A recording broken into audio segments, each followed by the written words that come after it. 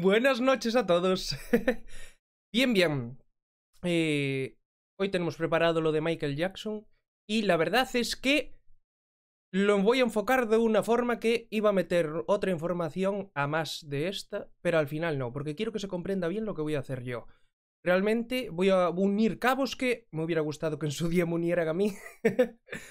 porque Michael Jackson no solamente eh, tenemos sus entrevistas grabadas, las cuales nos van a, dar muchísima, muchísima eh, verdad. Vamos a ver cómo eh, defendía a los negros, cómo él sabía que era negro y que estaba muy triste por, por tener el, el vitilio, o el vitíligo ese, como, como se pronuncie, que sí, sí, sí, dejarme un segundo porque no sé si está, si deja aquí conectado. Vale. Etílico. Y pongo esto. Vale. Bien, vamos a ver varias cosas. Vamos a ver varias cosas. El vídeo de la última llamada de, Michael Jackson. Vamos a verlo para escuchar cómo, con sus mismas palabras, él decía que lo iban a matar. Vamos a ver cómo la hermana dice en varias entrevistas distintas que lo iban a matar y que fue asesinado. Vamos a ver también eh, las diferentes acusaciones que le hicieron, pero para ordenarlo todo vamos a ver cómo, eh, em, con las diferentes eh, pruebas que tenemos, nos van a ir encaminando hacia una versión completamente distinta de la televisión. Y además voy a meter primado negativo y condicionamiento de una de las películas que más vimos de jóvenes, que es Scary Movie. Y yo me di cuenta de esto de Michael Jackson gracias a que encontré el condicionamiento a lo que le hacían a Tupac y ahora lo vamos a hilar todo fino para que lo comprendáis. Eh, ya os digo, seguramente me calcen contenidos con derecho de autor en este vídeo, pero es que tengo que mostrar estas entrevistas porque son vitales. Si no veis a, Michael cómo trataba a los niños antes de que lo, de que lo, eh, de que lo denunciaran, no vais a poder comprender eh, exactamente lo buena persona que era. Entonces, esto es muy complejo, porque la historia de Michael, realmente, cuando te pones a investigar de él, parece muy turbia. Y encuentras cosas que parecen turbias. El caso es que cuando te pones a investigar más a fondo y lo ves todo por orden, te empiezas a dar cuenta de que es todo manipulación. Y es muy complejo, y, esto lo estamos viendo ahora reflejado con lo último que está pasando, ya lo estáis viendo. Todo es manipulación. Te dicen que en un país están haciendo algo que no están haciendo, que otro país pues le están prohibiendo ciertas cosas por ciertas razones cuando es por otras, etcétera, etcétera, etcétera. Entonces así lo que crean es una versión y convencen a la gente. Y hoy lo que vamos a, aprender a, a diferenciar es lo que nos contó la televisión y el condicionamiento que nos pusieron en el cine de Michael Jackson y cómo cuando vemos las pruebas y las imágenes y los vídeos reales cambia completamente nuestra percepción. Así que vamos a, a, a empezar, que quería también que deje sin abrir aquí. Deje sin abrir. Uh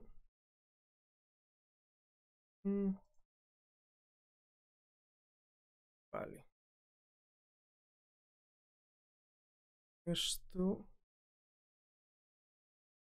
Vale. Vale, vale, vale. Bien, esto por un lado y ahora pongo lo que vamos a empezar.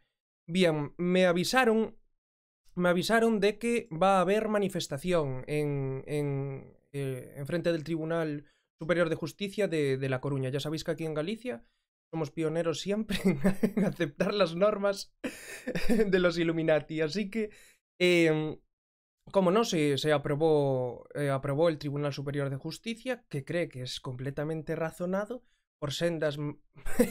por sendos razonamientos que si vierais son de risa, pues eh, que hay que utilizar el pasaporte. Hay que utilizar el pasaporte para eh, saltarse los derechos y libertades fundamentales de cada uno con lo que tenemos o dejamos de tener de enfermedades para así que eh, la gente, pues, por, digámoslo así, por esta presión tanto social como eh, eh, situacional, porque cuando tienes que ir a los restaurantes y así, tienes que entregar el pasaporte, pues aumenten y se incrementen las personas medicadas, que ya lo están diciendo en la propia televisión, que es para eso realmente por lo que están haciendo. Cada vez se están ya descubriendo más. Es así, ya no, no, lo, no lo niegan. Entonces, va a haber manifestación en, en frente del Tribunal Superior de Justicia de La Coruña y pone manifestación, Día de la Constitución, lunes 6 de diciembre, hora a las 17.30 va a ser. Lugar Tribunal Superior de Justicia Gallego, a Coruña. Y ya pone ahí, eh, porque pone Tribunal Superior de Justicia de Galicia, recorrido circular, Tribunal Superior de Galicia, Plaza María, Pita. Bien, y pone, el, el 6 es el día, toca manifestarse. La Constitución no se cumple, por supuesto. Nuestras libertades y derechos fundamentales tampoco. Si a la Constitución para un pueblo... Sí, a la Constitución para un pueblo unido, perdonar, lo leí mal. Eh, no queremos el pasaporte discriminatorio, no a la incitación al odio por las personas que deciden en el ejercicio de sus libertades y de sus derechos constitucionales el no medicarse y pone no a la dictadura farmacéutica y no al pasaporte. Abajo pone, eh, ya lo veis aquí, para más información y así lo tenéis ahí. Uy, uy, uy. Y ya empequeñecí esto.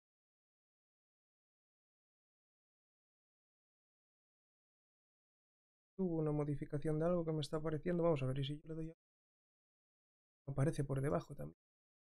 Entonces, perdona un segundo porque voy a, mover la, la... Para aquí, que no se mire la parte de abajo.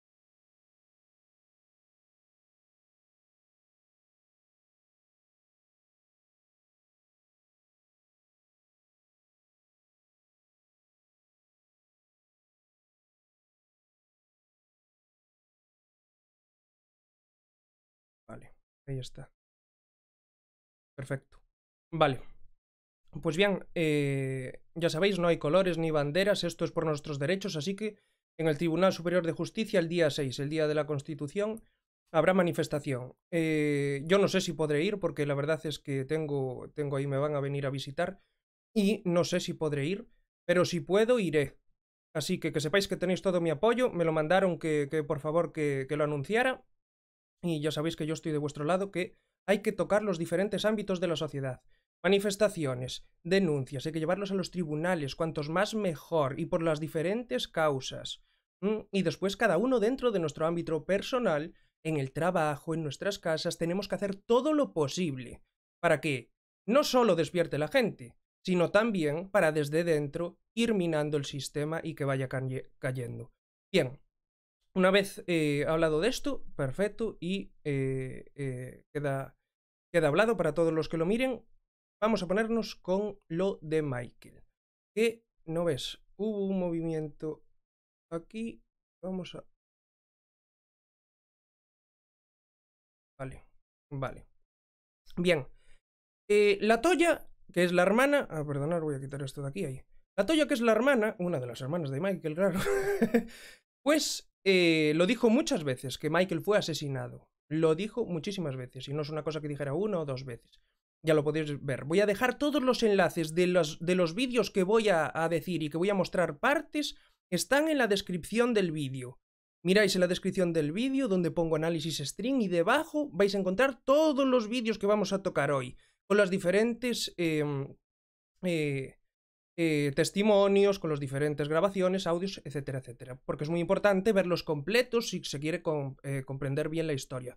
Pues hoy yo me voy a arriesgar bastante a que me pongan eh, una falta por derechos de autor, un strike. Espero que no lo hagan. Pero son cosas que tenemos que mostrar si queremos entenderlo bien. Así que vamos a ello. Bien, la Toya dice que fue asesinado y que el médico es un chivo expiatorio. Aquí ya os pongo el vídeo, aunque luego os lo puse en la descripción y así. Y este es en ABC News. ABC News que no era en la BBC, porque encontré, encontré otro. Está. Es en ABC. ABC News. ABC News, aquí. Y bien, vamos a ponernos y a escucharlo directamente. Vamos a escuchar a... A ver. No. Mejor. Ahí. Vamos a poner un poco a la toya para que lo escuche. Atentos. Dice, yo supe que algo terrible iba a pasar al final. Y continúa diciendo, vamos a ver cuánto tiene de volumen, vamos a subir. Michael constantemente me decía, Latoya, la Toya, if I die, si muero, they're going to murder me. They're going to kill me. Ellos quieren asesinarme. Ellos quieren matarme. He would tell me that, Barbara. Se lo dijo. Le estoy diciendo, me lo dijo Bárbara. Bárbara es la presentadora, la que le entrevista. Perdóname un segundo que voy a pasar el cable mejor por aquí detrás. Ahí está. Vale. Y continúa. And that's when Michael passed. Y eso, ahí dice que Michael, lo que ha pasado, lo que ha pasado con Michael, When I found out he was he had actually passed, lo que ha pasado, en realidad, o dice, a ver, I said no, it wasn't an dice, no, accident. No fue un accidente. y lo dice, no fue un accidente, was murdered. fue asesinado. Lo dice claramente. Your brother Y ahora dice la presentadora Bárbara, ¿tu hermano fue asesinado? ¿Tu hermano fue asesinado? I always believed that from Yo siempre, eh, yo siempre creí day one. I Siempre lo creí desde el día uno. Yo siempre lo creí desde el día uno, que fue asesinado, dice la Toya. said I'm not going to accept anything else, Y no acepta ninguna otra explicación. Barbara. They could have told me a heart attack. Le dijo, mira, puede que me dé un ataque al corazón. They could have told me he had fallen off a ladder. Me- le- bueno, le dijeron que puede que le diera un ataque al corazón. no, fue un ataque al corazón, dice ella. No, no fue un ataque al corazón. fue asesinado. Y lo dice claramente. Lo acabáis de escuchar de su boca, literalmente. Lo dijo en varias entrevistas. La más famosa es esta, y es de un documental que os pongo ahí. Este documental nos inició a muchísimos, a muchísimos en esto. Porque mm, eh, realmente ese documental está muy bien hecho, aunque ahora ya con, con el tiempo le faltan detalles y, y quizá alguna cosa no, no estaba mm, digámoslo así, porque, ¿sabes? Luego se va por un poco por el tema de la religión y así. Y no estoy ahora del todo de acuerdo con él, pero es que fue uno de los, de los mejores vídeos de, de la época. Este vídeo no sé cuántos años tiene, pero muchísimos, ¿eh? De cuando yo empezaba a despertar. Y ya no sé si era antiguo, porque estaba subido de las personas que lo habían subtitulado. Así que, imaginaros. Pues bien, vamos a, a cerrar un momento las pestañas por si está.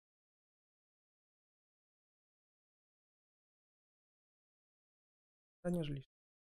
Entonces, en este, en, el vídeo de, de mm, expuesto satanismo Illuminati en la industria, en la industria musical, parte 8, sabéis que hay muchas partes. Os dejo en la descripción los enlaces. Poner todas las partes y verlo en completo. La mayor parte de vosotros seguro que lo vio, pero es que tengo hablado con gente que no lo vio. Y aquí explica mucho de Eminem, está muy bien trabajado, de Rihanna y así. Muchas cosas son muy sencillas que son de cuando empiezas. Pero para las personas que empiezan, que hay mucha gente que empieza hace poco y despertó hace poco, pues es un documental fundamental para comprender cómo funcionan los Illuminati. Y bien, en esta entrevista que le hacen a la Toya, también lo dice, lo dice claramente, se lo dice al presentador.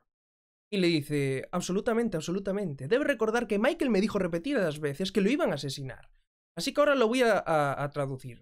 Bien, pues estas fotos y así para, para que veáis el balance de las dos cosas. ¿Por qué razón? Porque, ya veis, Michael era negro y la hermana eh, era negras, era negra, aunque ahora ya esté más blanqueada, eh, mucho más blanqueada, pues eran negros y tenían la nariz muy ancha, cosa que a ellos les, les marcó muchísimo.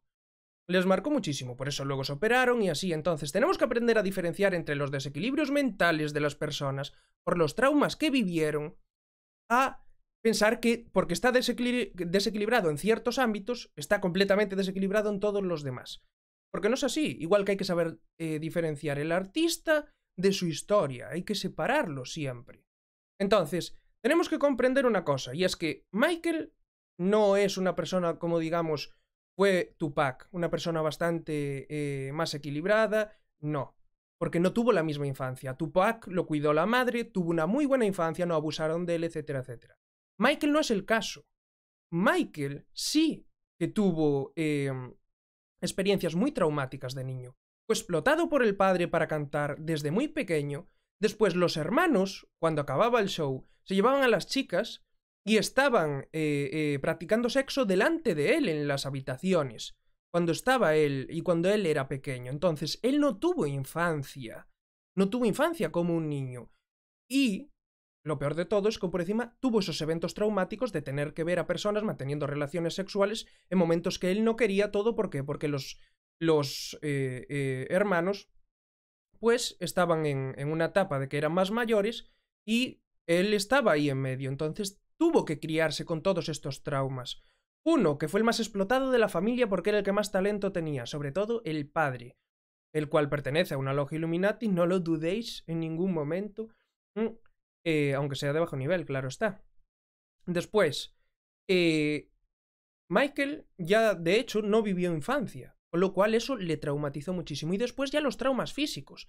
Nariz ancha, que si eran negros, que si siempre le inculcaron que al ser de raza negra lo tendrían todo muchísimo más difícil, cosa que es cierta, y al final eso le marcó muchísimo.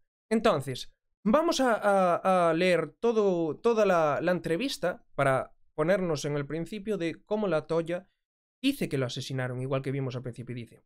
Le pregunta al presentador, ¿piensas que Michael fue asesinado? Y dice, absolutamente, absolutamente. Lo dije desde un principio y lo sigo creyendo hasta hoy.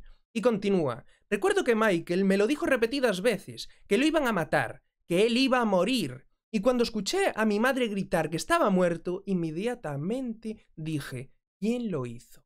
Ya desde el principio ella pensó que lo habían asesinado, ya dijo, ¿quién lo hizo? ¿quién lo asesinó? Mm. Entonces vemos que son tres entrevistas distintas como mínimo en las que la Toya confirma que Michael fue asesinado, que él ya lo estaba viniendo eh, eh, se lo estaba viniendo diciendo desde hace muchísimo tiempo. Entonces continúa y dice, fijaros, como ya al crecer, por eso voy cambiando las fotos, como al crecer las cosas van cambiando, la toalla ya está mucho más blanqueada, las narices ya empiezan a estrecharse por las primeras operaciones y eh, em, vemos cómo ya empiezan a, eh, digámoslo así, a emerger todos esos traumas físicos que tenían y empiezan a, a hacer modificaciones eh, en su aspecto físico. Es lo que hablamos. El exceso siempre es malo. Si tú, yo conozco a personas muy despiertas y que son muy buenas personas y te llegan a unas conclusiones increíbles y tienen alguna operación, se retocaron los labios o los pómulos o hacen algunos retoques que a ellos les, eh, les apetecen o que a ellas les apetecen. Pero con mesura. Entonces, hay cierto equilibrio, no hay un desequilibrio. En cambio, ellos tuvieron unos problemas eh, muy serios en cuanto a traumas físicos y eso desembocó en que utilizaran gran parte de dinero del que ganaban en operaciones que salieron eh, o desembocaron en unos, unos, problemas físicos muy grandes, como la, la, nariz de Michael, que al final ya la tenía completamente deshecha, la toya ya también hacia al final ya casi no tiene nariz y así. Entonces que se ve que hay desequilibrios. Con este vídeo yo no pretendo eh, eh, poner a Michael Jackson como una persona perfecta. Pero que no sea una persona perfecta y que tuviera desequilibrios mentales no quiere decir que fuera un pedófilo, que es muy distinto. Y lo vamos a ir viendo. Por eso, no es lo mismo tener desequilibrios mentales que tener, eh, no tener buen corazón. Así que vamos a ir viéndolo para entenderlo. Y dice, no dije por qué o para qué, o qué pasó, dije, ¿quién lo hizo?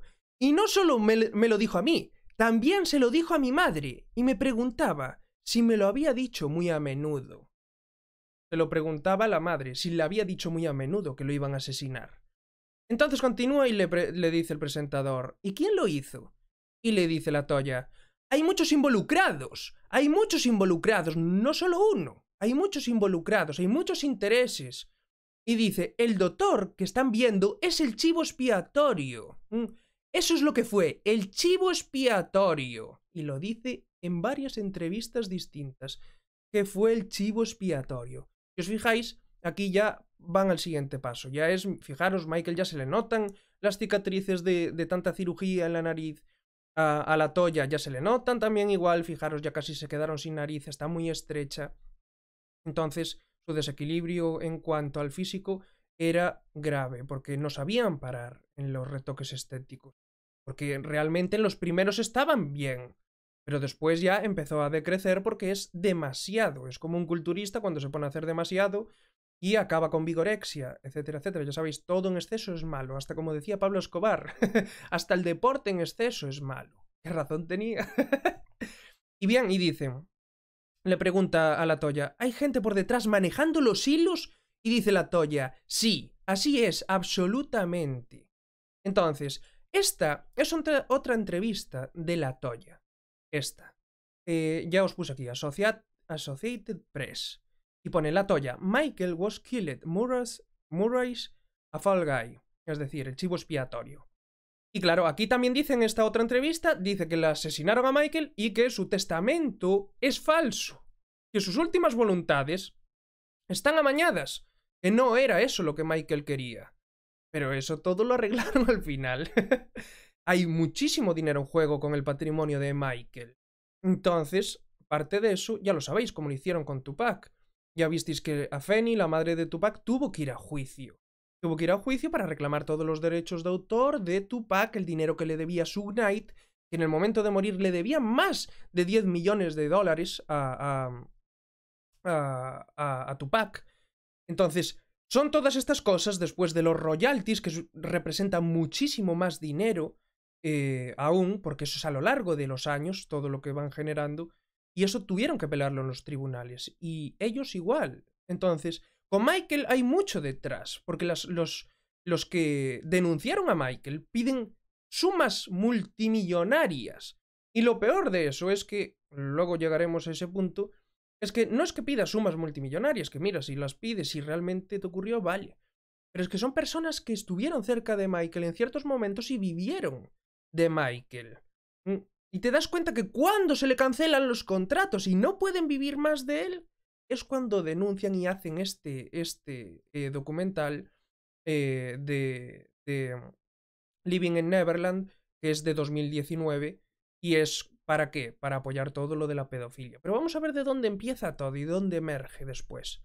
Entonces, continuamos y vemos, este es el, el vídeo del satanismo, que es buenísimo, ya ponemos aquí la, transcripción, pero tiene unas cosas muy importantes que nos van a llevar a otras cosas, atar los cabos bien.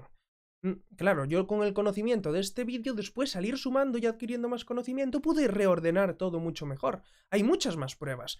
De hecho es eso. La última llamada de Michael, y os la voy a poner, cuando llamaron a la ambulancia, quien la atiende, quien la atiende, y lo dicen, y os lo voy a poner para que lo escuchéis. Mm, dicen, paramedics 33. Dicen, paramédicos 33. Están llamando al 33. Mm, y son los que les van a ir a atender. ¿Crees que eso es casualidad? Entonces, vamos a ver ciertas cosas que vais a ver como no es nada casual. Y luego analizaremos sus, sus videoclips y vamos a ver cómo calzaba también las cosas en el 33, hacía todo lo contrario en su simbología, porque aprendió cómo estaban haciéndolo ellos y se lo hizo a la contra. Entonces, continuamos y dice, durante el segundo juicio de Michael, que terminó el 13 de junio de 2003, sus padres llamaron a Dick Gregory, quien era un gran amigo de Michael. Le preguntaron si quería visitar a Michael porque no se sentía muy bien.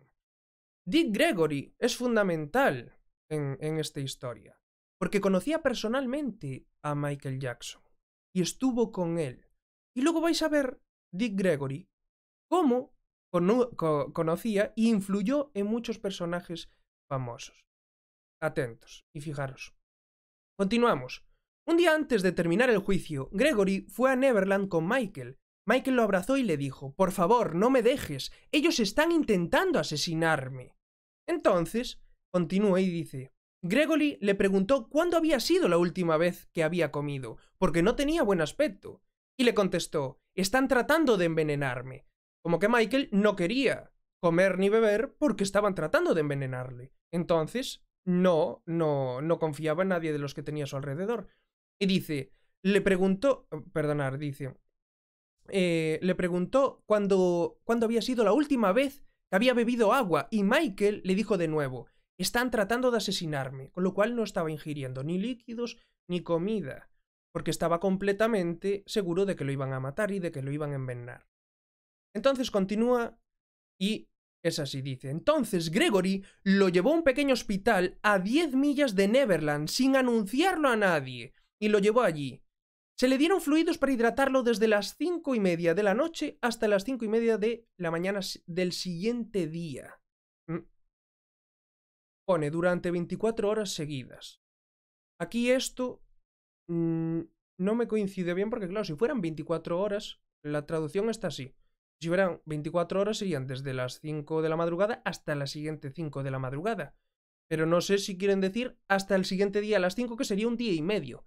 Aquí no coincide bien el coso, pero bueno, el caso es que fue y estuvo eh, eh, hospitalizado para poderle dar líquidos y, que no se muriera. Entonces dijo el doctor, dos horas más y estaría muerto, estaba muy deshidratado.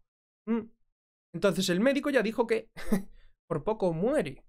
Y entonces dice, desde eso podemos ver cómo hubo un intento de asesinato en junio de 2005 también.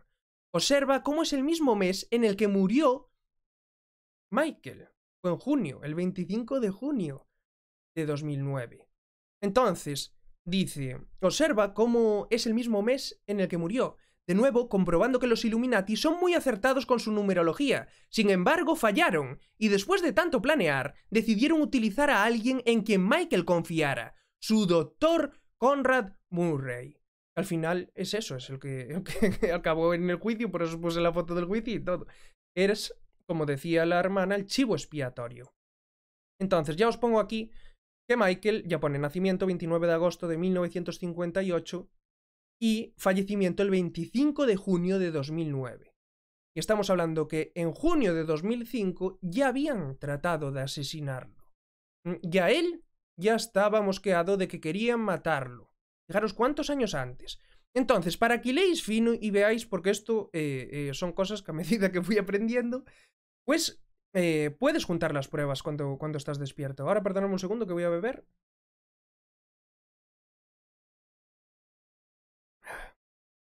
Bien. La historia está en que... Eh, ahora, fijaros, os quedasteis con Dick Gregory. Entonces, os acordaréis todos de la entrevista que os la pongo abajo, porque la encontré con muy mala calidad, y entonces pongo una foto de la entrevista, fue esta entrevista de Prince, pero la tenéis en que la descargaron en Facebook para escuchar a, Prince como, como dice eh, lo que dice de los chemtrails y cómo dice que no vota, etcétera, etcétera. Es una entrevista imperdible que tenéis que ver al completo. Pero ahora vamos a unirlo para que comprendáis con lo de Michael y Dick Gregory. Bien. Dice. Dice así el presentador. Primero cuenta. Cuéntame sobre Dreamer. Dreamer es una canción de, de Prince. Y le dice Prince, oh, bien. Y continúa, cuando vi el estado de la Unión Negra, Dick Gregory realmente me conmovió. Y a un montón de mis amigos. Está diciendo que Dick Gregory influyó en él gracias al trabajo que, que, hacía en, en los vídeos y en conferencias y en documentales. Bien, Dick Gregory luego os lo voy a enseñar quién es y, vamos a ver unas cuantas palabras de él para que veáis quién es y cómo era eh, eh, una persona importante para Prince, para Michael Jackson, como era una persona que tenía peso, y era un cómico estadounidense negro. Entonces, continuamos y dice, se lo mostré a todos los que vinieron a casa, especialmente a la gente blanca, porque necesitaban escuchar eso. Y continúa y dice, se lo mostré a todos los que vinieron a casa. Ah, perdonar, no, no lo pasé. Aquí. Mm. Se lo mostré a todos los que vinieron a casa. Eh, espera. ¿Cuáles? ¿Cuáles se quedaron? Ah, vale, sí, vale. Se lo mostré a todos los que vinieron a casa, especialmente a la gente blanca, porque necesitaban escuchar eso, ¿sabes? Para que supiera más sobre todos nosotros. Y dice, porque lo que él dijo nos afecta a todos. Lo que dijo Dick Gregory les afecta a todos. Y dice, él dijo algo que realmente dio en el blanco sobre el fenómeno de los chemtrails. Entonces continúa y dice, cuando era un niño solía ver estas estelas en el cielo todo el tiempo. Entonces decía, está bien, es un jet. pero empezaba a ver todo un conjunto de ellas. Entonces ya se empezaba a cuestionar cosas. y dice, y lo siguiente que sabía es que todo el vecindario estaba peleando y discutiendo. Fijaros, peleando y discutiendo. Y no sabías el por qué. No sabías el por qué. Pero era después de las fumigadas de los chemtrails. Fijaros, como todo tiene muchísimos puntos de vista, muchísimos razonamientos distintos de por qué lo hacen. Entonces continúa y dice, ¿vale? Y digo, realmente no sabía el porqué de, el porqué de que todo el mundo estaba peleando. Entonces, él empezó a informar sobre los chemtrails. Fijaros, Dick Gregory.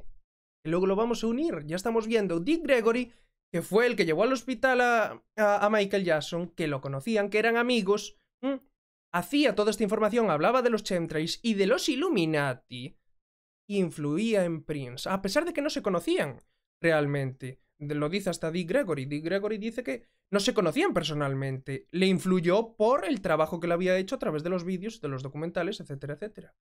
Entonces continúa y dice, él empezó a decir cosas que realmente surtieron efecto de, de tal manera que le recomiendo a todo el mundo que traten de conseguir lo que él dice online o donde sea, y traten de conseguir una copia y solo escúchenlo, escuchen a Dick Gregory razonar sobre los chemtrails y dice, porque eso me conmovió tanto que tuve que escribir la canción. La otra cosa es que la primera línea de la canción dice que nací en la misma plantación de los Estados Unidos rojo, blanco y azul. Y ahora fijaros, ¿eh? Fijaros. Y dice, y vivimos en un lugar ahora que se siente como una plantación y todos nosotros somos servidumbre contratada. Flipar. Es así. Y luego dice que no vota y etcétera, etcétera. Podéis ver la, entrevista completa. Lo que pasa es que ahora quiero que lo hiléis, por eso no, no quiero meter demasiada información para que lo hiléis con lo siguiente. Porque tenéis que ver la relación que tenía Dick Gregory, como Dick Gregory dice que Prince lo asesinaron los Illuminati, Dick Gregory dice que Tupac lo asesinaron los Illuminati, entrevista a la cual no doy encontrado, lo vi y me acuerdo perfectamente que lo decía explícitamente, y no la encuentro, pero bueno, encontré otra que la, tenéis en, en la descripción del vídeo, en la cual habla también de Tupac y dicen que le dispararon desde dentro del coche también, y que estuvo involucrada la hija de Quincy Jones. Entonces, para que veáis para que veáis en qué, en qué nivel se mueve este tipo. no se corta nada en decir las cosas. Entonces, nos quedamos con, con el caso de que Prince, ya sabéis que todos especularon de que estaba hablando sobre los chemtrails y todo lo que estaba ocurriendo, y que por eso lo asesinaron a Prince. A Prince. No sabemos si fue cierto o no, faltan muchísimos datos, no sabemos si realmente lo asesinaron o no. El caso es que Prince estaba cantando para despertar a la población en algunas de sus canciones como en Dreams, etcétera, etcétera, y vimos cómo estaba hablándolo explícitamente para que la gente despertara, diciéndonos una cosa fundamental sobre los chemtrails. Y es, ya os lo dije, es que tienen muchísimas funciones los chemtrails. Entonces, ahora vamos a repasarla, voy a saludar y hacemos un repaso de todo, todas las ideas que tenemos de momento de para qué funcionan los chemtrails.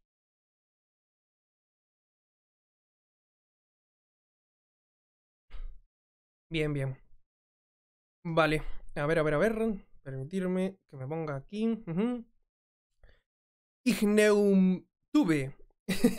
Igneumtube. Dice, porfa, analiza la película Los últimos días del crimen. Y me pone cinco gatos, pirámide, tres ángulos de 60 grados, camiseta del PSG tiene triángulo y el 11 a 11. Abrazo desde Argentina.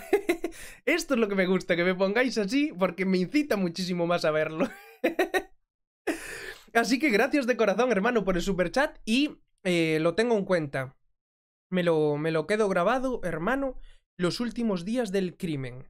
Me lo dejo aquí. Bueno, lo iba a apuntar, pero es que no importa, porque luego, luego los apunto todos al acabar con, con, con todos los, los comentarios y así. Y bien, ¿qué pasa? Que es lo que os digo, es que ahora me, recordaste a esto, me lo recordó.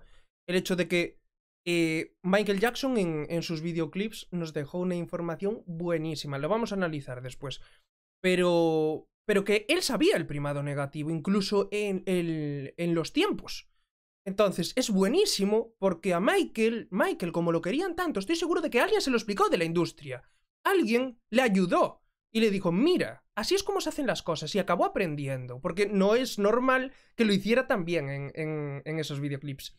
Así que es algo que confirmaremos al verlo después. Te mando un abrazo muy fuerte y gracias de corazón por, por la recomendación. Y Rita Benítez, muchísimas gracias por el superchat. Eh, es que a veces me mandáis los, los logotipos, los, los emoticonos.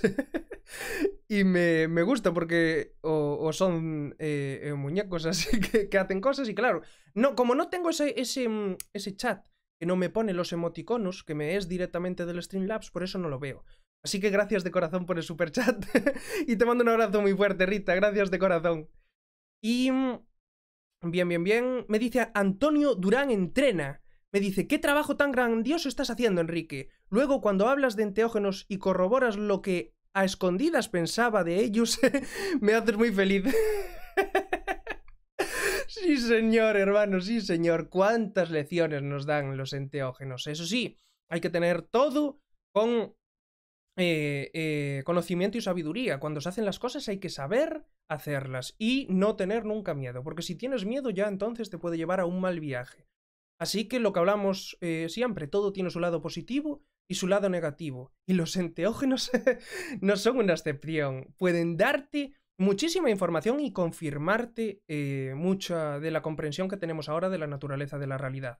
Está claro que todas las sustancias, ya sean enteógenos o, cualquier otra sustancia que altere nuestra conciencia, eh, tiene su lado negativo también. Hay personas que no deben eh, consumir esta sustancia, sobre todo si eres una persona con tendencias depresivas y que ya le das muchísimas vueltas a las cosas, es muy complejo ¿Por qué razón? Porque cuando tú consumes ciertas eh, cantidades de, de enteógenos o de cualquier otra sustancia, pues lo que vas a, lograr es lo que hablamos siempre. Tienes un subido muy grande y cuanto más subas, más va a ser el bajón. Y si no tienes el equilibrio necesario para saber pasar ese bajón, puede darte tal golpe, tanto emocional como psicológico, que después quedes desequilibrado de por vida. Así que todas estas cosas de consumo de enteógenos y cualquier otra sustancia, ya sean drogas o... Ya lo sabemos que ahora mismo con el conocimiento, con el conocimiento que tenemos, sabemos que puede ser adicto a cualquier cosa, ya sean sustancias o hábitos. eh, siempre recomiendo las cosas con mesura y con cabeza, porque si no pueden crearte desequilibrios emocionales en tu vida. Así que te digo, Antonio Durán Entrena, muchísimas gracias hermano por apoyarme de corazón, gracias por ese super chat que me, que me acabas de hacer, hermano, te lo agradezco de corazón que valores así mi trabajo, porque de verdad, en los momentos más difíciles, cuando yo estuve a punto de tirar la toalla, realmente me hace plantearme, fíjate, continuaste, seguiste por tu camino, conseguiste innovar, porque tuve que cambiar de formato de hacer los vídeos, ya lo visteis, y ahora llegan las cosas. Daros cuenta de una cosa, la, gente que me mira y así. Muchas veces eh, la gente se cuestiona y dice, bueno, eh, sé que la mayoría de vosotros os encantan los directos largos porque estamos en la era del streaming, ya lo veis. Va hace streaming todos los días y toda esta gente hace horas y horas de streaming. No es que la gente te mire un día y otro día, no, es que la gente que te mira hoy no te mira mañana y luego te mira pasado, pero sabe que te conectas y que vas a estar. Con lo cual, los directos largos es lo que se lleva ahora. Estamos en la era del streaming. Y después, aparte de eso, sabéis de sobra a lo que nos dedicamos en este canal y todas las personas que estamos hoy aquí. Y es a tratar de despertar almas y cambiar el mundo a mejor. Y cuando tú haces vídeos cortos que se pueden viralizar, te los capan. Pero cuando yo cometo un error, y lo visteis que algunas veces tengo cometido un error y decir palabras que no debo, pero como el vídeo es muy largo no hay problema. Entonces, me da muchísima más libertad hacer los directos largos, aparte de que es lo que hablé siempre. A mí me gusta explicar las cosas muy en profundidad. Y mm, lo recuerdo que me lo llevan diciendo desde que empecé, incluso los vídeos cortos que, que la gente piensa que, que los vídeos cortos es de 14 minutos, 11 minutos o 10 minutos. La gente me pedía que los hiciera más cortos, que los hiciera de 5, de 3, para poderlos compartir, pero es que ya les dije, no hago las cosas así, es mi forma de hacer las cosas. Quien quiera verlo lo mirará, quien vibre en resonancia lo mirará y quien no, no lo mirará. Nadie lo obliga a, a ver las cosas. Entonces, así explicamos las cosas bien y que queden eh, eh, entendidas todas las, diferentes complejidades de la naturaleza de la realidad. Y aún así a veces me quedan cosas atrás. así que eh, Antonio Durán, te lo digo de todo corazón, muchísimas gracias por el apoyo, hermano, que me hagas un super chat de, tanto dinero, te lo digo de verdad que, eleva mi frecuencia a unos niveles máximos y hace que realmente diga, acertaste, tenías que seguir por ahí, no rendirte, porque estuve muchas veces a punto de rendirme por la censura. Así que un abrazo muy fuerte, hermano, gracias de corazón. y también quería saludar, como no, a Serafín Domínguez, como no, gracias de, todo corazón. Sé que lo haces por amor incondicional, pero te quiero dar las gracias, hermano, por apoyarme siempre. También a Circo Planetario, como no, a Aarón Fernández, un abrazo fuertísimo. a Gatoterapia, que Gatoterapia, eso tiene que ser la bomba. Terapia de gatos. Pero bueno, ya lo sabéis. Mm, de hecho, aún aparté una noticia que hoy no viene al caso, pero, pero de, un, de un caballo que detecta el cáncer y ayuda a los enfermos terminales de cáncer. Es buenísimo. Es buenísimo eso. Y claro, los gatos ya lo visteis también como en la película de... Mm, en la que vimos que había un primado negativo excelente de los sacrificios de, de niños mm, y, de los reptiles de la cuarta dimensión. En la película de... ¿Cómo se llamaba? Los sueños... Ahora, ahora no me acuerdo, dejarme ver... ver... Lo miro en los vídeos. Ajá. Ah.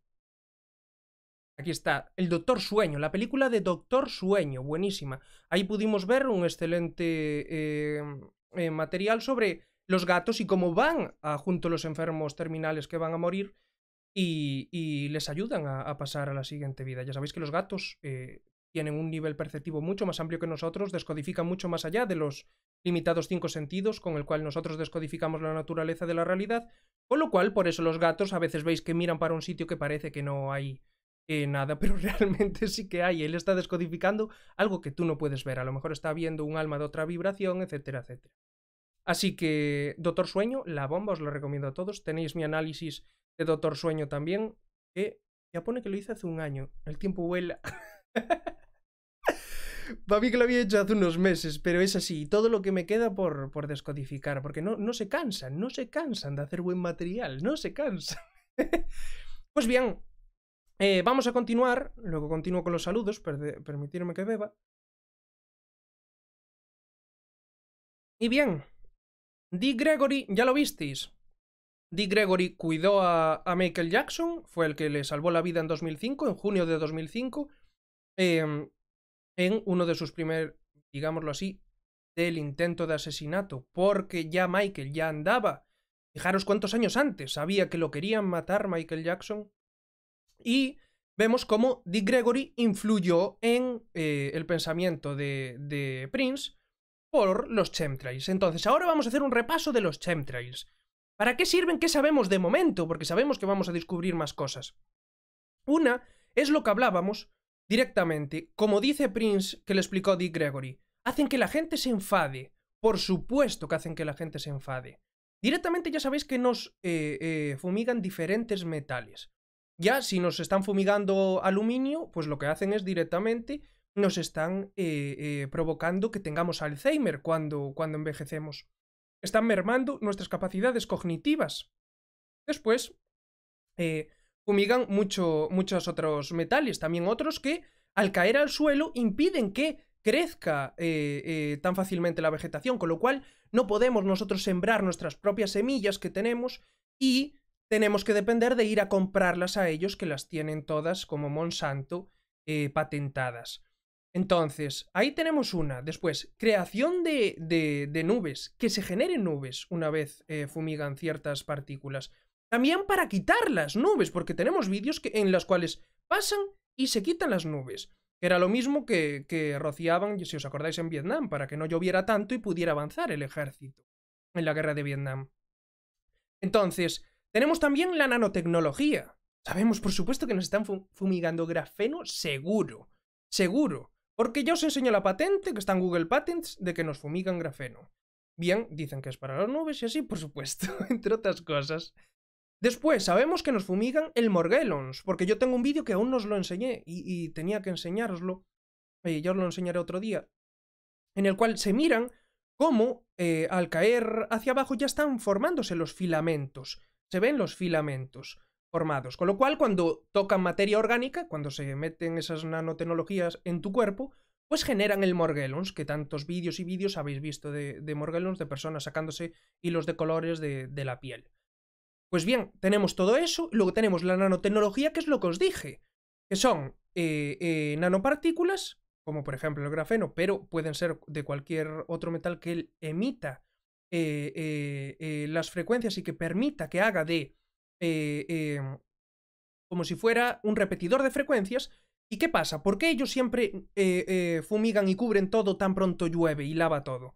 Porque si tú lo que estás haciendo es poner todas esas partículas, ellos utilizando las, las eh, antenas de HARP y las de Tetra, ya sabéis que hay muchos modelos distintos, pues lanzan esas frecuencias y en vez de rebotar en la ionosfera y caer, que es mucho más recorrido, porque ya sabéis que lo que está encima de la cúpula son superfluidos, un día ya tocaremos eso, voy a hacer un directo solo de tierra plana y, vamos a tocar todo eso, ya lo veréis.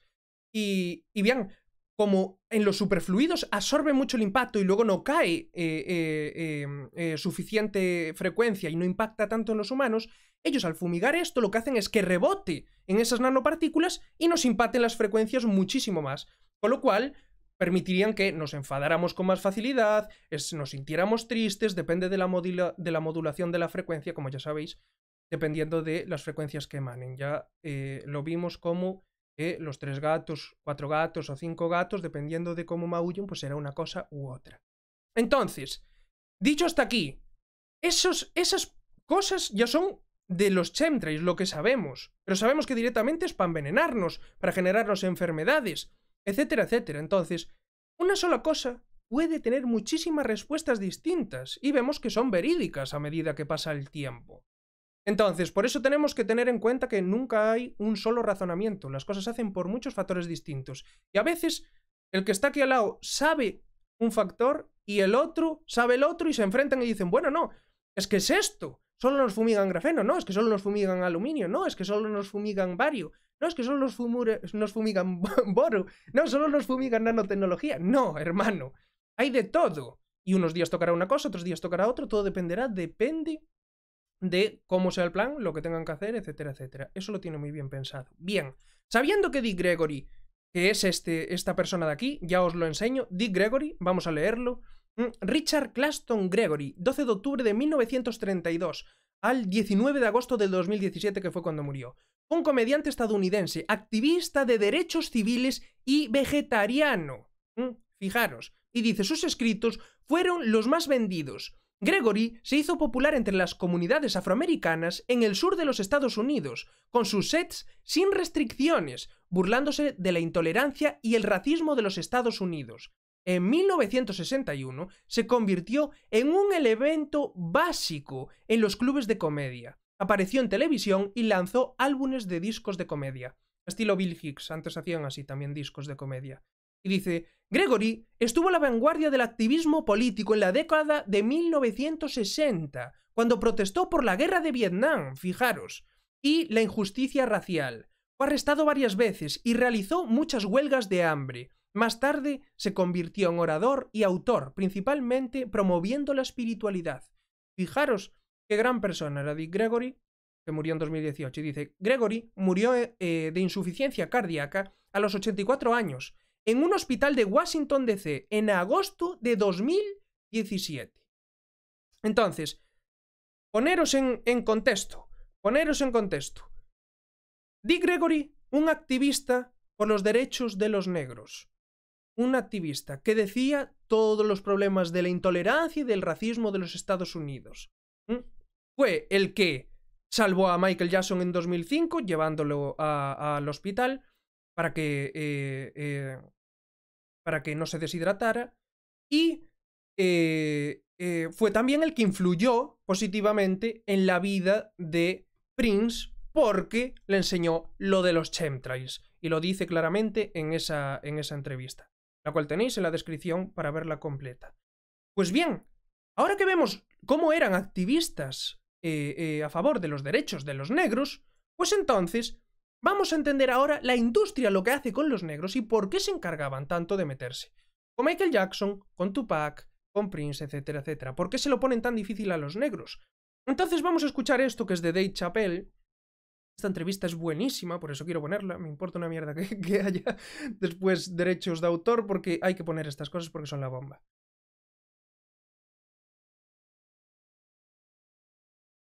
Bien.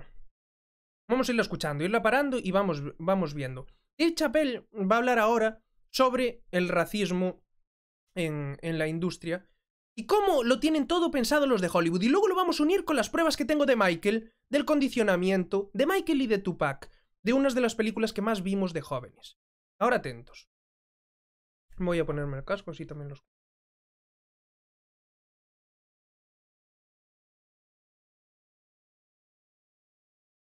Mejor así. ¿O no? Queda por aquí detrás, esperar que me lo pongo por aquí. Y así escucho mejor. A ver, perdonar ahí. Vamos a darle. Bien. Entrevista de Dave Chappelle. I mean, I'm a conspiracy. Dice, "Mm, hay una conspiración. Dice, me refiero a que hay una conspiración dedicada a, de- a degradar. theorist to a degree. Dedicada a degradar. Like when I, I connect dots that maybe Lo conecto y no sé si debería hacerlo o no. Dice. No sé si debería hacerlo o no. Y dice, pero cuando veo que ponen a cada hombre negro en las películas con un vestido, in the movies in a dress, fijaros, y luego os voy a enseñar cómo hicieron lo mismo con Michael y con Tupac. Y cómo nos la colaron. Os lo voy a enseñar con las películas. Vamos a corroborar lo que Dave Chappelle se negó a hacer.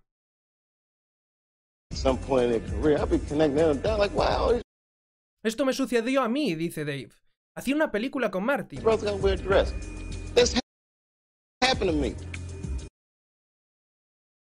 Dice que le sucedió a él.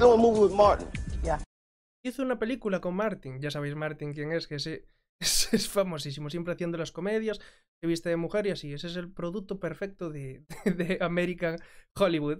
The movie's going good. la, la película iba bien, dice él. La película iba bien. Se dirige hacia el tráiler y dice, bueno, debí de entrar en un tráiler equivocado. Porque hay un vestido aquí.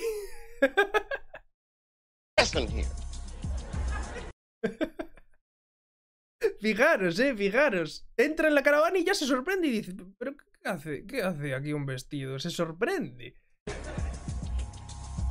They come in. Entra y el escritor también entra. Fijaros la presión social, igual que están haciendo ahora, con todo el verso de lo que está ocurriendo. Entra el escritor y le dice, like, Dave, listen. Dave, escucha.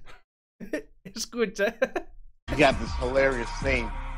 Tenemos esta situación cómica y te va a encantar, te va a encantar. y le dice, where Martin's sneaking out of jail. Martin tiene que ir a la cárcel. So he disguises you as a prostitute. Así que te disfrazas como una prostituta. y ya ves como dice, como se estaban riendo, como diciendo, es que va a ser buenísimo, va a ser buenísimo. Martin va, va a la cárcel y tú te disfrazas como una prostituta. y continúa. and you put this dress on, Y te pones este vestido y... and huh? What?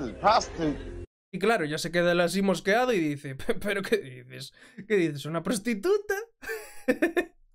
No, I'm not doing that. I don't feel comfortable Y le dice, no, no, no lo hago. No me siento cómodo con eso. Y se lo dice seriamente, porque Dave Chappelle ya tiene una categoría, ya lleva mucho tiempo en eso y se atreve, tiene la valentía de decir, mira, hermano, no voy a hacer eso. no voy a hacerlo. Entonces continúa. That should have been in the discussion. Y dice, no debería de haber habido una discusión. Dice Dave, no debería de haber habido una discusión. Como diciendo, normalmente en los sets, cuando ocurre esto, no le damos mayor importancia. Se dice, no se hace y no se hace, punto. Y continúa. ¿No te sientes cómodo con eso? ¿Cómo no te sientes cómodo con vestirte de prostituta?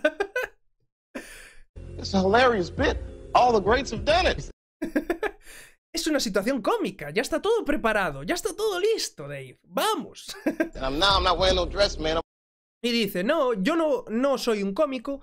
eh, no soy más cómico con un vestido. Dice, yo no soy más cómico con un vestido.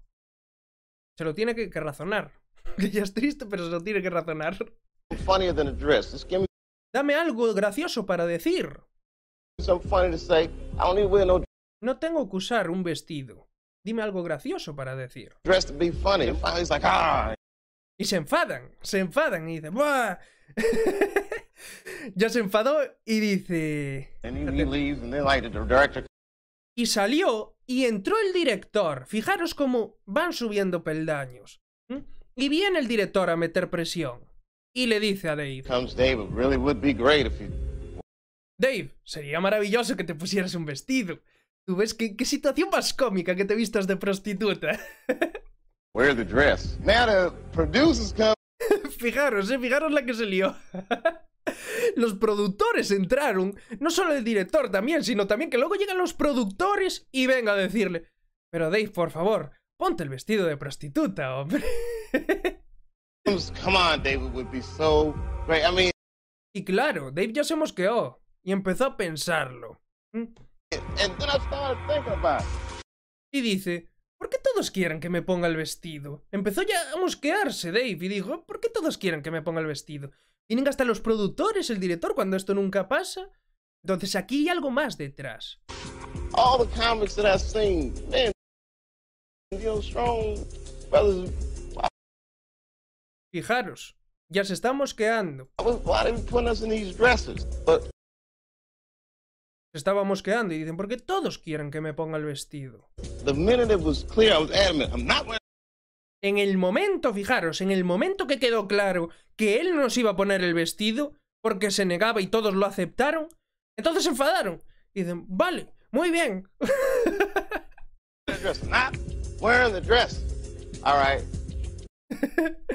vale, ya está bien, vale. Y lo dejan ahí, bien, ¿no te lo quieres poner? Vale.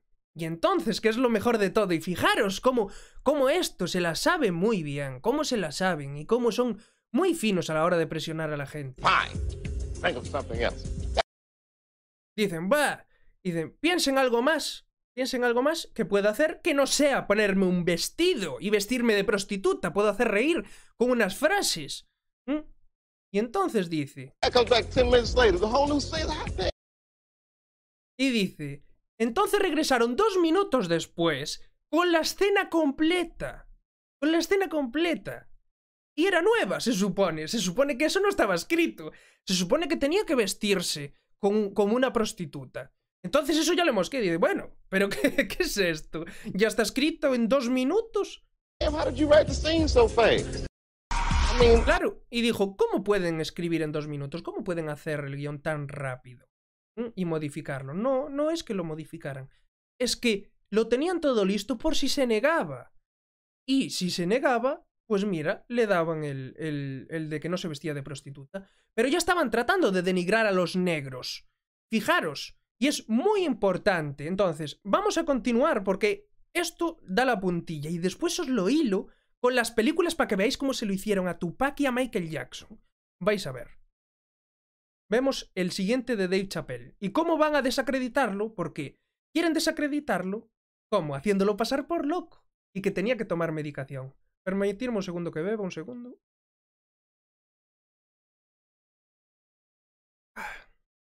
Perdonar, pero lo necesitaba. Bien. Vamos a escuchar cómo trataban de desacreditarlo.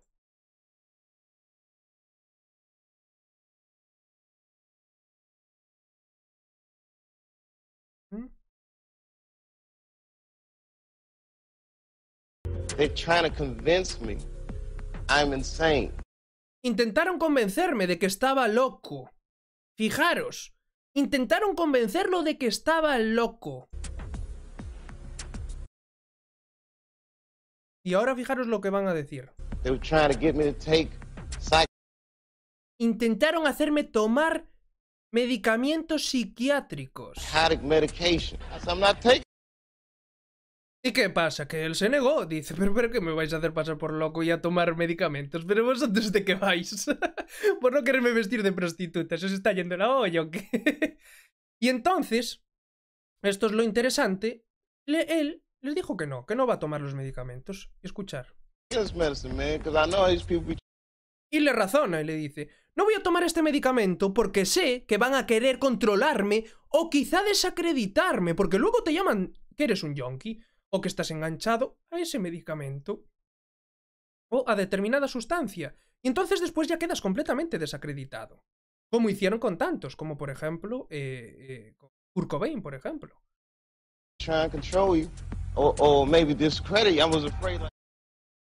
Quizá vais a intentar controlarme o desacreditarme. Fijaros.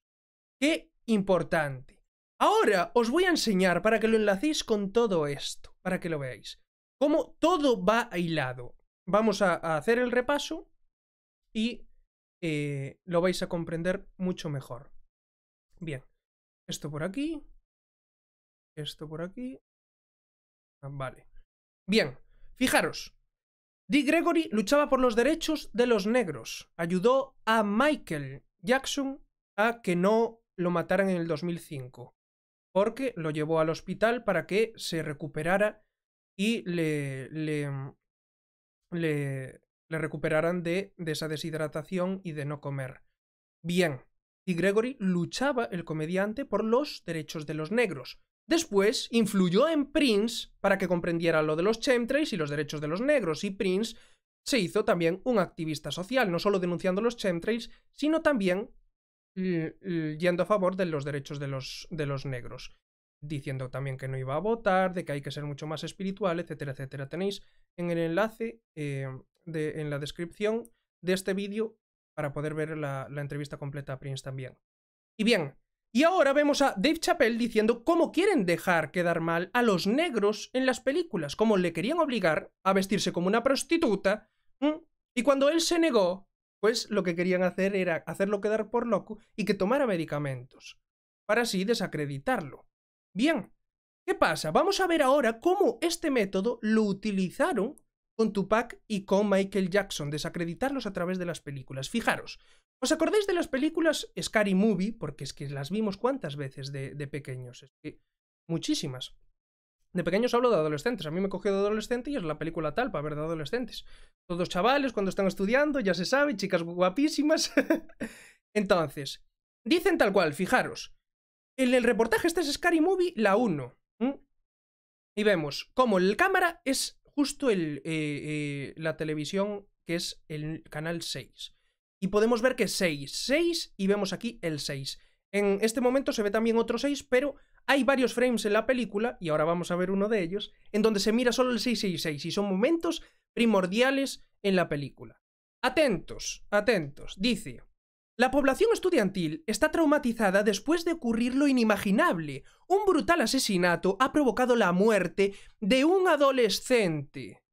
Un brutal asesinato ha provocado la muerte de un adolescente. Tenemos el 666 de los Illuminati, que tanto les encanta, y que vemos también en patentes de nanotecnología, como, como vimos, mm, para que el humano sea una criptomoneda. No sé si lo, si lo visteis de Microsoft, ya os lo enseñaré si no lo visteis aún. Lo vimos también en películas, lo del 666, y vamos a verlo ahora aquí, con el sacrificio humano. Y es que justo, fijaros, cuando pone el 6, 6, 6, vemos el 666 justo, es cuando va a matar ella a otro adolescente. ¿Por qué? Porque está por detrás riéndose. El chaval está, está haciéndole, ya sabéis, lo típico. Están grabándote de la televisión y tú apareces por detrás haciendo el imbécil por detrás. Pues bien, ella coge y va a matarlo cuando está hablando de matar a adolescentes, cuando ya habían matado a un adolescente y que toda... Vamos a leerlo otra vez, por si acaso. La población estudiantil está traumatizada después de ocurrir lo inimaginable. Un brutal asesinato ha provocado la muerte de un adolescente. En ese momento se da la vuelta porque se está burlando el adolescente de ella y mientras pone el 666 le pega un tiro al chaval. Le pega un tiro. Y y no, y no puse, quité la foto justo de la que le sale la pistola. Bueno, no importa. Se mira la pistola, se mira la pistola y le pega un tiro. Y es justo en el minuto 11 exactamente. Y ya sabemos que el 11 simboliza la pirámide, porque 11 por 11 el resultado te da siempre una pirámide. Esta propiedad se mantiene hasta 9 números 1 por 9 números 1. Entonces, fijaros, el frame del minuto 11 exacto es sacrificio de adolescente después de ver el 666 y justo el frame que también está en el minuto 11, si vas pasando frame, frame, frame, y se mantiene en el minuto 11, niño sacrificado, adolescente sacrificado, adolescente muerto. Bien, ¿por qué os saco esto? Porque esto es el primado negativo de los sacrificios humanos. ¿Y quién los lleva a cabo? El 666, los Illuminati, y justo en el minuto 11, un primado negativo excelente. Bien, pero ¿qué pasa en esta película que a mí me intrigó tantísimo? Pues precisamente es esto. Y es que eh, aparecen todos los protagonistas. Fijaros cómo están todos los protagonistas. Están todos eh, juntos. ¿Y qué va a pasar? Pues que este, uno de los protagonistas, el protagonista negro, van a hacerlo pasar por gay, por homosexual. Y ya sabéis que yo no tengo absolutamente nada en contra ni de los gays ni de los homosexuales, los quiero a todos y los transexuales, todos los quiero al máximo. Estamos hablando de la distorsión de ciertos personajes y vamos a verlo ahora por qué. Porque van a hilarlo con Tupac en la película y lo vais a ver para tratar de desacreditar a la raza negra. ¿Mm? Pues bien, los vemos a todos juntos ahí y empieza ya. El negro va a ser gay, va a ser gay, y le dice, ¿así tengo aspecto gay? Le pregunta al amigo en una de las bromas, ¿así tengo aspecto gay? Y le dice, ¿no? y le dice el, compañero, ¿y ahora? Se ata, ata la camisa. Y dice, ¿y ahora? Y se pone así con, con aspecto más de gay. Y le dice, tampoco. Y le dice, ¿mola? Y le dice el amigo, sí, un huevo. y entonces se queda así. Es el primer atisbo de que lo ponen de gay. Después pasa más, más adelante la película y cuando está saludando a todos los del equipo, pues le da palmadas en el culo a los, a los compañeros. Entonces estamos volviendo a ver otra vez cómo eh, están confirmando que es gay, pero van a seguir aún más, porque él se hace pasar como que no es gay, que tiene una novia, pero se va viendo que es gay. Y aquí llega lo primordial, aquí viene el, condicionamiento de que los negros, eh, como Tupac, son gays, cuando era todo lo contrario. Mm. Eh, ¿Por qué lo, digo? Porque ya sabéis que, Tupac lo decía, que Jay-Z eh, era gay, igual que, que, Puffy, y así, y ya sabéis, porque eso eh, lo habló el que mm, lo puse en el documental de, que hice de Tupac, la verdadera historia de Tupac, que una de las pruebas para acceder a determinado puesto es precisamente que te dejes violar por estas, estos personajes que pertenecen a las logias. Entonces, si te acuestas con ellos, pues tienes acceso a entrar en la logia, tal. Eso es una de las formas de entrar, ya sabéis. Pues bien, eh, Pac lo sabía, y el que sacó en el documental también de Tupac también lo, lo, sabía y lo cuenta. Y bien, aquí lo quieren hacer pasar por lo contrario, porque Tupac y escuchar a Tupac como que es de gays. Cuando Tupac no era gay, era heterosexual. Y claro, esta es la distorsión de ir dejando quedar mal a los negros. No por el hecho de que ser gay, que ser gay es buenísimo, igual que ser heterosexual, igual que ser transexual, las almas no tienen género, ya lo sabéis de sobra. El caso no es ese, el caso es distorsionar la realidad, la versión real. Pac no era gay, Pac era heterosexual, punto. Pero aquí lo hacen así, y fijaros, empieza a escucharse la canción, que está aquí la cadena de música, ya lo veis, y pone, eh, la canción es la de Tupac, It's All About You. No sé si, si la conocéis. It's All About You. Pues es esa. Y la chica está con él que se van a acostar. Y dice, esta es mi canción. ¿Sabías que canté en ese álbum? Le dice, y claro, se pone a cantar la, la canción de Tupac. Estás escuchando a Tupac mientras sucede esto. Y la chica, ¿qué pasa? Que le dice él, ¿sabes lo que me gustaría? ¿Sabes lo que me pondría? Que eh, te pusieras eh, la ropa de cuando entreno. Y claro, esa ropa de cuando entrenas de hombre. Y se empieza a poner los pantalones, la chica, y luego dice, oye, si te pones también eh, las sombreras y todo, y, se las pone y ella ya se empieza a mosquear y dice, bueno, pero ¿por qué, ¿por qué me estás mandando poner esto? Entonces, se pone las sombreras, y a continuación de ponerse las sombreras, ¡boom! También le dice, ponte el casco también, ponte el casco. Y se pone el casco. Recordemos que estamos escuchando a Tupac por detrás. Y vemos aquí también la cruz de Malta, por si no teníamos poco. Y bien, y bien, Estamos escuchando a Tupac mientras él está haciendo que es gay. Entonces, le acaba diciendo, vamos, Brendam, y empieza como a darle eh, eh, por el culo. Pues bien, la historia es esta, que él está haciendo como es gay mientras Tupac está sonando por detrás. Y ella le dice, pero ¿cómo que Brendan? ¿Quién es Brendan? Y así. Y al final ya se vuelve loco, se tira y dice, ahora ataca tú, dame. Y todo esto mientras estaba escuchando a Tupac. Para dejarlo y hacerlo quedar como gay. Entonces, esa es la distorsión de, de los negros. Bien, ¿a dónde vamos? Ahora voy a la parte de Tupac después de esto. Porque al acabar ya, ya la película, se lo acaban poniendo así, como el, el negro mientras está muriendo, pues que está violando al, al blanco. ¿Y qué pasa? Que luego vemos otro excelente primado negativo y después paso al de Michael. Vemos, porque para que veáis que no es una película hecha al azar, vemos claramente cómo tienen puesto que ya podía haberme quitado esto y luego me lo vuelvo a poner. Perdonadme un segundo que beba. Bien. Tiene. Eh, tienen aquí que están todos reunidos, están todos fumando hierba. Y los ponen a todos, ya lo sabéis. Si fumas hierba es como si estuvieras colgadísimo. Y ¿qué pasa? Te ponen como si fueras estúpido. Pues bien, te ponen eso y te calzan un primado negativo excelente. Porque el, el malo va a matarlos y con el pentagrama invertido detrás justo. Fijaros, como están rapeando, están todos fumados, y el, el malo de la película, de, de Scary Movie, pues hace como que los mata a todos mientras rapea, pa, pa, pa, y se pone a rapearlos, mientras tiene el pentagrama invertido justo detrás. Y luego cuando acaba, ya lo podéis ver, todo sangre por detrás y muertos, se queda ahí como marcando el, el freestyle, como hacen los raperos y así. Y fijaros cómo tiene el pentagrama invertido de los sacrificios humanos, ya sabéis. La escala simétrica de frecuencias de la música que permite el viaje interdimensional de los reptiles de la cuarta dimensión aquí en la tercera. Y que utilizan también los rituales de niveles bajos para eh, eh, enviar todas estas energías de baja vibración a las almas encarnadas en la tercera dimensión.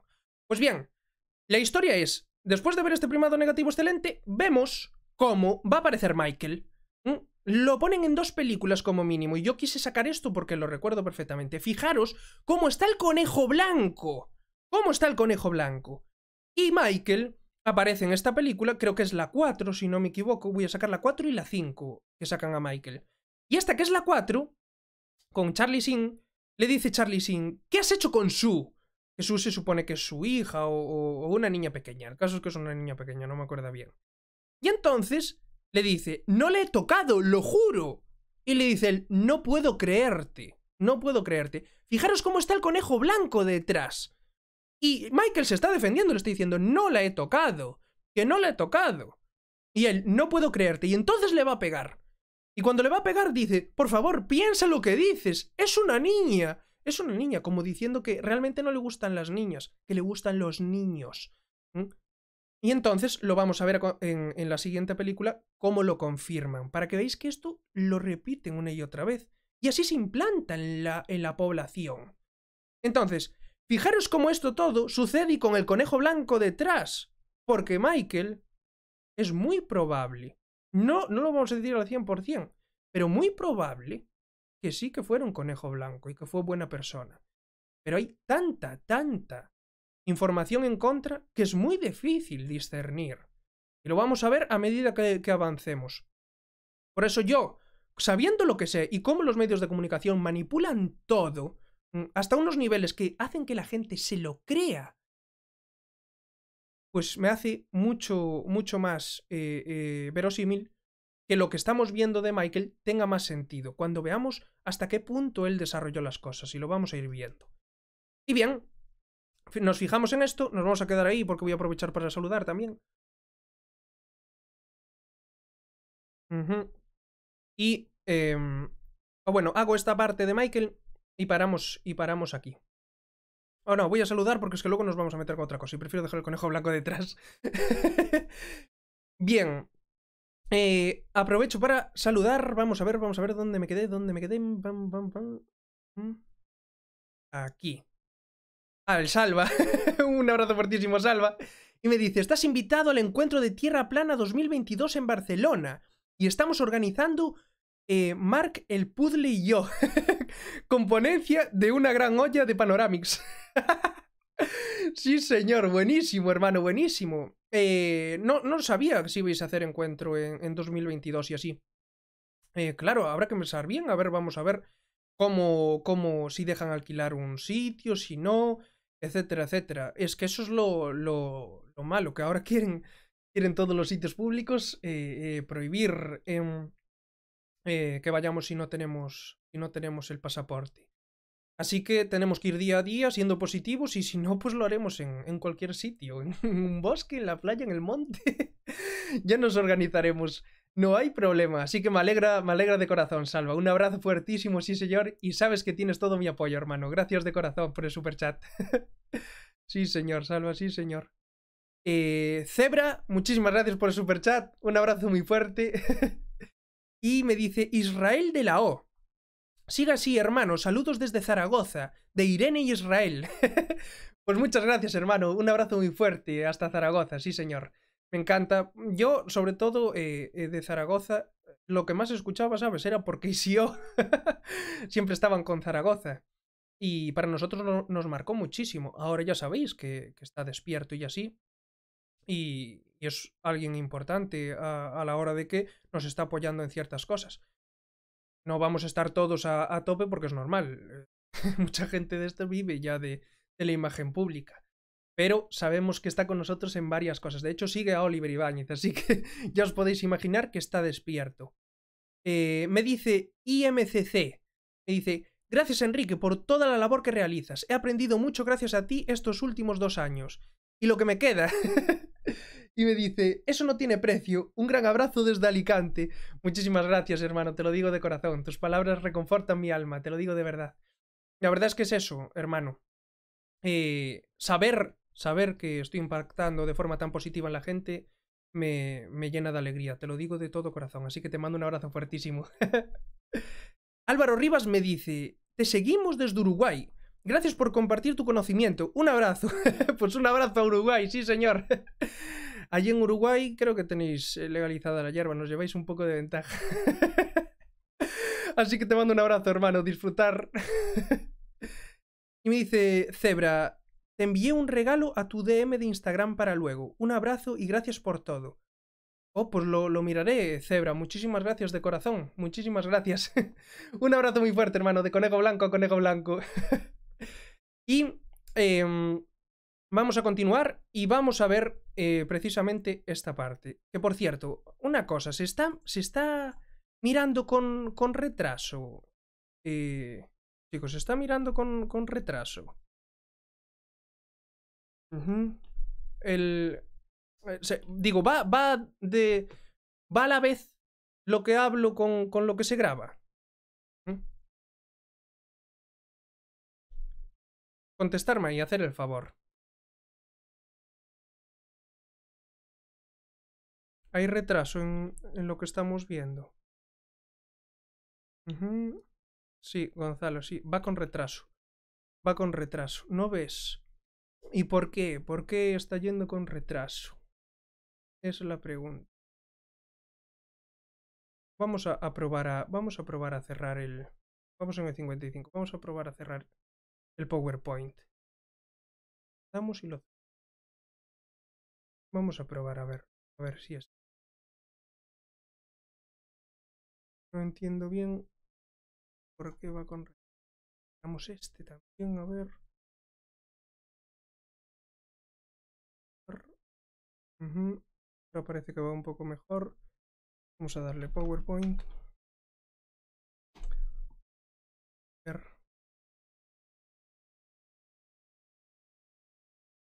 Mm. Es que también al poner vídeos y así, pero puede ser que no, ¿eh? puede ser que... Y eso que reinicié el ordenador ya antes de empezar y así. A veces que la cosa no da para más.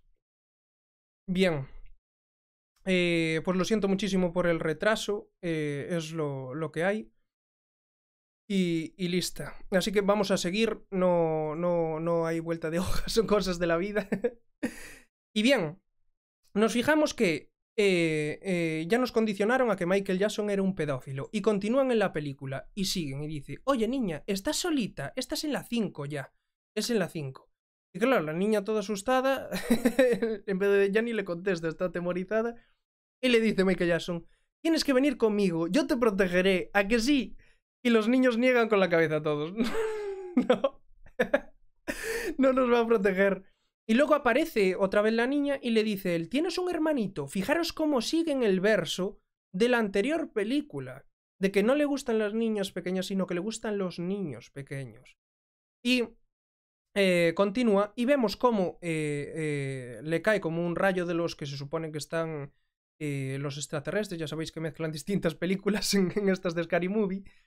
Y cuando le da, si os fijáis, pues primero es Michael Jackson así, ya lo veis. Después, como que, lo, como que hace que rejuvenezca. Y es Michael Jackson en su anterior versión. Después es ya en thriller que es, es más negro y, lo ponen como si eso para él fuera un gravísimo problema. Y después ya que es como al principio completamente negro y eso pues le, le hace sentir fatal y dice, oh, no, no, soy negro otra vez. Y lo ponen y lo dejan eh, quedar fatal hasta que le dan el con el último rayo y queda solo la nariz. Ya queda solo la nariz, cosa que al final sí que se la deshizo. Las cosas como son. Está desequilibrado por, por ese ámbito concreto. Entonces, lo que vemos claramente, y lo, lo vemos claramente, es que tratan de condicionarnos a que Michael Jackson era un pedófilo. Lo podemos ver claramente. Y cómo están degradando a la raza negra. Lo vimos con Tupac, lo vimos con Dave Chappelle y lo vemos con Michael Jackson. Así que, claramente, eh, hay mucha distorsión por los medios de comunicación de masa. Así que ahora vamos a escuchar un poco de esta entrevista de 1993 donde Michael dijo que su padre le había dicho que el vitíligo estaba en su familia. Yo creo que, el padre de, de, Michael estaba metido en todo esto y por eso lo utilizaban para que le dijera a Michael lo que necesitaba oír. Es decir, ellos eh, probablemente provocaran el vitíligo de Michael. Es muy probable que lo provocaran a propósito, porque era el número uno, después de Thriller, y claro, fue cuando emergió eso, cuando emergió el, el, vitíligo. Y es que no querían que otra, una persona de raza negra, pues estuviera en el top otra vez. Entonces fue por lo que seguramente le, le provocaron el vitíligo. Perdonadme un segundo que beba.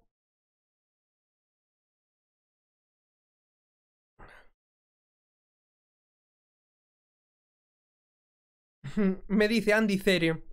En la diapositiva anterior Charlie Sin. A la de. A la de Charlie Sin. Dices.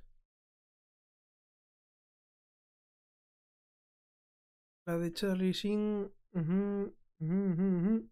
Dice, en la diapositiva anterior de Shin y Michael, al fondo aparentemente hay un soldado como apuntando, apuntándole a la lámpara, otra casualidad. Y un soldado, ¿dónde lo veo? como apuntando a la lámpara. Aquí atrás, claro, pero no lo veo. Ah, ahora lo veo. Se mira en la primera. Qué bien visto, hermano. Como apuntando. Sí, señor. Sí, señor. Como apuntando los Illuminati. Mira, mirad, fijaros hasta qué punto, Andricere, acabas de dar en el clavo, porque en, en el vídeo de Michael, la lámpara, como muchísimas veces, la utiliza para simbolizar a los Illuminati. Precisamente. Fijaros, Michael Jackson Conejo Blanco, el, el hombre disparando a los Illuminati, deshaciéndose de los Illuminati. Muy bueno, hermano, muy bueno. An, an, Henry Cere, Henry Cere, muchísimas gracias, la acabas de bordar. sí, señor, sí, señor. Lo podemos ver claramente. Conejo Blanco, Michael Jackson, sí, señor, atacando a los Illuminati, que están disparando aquí a, a la lámpara. Muy bueno, hermano, muy bueno, gracias de todo corazón, hermano, gracias de todo corazón. ¿No veis? Cuantos ojos, cuantos más ojos se fijen con conocimiento, más conclusiones avanzadas sacaremos. Es así, somos muchas más mentes a pensar. Entonces, esta es la entrevista que le hicieron en 1993 a Michael. Y atentos, vamos a escucharla. Vamos a escucharla. Ahora sí. Y Ahí está. Vale, vale, vale. Ahora vamos a escucharla. Le preguntan, ¿Cuándo comenzó a cambiar tu color de piel? Y le dice, después de Thriller, fijaros, después del bombazo de Thriller, cuando él despuntó tanto, ¿qué pasó? Dijeron, un negro. No, otra vez no. No vamos a estar otra vez con un negro en la cima. No puede ser. los Illuminati son muy racistas, incluso entre ellos. Pero con los negros es lo que más. Los negros es lo que más les toca las bolas. Entonces, atentos, dice. Oh. Sometime after Thriller. En algún momento después de Thriller. Fijaros. Y el padre fue el que le dijo que en su familia había vitíligo. ¿Mm? Claro, le dijeron los Illuminati al, al, que ya eh, pertenecía a una logia que a su padre le dijeron, mira, tú dile a tu hijo que eh, eh, hubo con anterioridad casos de vitíligo en, en tu familia. Así, no va a sospechar que esto sea provocado.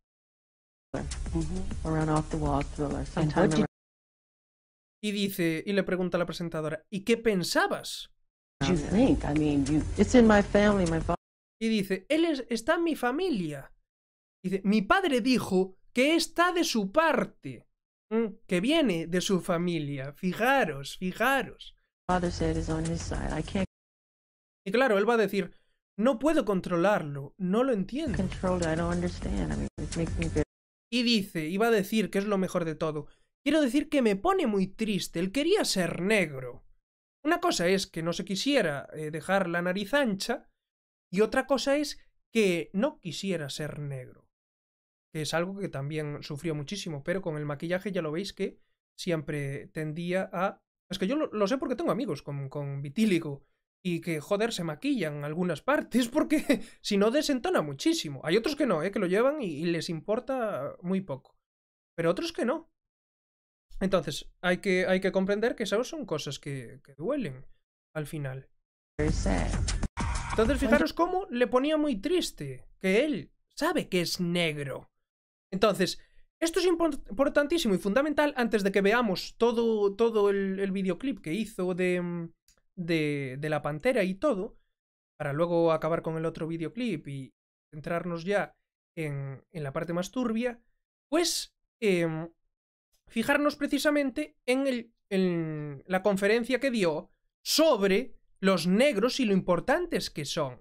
Para que veáis que él no era una persona que no supiera que era negra y que no defendiera los derechos de los negros. Él sabía perfectamente el poder de los negros y cómo la industria estaba tratando de tapar que los negros están muy por encima en muchísimos ámbitos de la sociedad. Entonces, atentos.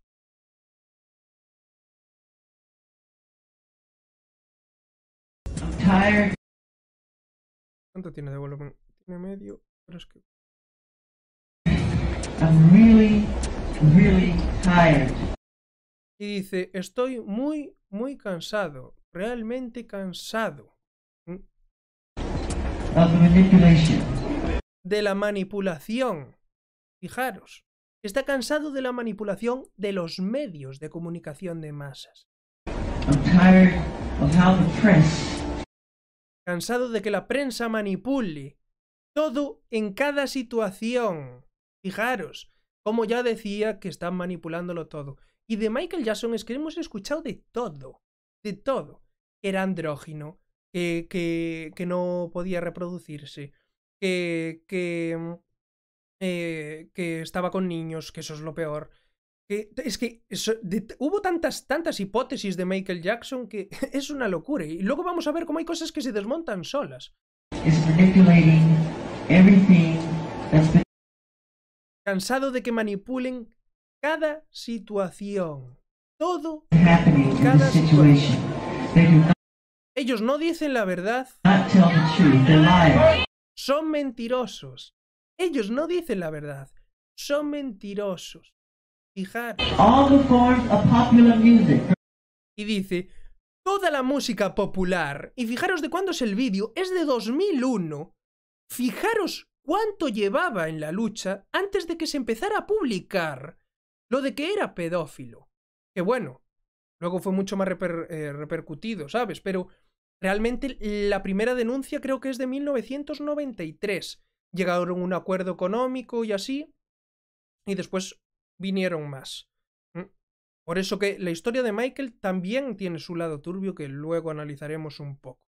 Pero es que claro, cuando tú ves, por ejemplo, yo es que me vi el documental también de Living in Neverland, y cuando lo ves, realmente te parece que Michael es un pedófilo. Y dices que está todo colocado tan perfectamente hilado que parece que es un pedófilo. Y por eso vamos a ver otro distinto, otro documental, en el cual vamos a ver el primero que le denunció. y vamos a ver cómo era un niño con cáncer y cómo cuando tú lees el lenguaje corporal y así, te das cuenta de que no, no es lo que te están contando. Así que vamos paso a paso. Fijaros cómo estaba defendiendo a los negros. Dice, toda la música popular, jazz, hip hop, bebop, el soul, los estilos de baile, big wall, Jazz, to hip hop, to bebop, to, uh, está defendiendo a todos. Está defendiendo a todos. Para que os fijéis que está defendiendo la raza. soul, you know, to, um, uh, you talk about the different dances from the cakewalk El trash dance, el break to the dance, jitterbug, to the charleston, to, uh, breakdance. todas las formas de baile de raza negra. ya lo dice, todas las formas de baile de raza negra. All these are forms of black dancing. Fijaros cómo estaba defendiendo a los negros, 2001, y cómo estaba luchando por los derechos de los negros. Y dice, si van a la tienda de libros de la esquina, fijaros, ¿eh? No verán a una sola persona negra en la portada. fijaros, fijaros, ¿eh? Cómo lo sabía. Dice, si van a una tienda de libros de la esquina, no verán a una sola persona negra en la portada. El racismo inherente a los medios de comunicación de masas. Después de haber sido uno de los mayores vendedores de discos en la industria de la música, fijaros, de haber sido uno de los mejores, dice, me han llamado, me han llamado raro, homosexual, dicen que, que me avergüenzo de mi piel. Fijaros todas las cosas que le acusaron y muchas más. Overnight, they called me a freak. They call me a freak, me llamaron raro, They called me a homosexual. le llamaron homosexual. Fijaros cómo hicieron con, con- en la película con, con Tupac, exactamente igual, con el negro, exactamente igual, haciendo... They called me a child molester. Dicen que me avergüenzo de mi. Bueno, eso lo decía ahora, perdonar. Han intentado todo para poner al público en mi contra. Y es que ese era el, el mayor peligro de, de, de Michael. Y es la influencia que tenía en la población. Es una locura, pero la influencia que tenía en la población es muchísima. ¿Mm? Todo hacían lo que sea para poner a la población en contra mía. Y dice, amo mi raza. y lo dice. Solo tengo que verme al espejo. Sé que soy de raza negra. Y te lo dice claramente. Y ya veis que no estaba eh, eh, desequilibrado en ese aspecto en concreto. Él sabía que era negro. No pretendía ser blanco. Ni contarle a la gente que era blanco, etcétera, etcétera. Entonces, muy importante tener esto en cuenta. Porque distorsionaron la versión oficial. Que es que él quería ser blanco y que hacía todo por ser blanco, etcétera, etcétera, cuando tenía el vitíligo y muy probablemente inducido por las logias Illuminati.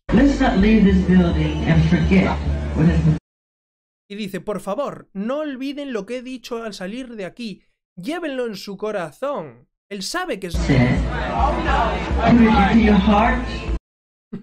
Llévenlo en su corazón. Póngalo en su conciencia. And let's do something about it. y hagamos algo al respecto. Sí, señor. Michael Jackson dándolo todo por los negros, como tiene que ser. Entonces, vemos que la historia oficial dista mucho. Dista mucho de esto. Ahora vamos a hacer un análisis de su vídeo. de su vídeo en el cual eh, aparece como una pantera, ya lo sabéis. Esto es un mensaje buenísimo. Ya parecía eh, eh, eh, descodificada la parte del final, sobre todo en, en, el, en el documental que os dejo abajo. Pero hoy vamos a hacer un análisis un poco más profundo porque tenemos ya más conocimiento. Ese vídeo tiene mucho tiempo y bastante bueno fue todo lo que supo decir.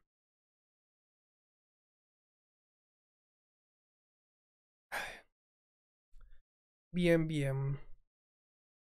No sé por qué, por qué hoy va con retraso, pero cosas de la vida.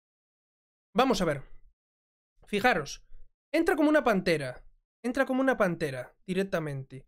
Y al entrar como una pantera, mm, ya está simbolizando que la pantera simboliza muchas cosas, pero lo más importante es que simboliza a los panteras negras, como también eh, eh, luchaba la madre de Tupac con los panteras negras. Ya no el hecho de la política, sino de luchar contra o luchar contra el sistema establecido en pro de los derechos civiles de los afroamericanos.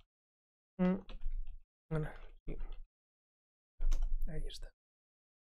Es la pantera negra es un símbolo de la fertilidad y de la energía de la noche. De este modo, la pantera negra como animal de poder nos ayuda a no temer la oscuridad, sino a verla como una aliada, de la que poder aprender grandes poderes y lecciones. Y vamos a ver ahora cómo él juega con eso cuando empieza el vídeo. Entra como una pantera y se convierte en Michael Jackson, en un humano. La pantera se convierte en Michael y Michael pues coge su, su, su gorro y se va a poner a bailar en contra de los Illuminati. Entonces, fijaros, entra, da unos pasos más para adelante y está completamente oscuro. Está completamente oscuro, que es lo que acabamos de leer de la simbología de la pantera, que dice, como animal de poder nos ayuda a no temer la oscuridad, sino a verla como nuestra aliada, de la que poder aprender, aprender grandes eh, poderes y lecciones. Claro está, la oscuridad también está para aprender lo positivo y lo negativo. Bien. Está completamente oscuro. ¿Y qué pasa? Que, boom, se ilumina. Llega el conocimiento. Michael Jackson adquiere el conocimiento y va a darles donde más les duele. Comprende el primado negativo y el condicionamiento. Seguramente porque se lo explicara algún amigo que, está en la industria. Y entonces va a exprimirlo para hacer eh, contenido en su contra. Vemos cómo se ilumina todo, él ya tiene el conocimiento, y en el segundo, justo 33, pues lo que hace es mira la cámara fijamente, como diciendo, ahora estoy yo aquí, ahora sé Sé cómo lo hacéis y voy a por vosotros. Y mira directamente a la cámara, voy a por los Illuminati, ahora que, que yo también tengo el conocimiento y que estoy iluminado. Entonces se pone a bailar mientras el foco le, le está alumbrando y empieza a bailar y a darlo todo en contra de ellos. Pues bien, sale un gato, que ya dije yo, sí señor. Metieron el gato, como, como lo pudimos ver en, en el anterior directo de, de la. de la. Mm, de la película de... de eh, ¿Cómo se llamaba? Regresión, en la película de regresión, y también que vimos el gato negro en la película de Matrix y así, y el gato se asusta de la pantera. Y al asustarse de la pantera, pues escapa. Es, es, es bonito ese detalle porque Michael lo hizo a propósito, marcó cada, cada detalle.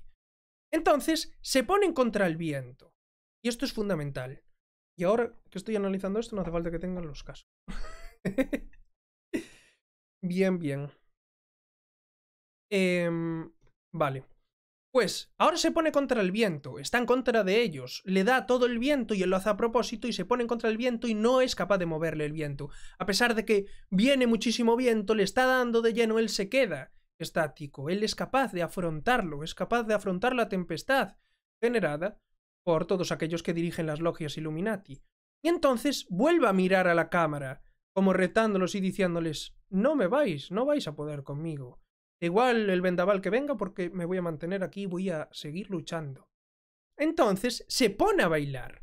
Y es cuando se pone a bailar y a, a, darles con el baile, porque hace muchas de estas simbologías que, que ya va a enseñar los cuernos, os lo voy a enseñar como enseña los cuernos y así, y realmente se ve claramente cómo está eh, haciendo la simbología en contra de los Illuminati. Empieza a bailar en contra de ellos, empieza a, pichar, a, pisar, perdonar, a pisar el charco por primera vez, pisa el charco, ya sabéis que el agua simboliza las dimensiones, las diferentes dimensiones, y pisa el charco porque él está ahora controlando esta dimensión, esta frecuencia que está haciendo la música en contra de ellos. Y veremos cómo con el agua es con el que eh, lo que utiliza para hacer daño a las familias reales. Cuando echa el agua bendita, pues se supone, porque es arrodillo ante Dios, lo veremos después, y le da al linaje de las familias reales y cae todo en el minuto exacto. Lo vais a ver porque es oro puro de primado negativo este videoclip. Entonces, por primera vez toma contacto con el agua. Él está controlando ahora esta frecuencia, está controlando la dimensión. Y entonces se pone a bailar en contra de ellos. Y si lo veis, veis que pone los cuernos. Y les está dando, les da golpes, les hace así con... con... con eh, ya sabéis que él se agarraba mucho el paquete. Eh, eh, y claro, se agarraba mucho el paquete, hacía todos estos simbolismos. Y así porque les está golpeando, les está dando. Y vemos claramente cómo empieza a rugir. Cuando grita, la pantera ruge. Mm, y eso lo podemos ver en, en el vídeo. Cuando él grita, se escucha la pantera rugir por detrás y empieza a golpearles a ellos. Les está dando donde más les duele, con su eh, eh, conocimiento y con sus videoclips que los van a ver millones de personas, pero para influir positivamente en la población. Entonces, se pone a bailar y ya veis que está justo debajo de la luz que es, por eso hay farolas, porque está representando a los Illuminati. Lo vamos a ir viendo a medida que, avancemos. Y bien, de primeras ya lo que aparece, y muy interesante, es que ya pone aquí no drink. Creo que pone aquí no drinking, no a beber. Igual pone no parking, no lo sé. El caso es que destroza la botella. Es que al no podérmelo descargar con más calidad, hay cosas que nos perdemos. Hay una cosa también que no puedo descodificar y sé, sé que tiene simbología. Pero no, no puedo porque no me da, no me da no me dan los píxeles, no lo encontré con más definición. Entonces lo interesante es que él golpea la botella y la destroza, destroza el alcohol. Destroza el alcohol, que sabe que está matando a la población y manteniéndolas dormidas. Ya sabéis que el alcohol es un depresor. Y solo en contadas ocasiones os va a sentar bien si sois unas personas positivistas y que lo tomáis solo de vez en cuando.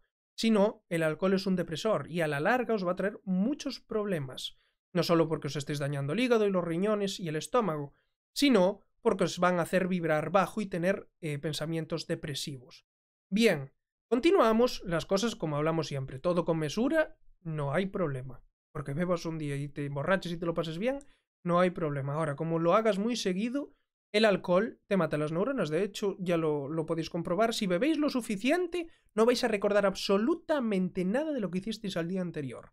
Es algo que yo también he comprobado y mucha gente conocida ha comprobado. Algo, por ejemplo, que no te puede pasar si fumas marihuana. Si fumáis hierba o, o, o, hachís, no importa cuánto fuméis, porque no vais a olvidar lo que hicisteis el día anterior. En cambio, con el alcohol sí. No recuerdas absolutamente nada. Ya pudiste haber hecho cualquier barbaridad que no recuerdas nada. De hecho, lo vemos en muchos juicios. Que el marido mata a la mujer o, mata a varios, a varios familiares dentro de la familia, mujer, hijos y así, y dice que no se acuerda de nada. No, es que estaba borrachísimo, y es verdad, no se acuerdan de nada. Llegas a un punto en que, blum, en blanco, no acuerdas nada, y ya pudiste hacer 20 barbaridades. Bien, se deshace del alcohol porque sabe que adormecen a la población. Empieza a destrozar el coche, que lo vemos aquí, como está destrozando el coche y se pone a gritar, y se está descargando, está descargando la rabia que tiene en contra de los Illuminati, como no, porque está harto del sistema. Se vuelve a agarrar, fijaros porque después lo vamos a ver, se va a abrochar la bragueta, va a dejarla abierta, simbolizando de todo lo que la acusan de la pedofilia y de todo. Y cómo se la cierra como diciendo, si yo ni siquiera practico sexo. Y es verdad, es una persona que está tan traumatizada desde niño que realmente queda muy en cuestión si realmente practicaba sexo y sus parejas no fueron más bien solo de, exposición, ya lo sabéis, con la hija de Elvis Presley, etcétera, etcétera. Ya sabéis que sus hijos fueron uno por inseminación artificial, dos que ni siquiera que fueron adoptados, etcétera, etcétera. Entonces, si os fijáis, ya está agarrándolo, poniendo así los cuernos y golpeándole con eh, eh, sus movimientos de, de, pelvis ahí con el paquete, pues dándoles a ellos como diciendo, ahora controlo yo la situación. Y fijaros porque se pone a rugir y vemos la lámpara detrás. Y es cuando está atacando a los Illuminati. Está atacándoles a ellos, diciéndole, hey, ahora yo creo mi contenido y es para despertar a la población. Entonces, ahí es cuando coge el volante, y lo podemos ver claro, esto sí que se mira clarísimo y está muy bien, coge el volante y lo lanza. Y al lanzar el volante, pues aquí sí que pone condenado, aquí se puede ver claramente que está rompiendo el cristal porque lo condenan. Lo condenan siempre con los medios de comunicación de masas y llevándolo a juicios. Ya visteis que Tupac tuvo que ir por abuso sexual eh, eh, de, una, de una chica al juzgado y le cayeron nueve meses y lo único que pudieron probar es que le tocó las nalgas por la fuerza. Cosa que es mentira, porque esa chica le había hecho una felación el día anterior en medio de la discoteca delante de todos. Entonces, decirme vosotros, haces una felación delante de toda esa gente y luego me acusas de, acoso de abuso sexual cuando vamos al hotel. ¿Qué más voy a abusar de ti, hermana? Entonces, aquí lo condenan y lo que hace Michael es golpear y romper el cristal de condenado, de, hey, no, no voy a permitir que me condenéis vosotros con los medios de comunicación de masas y vuestros juicios eh, eh, amañados. Entonces lo revienta con el volante, si os fijáis. ¿Por qué? Porque con el volante él está conduciendo, él está reconduciendo su vida, él tiene ahora el control y el volante es lo que simboliza, tengo ahora el control y destrozo que me condenéis. Entonces, continúa y fijaros cómo tiene la bragueta abierta. Tiene la bragueta abierta, fijaros. Esto es algo que yo no me había percatado hasta que vi el vídeo con un poquito más de definición y así. Y claro, la tiene abierta para luego simbolizar que la cierra, se pone a bailar en contra de ellos, ya tiene él el control, está encima del coche, ya lanzó el volante de que lo condenaran, y fijaros cómo se cierra la bragueta. Se la cierra, representando que no está haciendo actos eh, eh, eh, impuros con su pene. Es así. Entonces, eso es lo que simboliza y salta, y cuando salta después de cerrarse la bragueta, vemos la luz de los Illuminati aquí detrás, y es que ya tiene el control, ya saltó del coche, ya pasó eh, el lado de la condena, porque rompió el cristal que ponía lo de mm, condenado, y eh, eh, tiene el control sobre la influencia de los Illuminati. Entonces coge este contenedor de basura y lo tira contra ahí. Aquí tiene que haber un mensaje. Tiene que haber un mensaje seguro. Por eso revienta la cristalera. Pero no sé qué es. No sé qué es porque no consigo leerlo. No tiene la suficientemente definición. Solo consigo leer store, tienda. Y aquí seguro que pone algo. Algo, algo que, que él quería reivindicar, pero no, no, no consigo leerlo. Así que si, si alguien algún día pues eh, tiene esa información o así, pues de lujo. Porque yo no puedo acceder a ella. Y bien, lo rompe, ahí seguro que está reivindicando algo, y es cuando llega aquí a la parte de la purificación. Si os fijáis, ya marcan eh, perfectamente cómo están las bombillas de los, de los Illuminati detrás, y aquí llega su purificación. Él sale de ahí. Entonces, fijaros hasta qué punto él se está purificando y se pone a bailar y empieza a salir todo ese vapor que lo está purificando, purificando su alma, y lo hace tres veces. Aquí vamos a ponerlo, que no entiendo por qué últimamente. Esto, esto tenía borde. Tenía borde y se quitó. Y el otro día igual. Están pasando unas movidas que no me explico. y bueno, eh, lo hace tres veces. Tres veces la cámara se acerca hacia él y hace como la limpieza espiritual. ¿Por qué? Porque es como Jesús. Como el tercer día resucitó. Y es así. Está haciendo la purificación, la Trinidad.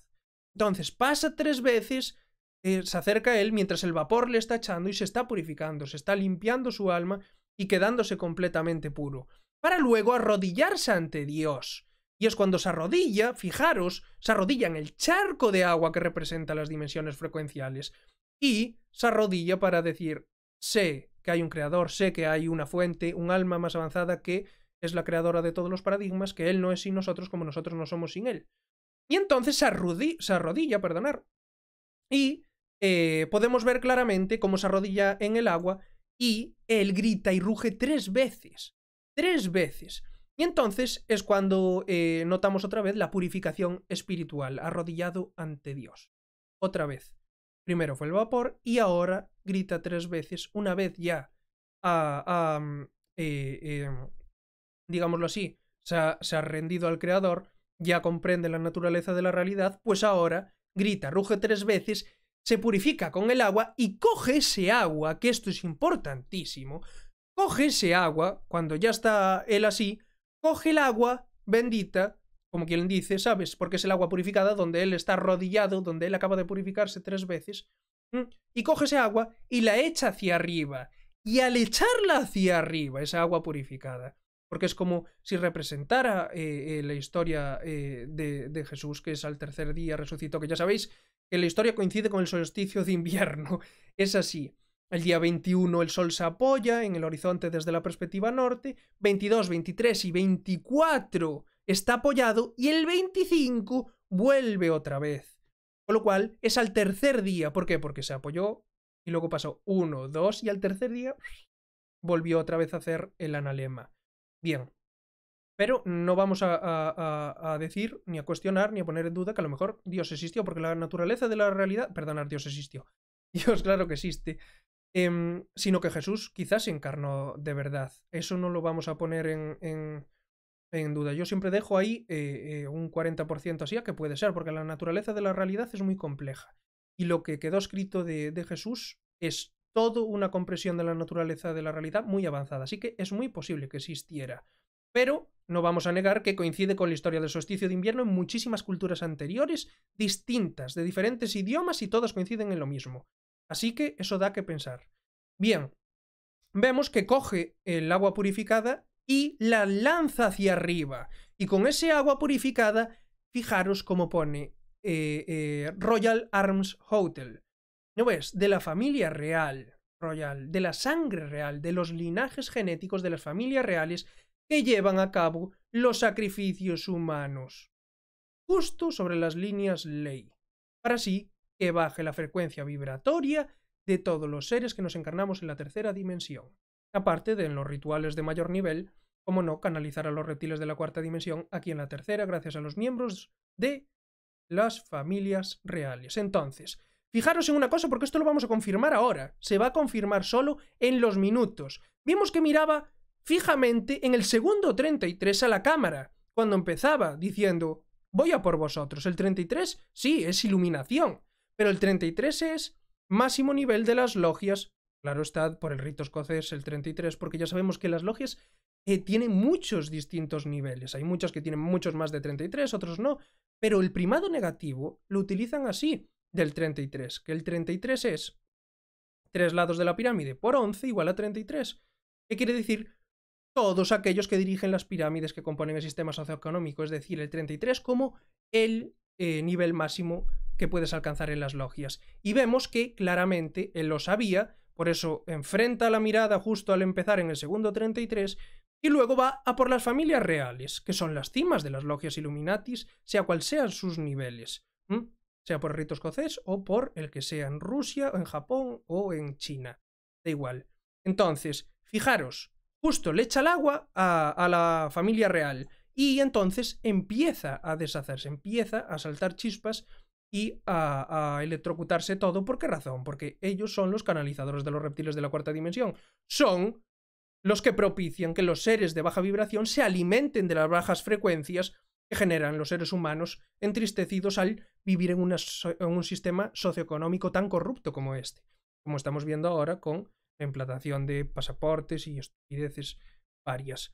Entonces, bien, continuamos y vemos cómo le hace daño a la familia real él con qué, con el agua pura, con que él ya se rindió a Dios, comprende la naturaleza de la realidad, coge el agua que representa las dimensiones frecuenciales y da con su vibración, impacta con su música, impacta con sus rugidos porque grita y con, con su, su eh, vibración de la pantera negra que ahora utiliza también la oscuridad en su contra. Comprende la naturaleza de la realidad. Entonces, fijaros, porque es muy importante, se deshace, empieza a deshacerse, bueno, no a deshacerse, sino como a requemarse eh, eh, todas las bombillas y así, y entonces hacer el cortocircuito, grita y ruge porque los ha derrotado. Empieza ya a gritar y a rugir porque los ha derrotado. Tiene él el control.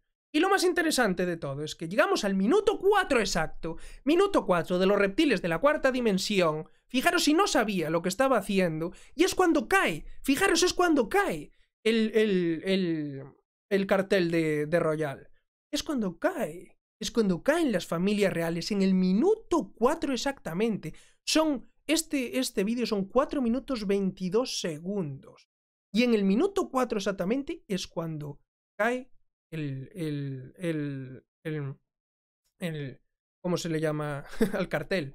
El cartel de propaganda de, del supuesto hotel, de la familia real. Justo en el minuto 4, porque los miembros de las familias reales son los canalizadores de los reptiles de la cuarta dimensión. ¿Cuándo? Cuando sacrifican a humanos, ya lo sabéis, sobre las líneas de I. Porque ellos saben bien cómo hacerlo. No son estúpidos. Entonces comprende la naturaleza de la realidad. Bien, continuamos y vemos como él lo que hace es se vuelve a convertir en pantera, se pone a gatear y se convierte en pantera. Los venció. Los venció con su conocimiento, los venció con su música, los venció con su vídeo, los venció en su propio terreno, generando primado negativo en su contra. Excelente. Entonces, cuando ves este vídeo con conocimiento, sabes que realmente Michael Jackson le estaba dando, le estaba dando a las logias Illuminati, y no un poco, les estaba dando bien. Entonces, vamos a comprobarlo porque cuando se va la pantera, fijaros, qué casualidad que cuando se acaba el vídeo, cuando se va la pantera, la pantera se va y se aleja de la bombilla. Porque ella ya es autómata. Ella ya es, oh, autónoma, perdonar, no autómata, perdonarme. Ella ya es eh, eh, autónoma. Es decir, la pantera ya va sola, deja atrás a los Illuminati, ya no lo controlan, ya no pueden controlar a Michael. Y eso es lo que estaba representando. Y ahí es donde se acaba el vídeo, por eso se empieza a hacer pequeño. Él se va de los Illuminati y él va a hacer su propio camino. Es importantísimo.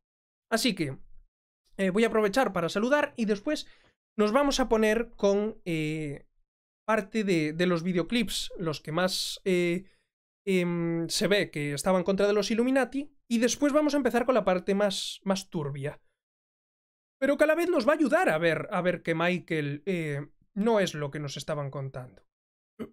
Cuando vemos las cosas por orden, claro está.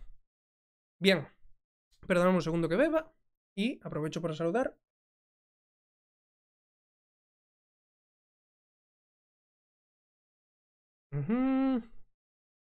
Aquí. Oh, espera, ¿dónde me quedé? Mm. Aquí. Me dice Liberando Conciencias. Un abrazo fuertísimo, Liberando Conciencias. ya sabes que te quiero. Y me dice, hola Enrique. En la 5, cuando vuelve en el tiempo, vuelve a ser negro y pelado, por lo que pasó en la publicidad de, de Pepsi. Ahí comenzó con los calmantes. Sí, cuando se quemó el, el, el pelo, eh, sí, empezó con los calmantes. Es lo que, lo que suelen decir. Y así.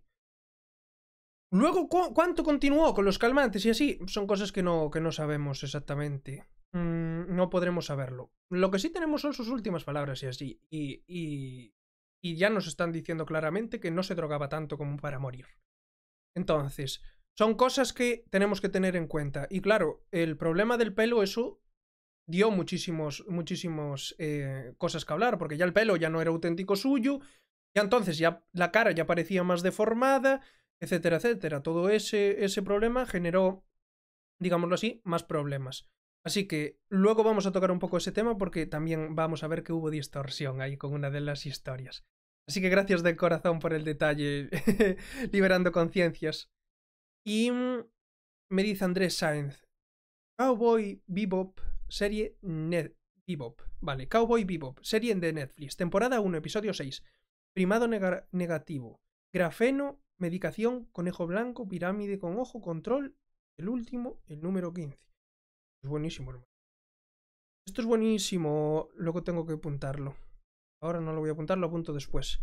Lo dejo marcado aquí y listo. Perfecto. Pues gracias de corazón, Andrés Sainz. Te lo digo de verdad. Me lo acabas de poner todo que tengo que buscarla ya. Espero poderla descargar, claro, porque si es muy nueva de Netflix, luego me veo, me veo negro para bajarlas. Fijaros cómo, cómo incluso en, en, lo que hablamos, y eso lo hablaba yo el otro día con, con unos amigos, tenemos eh, esas expresiones. Me veo negro para bajarlas, es que te ves en una situación difícil. Es porque los negros lo pasaron dificilísimo. Igual que muchas veces cuando decimos eh, el, el, el, el hecho de, de, de tener un lenguaje a veces machista y así porque es verdad. Cuando decimos que algo es bueno, que decimos que es cojonudo o que es la polla. Y eso que, eso es todo masculino. Y cuando decimos que alguien es pesado o que eres una pesada, decimos es un coñazo. Y coño es de mujeres. Es vagina para, para si alguien, no sé, no lo comprende o así, porque es de otro país y no entiende esa expresión.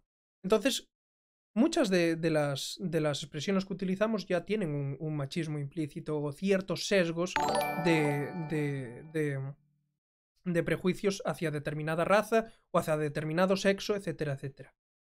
Bien, por eso no debemos de darle a veces mucha importancia a ciertas cosas porque realmente te crees, te creas en, en un. te crías en una enculturación concreta y hay que entender que todas esas cosas vienen implantadas de muy atrás. Así que Andrés Sainz, muchísimas gracias de todo corazón, hermano, y te mando un abrazo fuertísimo. y Visión Profunda me dice, gracias por el análisis profundo, viva la verdad, conejo blanco, sí señor. Pues un abrazo muy fuerte, Visión Profunda, ya sabes que te quiero. y eh, vamos a continuar. Y vamos a continuar con el, el videoclip. Espera, vamos a poner por eso. La última llamada de Michael Jackson. Lo, lo coloqué así al final. Porque sí, luego, luego continuamos con el videoclip. Pero vamos a poner primero la última llamada de Michael. Y luego vamos a poner también la llamada que hicieron al. al. al Samur. al Samur. Al, ambulancia. Un segundo.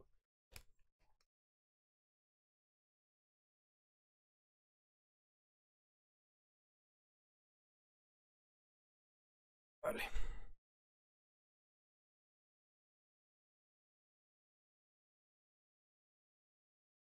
Vale, vale. Última llamada a Michael Jackson. Para comprobar que sí que lo querían matar.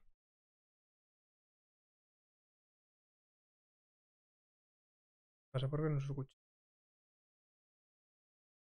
Grabada la noche anterior al homicidio. La noche anterior al homicidio. Espera, a ver si se puede desconectar. No.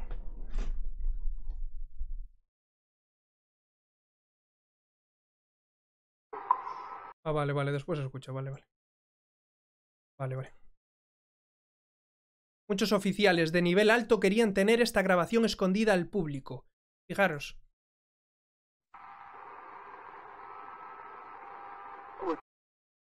Y le pregunta Dieter, ¿qué pasa, Michael? Michael le va a contestar.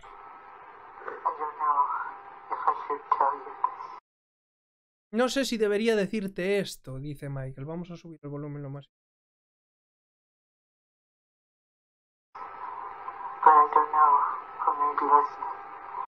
No sé si podrían estar escuchando esto. Fijaros cómo tienen todo, todo pinchado. Eso es así. Cuando lo sabes, sabes que tienen todo pinchado. Por eso os digo siempre.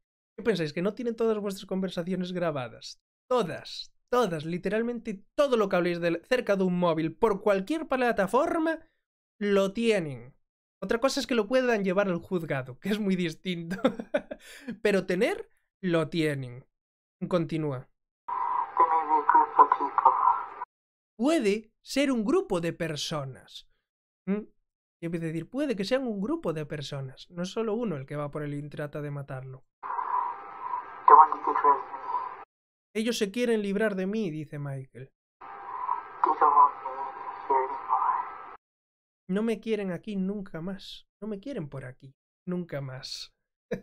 Fijaros, este es el día anterior a la muerte. Ya se nota que, que, que, que está triste y débil y es eso. Te puede, te puede la paranoia al final porque sabes que por una cosa o por otra van a por ti. Y dice, no entiendo, ¿a qué te refieres? Háblame, le dice Dieter. Y dice, no puedo hablar sobre ello en el teléfono. Porque está pinchadísimo. y están escuchando todo.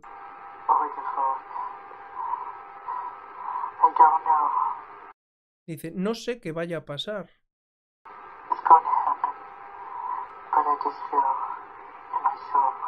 Pero lo dice, pero yo lo siento en mi alma. Y eso es algo que es así, lo sientes en tu alma, lo sientes. Cuando eres una persona que tiene un nivel de frecuencia alto, ya lo sientes, que te va a ocurrir algo, que va a ocurrir algo a tus seres queridos o así. Entonces es muy importante tener siempre eso en cuenta.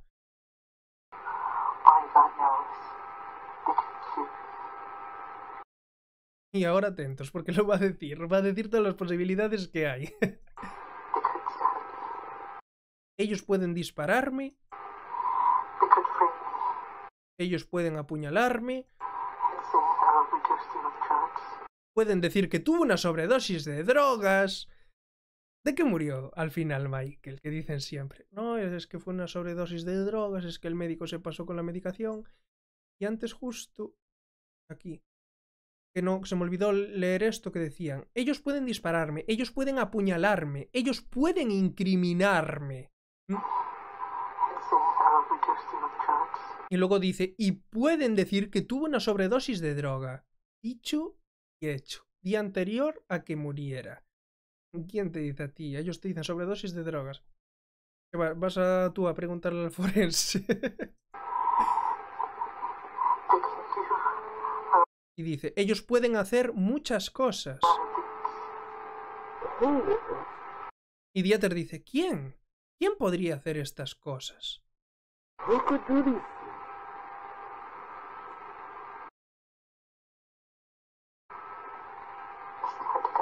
Y atentos porque esto es importantísimo. Y Michael dice, no es el gobierno, es más que el gobierno.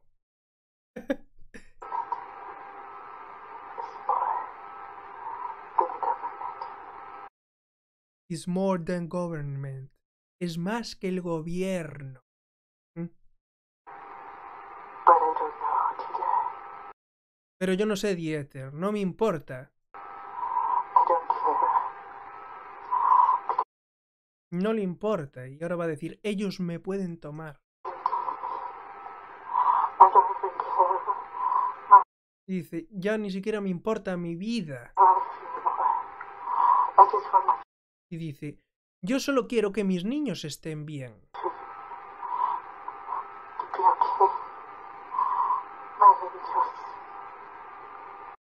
Sus ángeles. Ya estaba preocupado por los niños porque al final es eso. Ya ves que te vas a morir, lo sientes que te vas a morir, así que...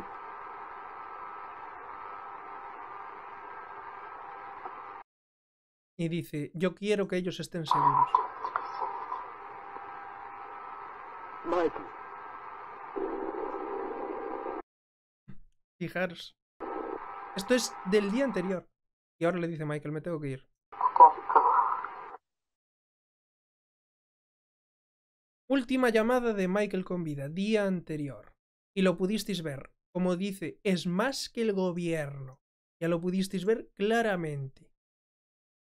Aquí.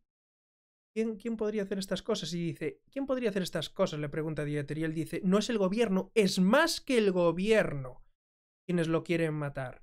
Entonces, luego dices, puede ser que sí, puede ser que no. Y luego vamos a ver otro punto más.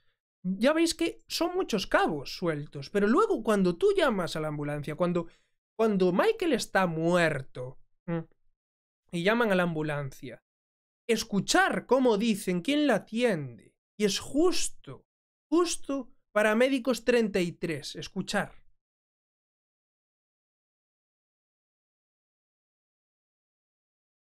Fire paramedic 33, what is your address of emergency? ¿Lo, escuchis- ¿Lo escuchasteis? Paramédicos 33. Otra vez. Fire paramedic 33, what is your address of emergency? Yes, sir. I need to. Uh, uh, I need an ambulance as soon as Necesitamos una ambulancia lo más pronto posible. possible, sir. Okay, sir, what's your address? ¿Cuál es su dirección? Los Angeles, California, nine zero zero seven seven. Fijaros. Esta es la llamada de cuando él está. Carolwood Drive. Yes. Claro, y Michael está muerto ya. Directamente, ahí ya está muerto. A ver hace cuántas horas ya llevaba muerto ahí. ¿Mm?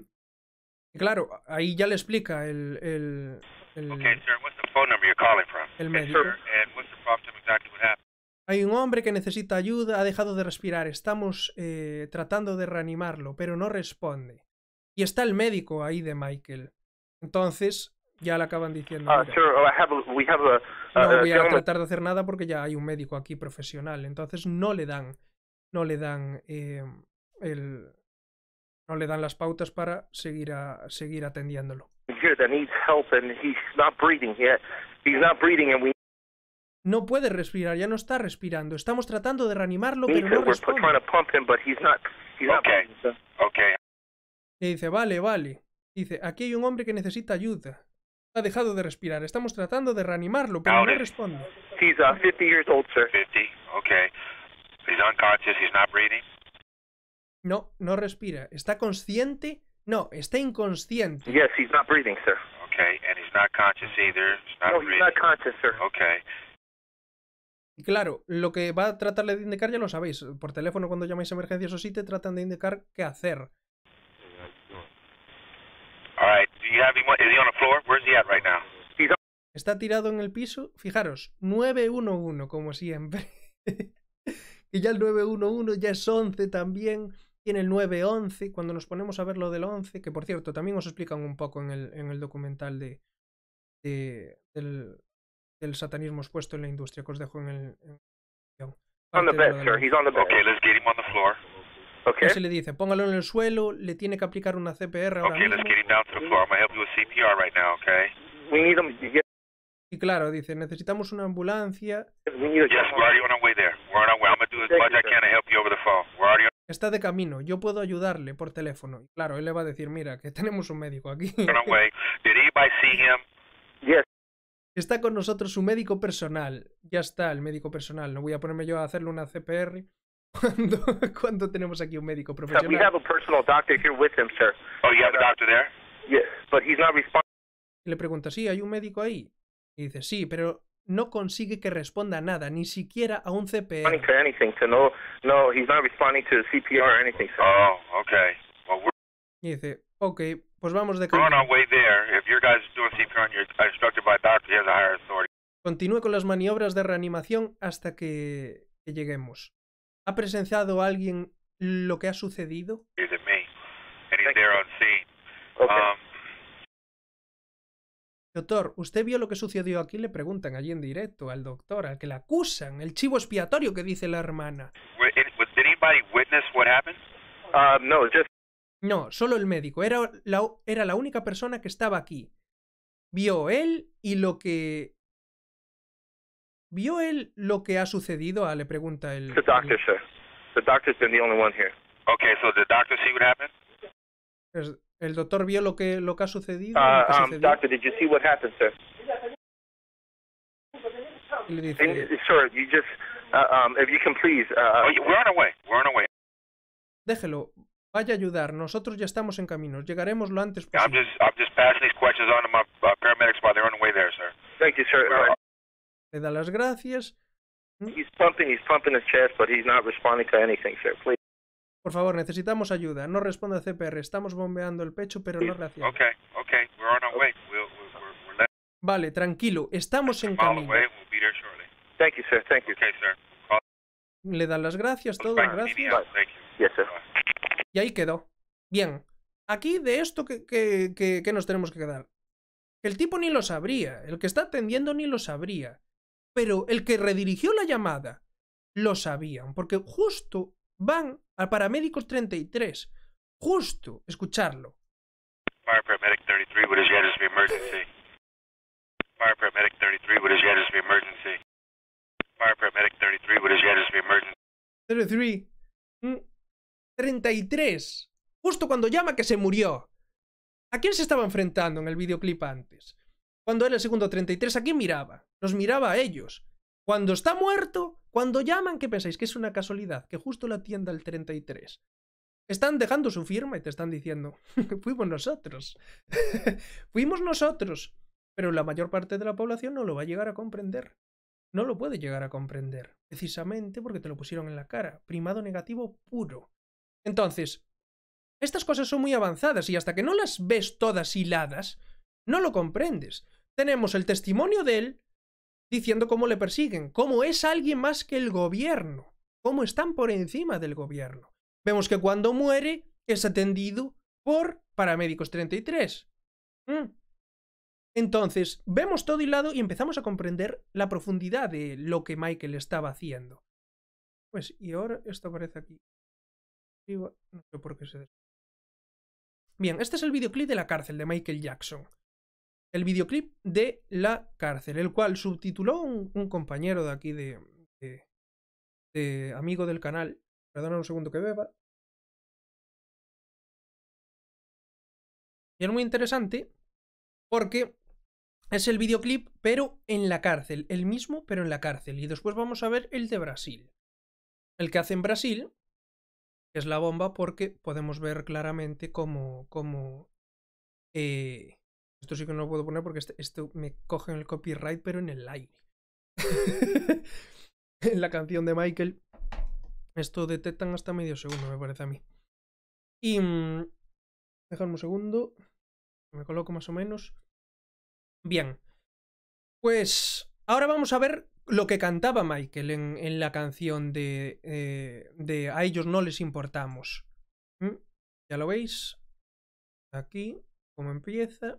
Y la tradujo un compañero del canal al cual le doy muchísimas gracias porque hizo un trabajo de lujo. Lo encontramos en Odyssey, me lo pasó cuando anuncié que íbamos a hacer el, directo de Michael Jackson. Y dice, esta película no pretende degradar a ninguna raza, pero sí ve las injusticias hacia toda la humanidad. Fijaros cómo estaba preparando el videoclip. Y era de denuncia social, ¿eh? Para denunciar las injusticias hacia toda la humanidad. Está haciendo justo lo que los Illuminati no quieren que hagas. Una persona que tiene tanto peso ayudando a que los demás desarrollen empatía unos con otros. Eso no te lo permite. Llegas a demasiados corazones. Lo que tienes que, que cantar es sobre mamarrachadas como los que tienen mil millones de visitas y ya lo veis. lo, que, lo que cantan. No hace falta ni, ni repasarlo. Ya veis que para subir es un método. Y si haces eso, estás arriba. Estás arriba. Eh, se suman un, montón de factores, pero a lo que vamos, si quieres llegar arriba, es imprescindible que hagas eso. Es imprescindible. Por eso, vamos a, a continuar viendo el vídeo y vemos como Michael estaba luchando para despertar a la población. Entonces ya empieza así. Y dice, ojalá Dios nos garantice paz a través de todo el mundo. Y entonces empieza, y empiezan a, eh, eh, cantando el, estribillo, y dicen, todo lo que quiero decir es que a ellos realmente no les importamos. A ellos no les importamos. ¿A quién se refiere con ellos? ¿Se refiere a los gobiernos? ¿O, como en su última llamada, aquellos que están por encima de los gobiernos?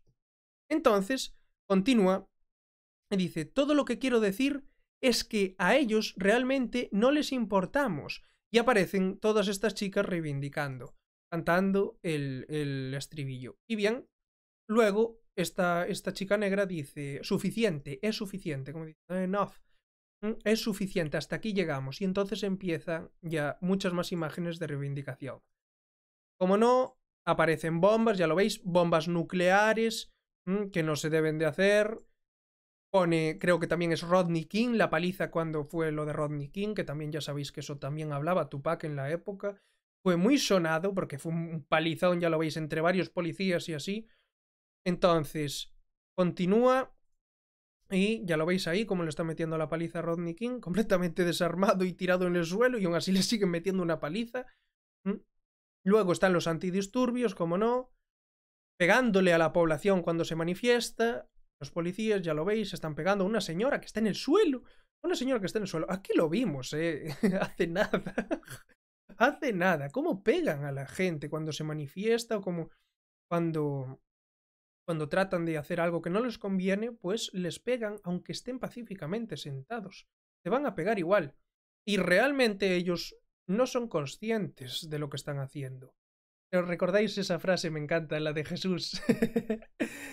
Perdónales Dios porque no saben lo que están haciendo. Y realmente es así. Cuando estás condicionado por el sistema no sabes lo que estás haciendo. Y tenéis que daros cuenta de esto porque es clarísimo con esto último que estamos viendo no podéis tratar de convencer a una persona que, que está influenciada por la televisión. Por eso no debéis ni de enfadaros con ellas, ni de insultarlos, ni nada, porque realmente si hacéis un ejercicio, vosotros podíais haber estado ahí. No os convencieron porque tenemos la fortuna de estar despiertos, pero realmente el trabajo que han hecho, tanto a nivel mediático como a nivel burocrático para generar todas estas leyes coercitivas, Es muy, muy bueno. Y mucha gente que me lo tiene comentado. ¿Cómo, ¿Cómo dices que son cosas muy buenas? ¿Cómo que son tan buenos haciendo primado negativo? Eso lo estás decretando, ¿no? no, no, no funciona así. Tú tienes que conocer a tu enemigo y saber de lo que es capaz si quieres conseguir vencerlo. Por decir que ellos son estúpidos, no vas a coger más ventaja. Lo único que va a decir de ti es que no sabes analizar a quien tienes delante. Son personas que no solamente comprenden la naturaleza de la realidad a unos niveles que nosotros no podemos llegar a comprender, porque nadie nos ha enseñado, sino que tienen dinero para pagar a personas que se dediquen a desarrollar todos los avances en los diferentes ámbitos para así controlar mejor el devenir al completo de la naturaleza de la realidad. Así que ya no son solo ellos, son los medios que tienen para pagar a otras personas y que trabajen por ellos para un mismo fin. De eso se trata también el hecho de mantenernos en escasez y pobres, porque saben que así no podemos hacer ni la mitad de las cosas. Una, no tenemos tiempo porque tenemos que ir a trabajar para generar dinero. Y dos, si no tenemos dinero, no podemos ni meternos en juicios contra ellos, no podemos tener recursos para poder publicar libros, para poder eh, hacer contenido y, y controlar una parte de los medios de comunicación de masas, ya lo estáis viendo. Entonces, todas estas cosas son muy importantes, comprenderlas. Si queremos llegar realmente a hacerles daño, tenemos que saber. Mm, y cuando hablo de hacerles daño no es algo físico, sino me refiero al sistema. a que se derrumbe el sistema, pues precisamente es conociendo al adversario, sabiendo que lo que hacen lo hacen muy bien. Y nosotros tenemos que aprender a hacerlo para utilizar, como todo, lo positivo, aunque ello sea negativo, porque todo en la, en, en la tercera dimensión tiene la dualidad, lo positivo y lo negativo. Lo importante es cómo lo utilicemos. Un martillo vale para asesinar si golpeas a una persona, pero un martillo también vale para construir. Entonces, todas las herramientas y todo lo que existe en la tercera dimensión es susceptible de utilizarse para lo positivo y para lo negativo. Si somos inteligentes y utilizamos y enfatizamos en lo positivo, nos podremos eh, librar de la mayor parte de las cosas que nos están tratando de imponer. Entonces, continuamos y vemos cómo pegan a la población, que ya lo estamos viendo, para que, para que obedezcan, como hacen siempre, y luego está Michael Jackson. Está Michael dentro de la cárcel, ya lo veis. Y dentro de la cárcel están todas las televisiones. Fijaros cuántas televisiones. Una, dos, tres, cuatro, cinco, seis, siete, ocho, nueve. Horas. Al mover eso, al mover eso se quitó. Vale, vamos a ponerlo. Más bien.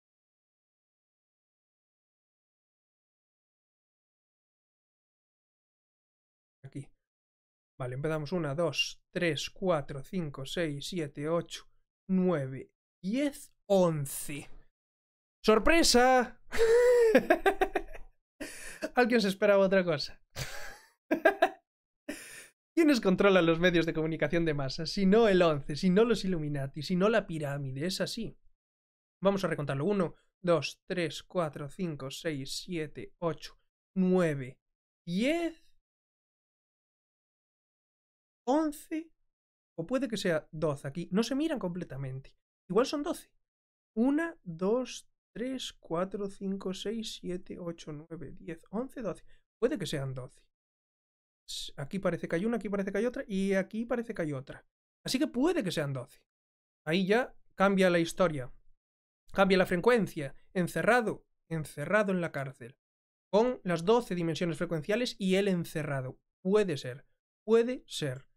Bien, escuchemos. Eh, ah, no, no empiezan a cantar. Aparece, sigue la paliza de Rodney King, palizas a manifestantes, niños pobres sufriendo, con todo derruido porque pasó alguna calamidad.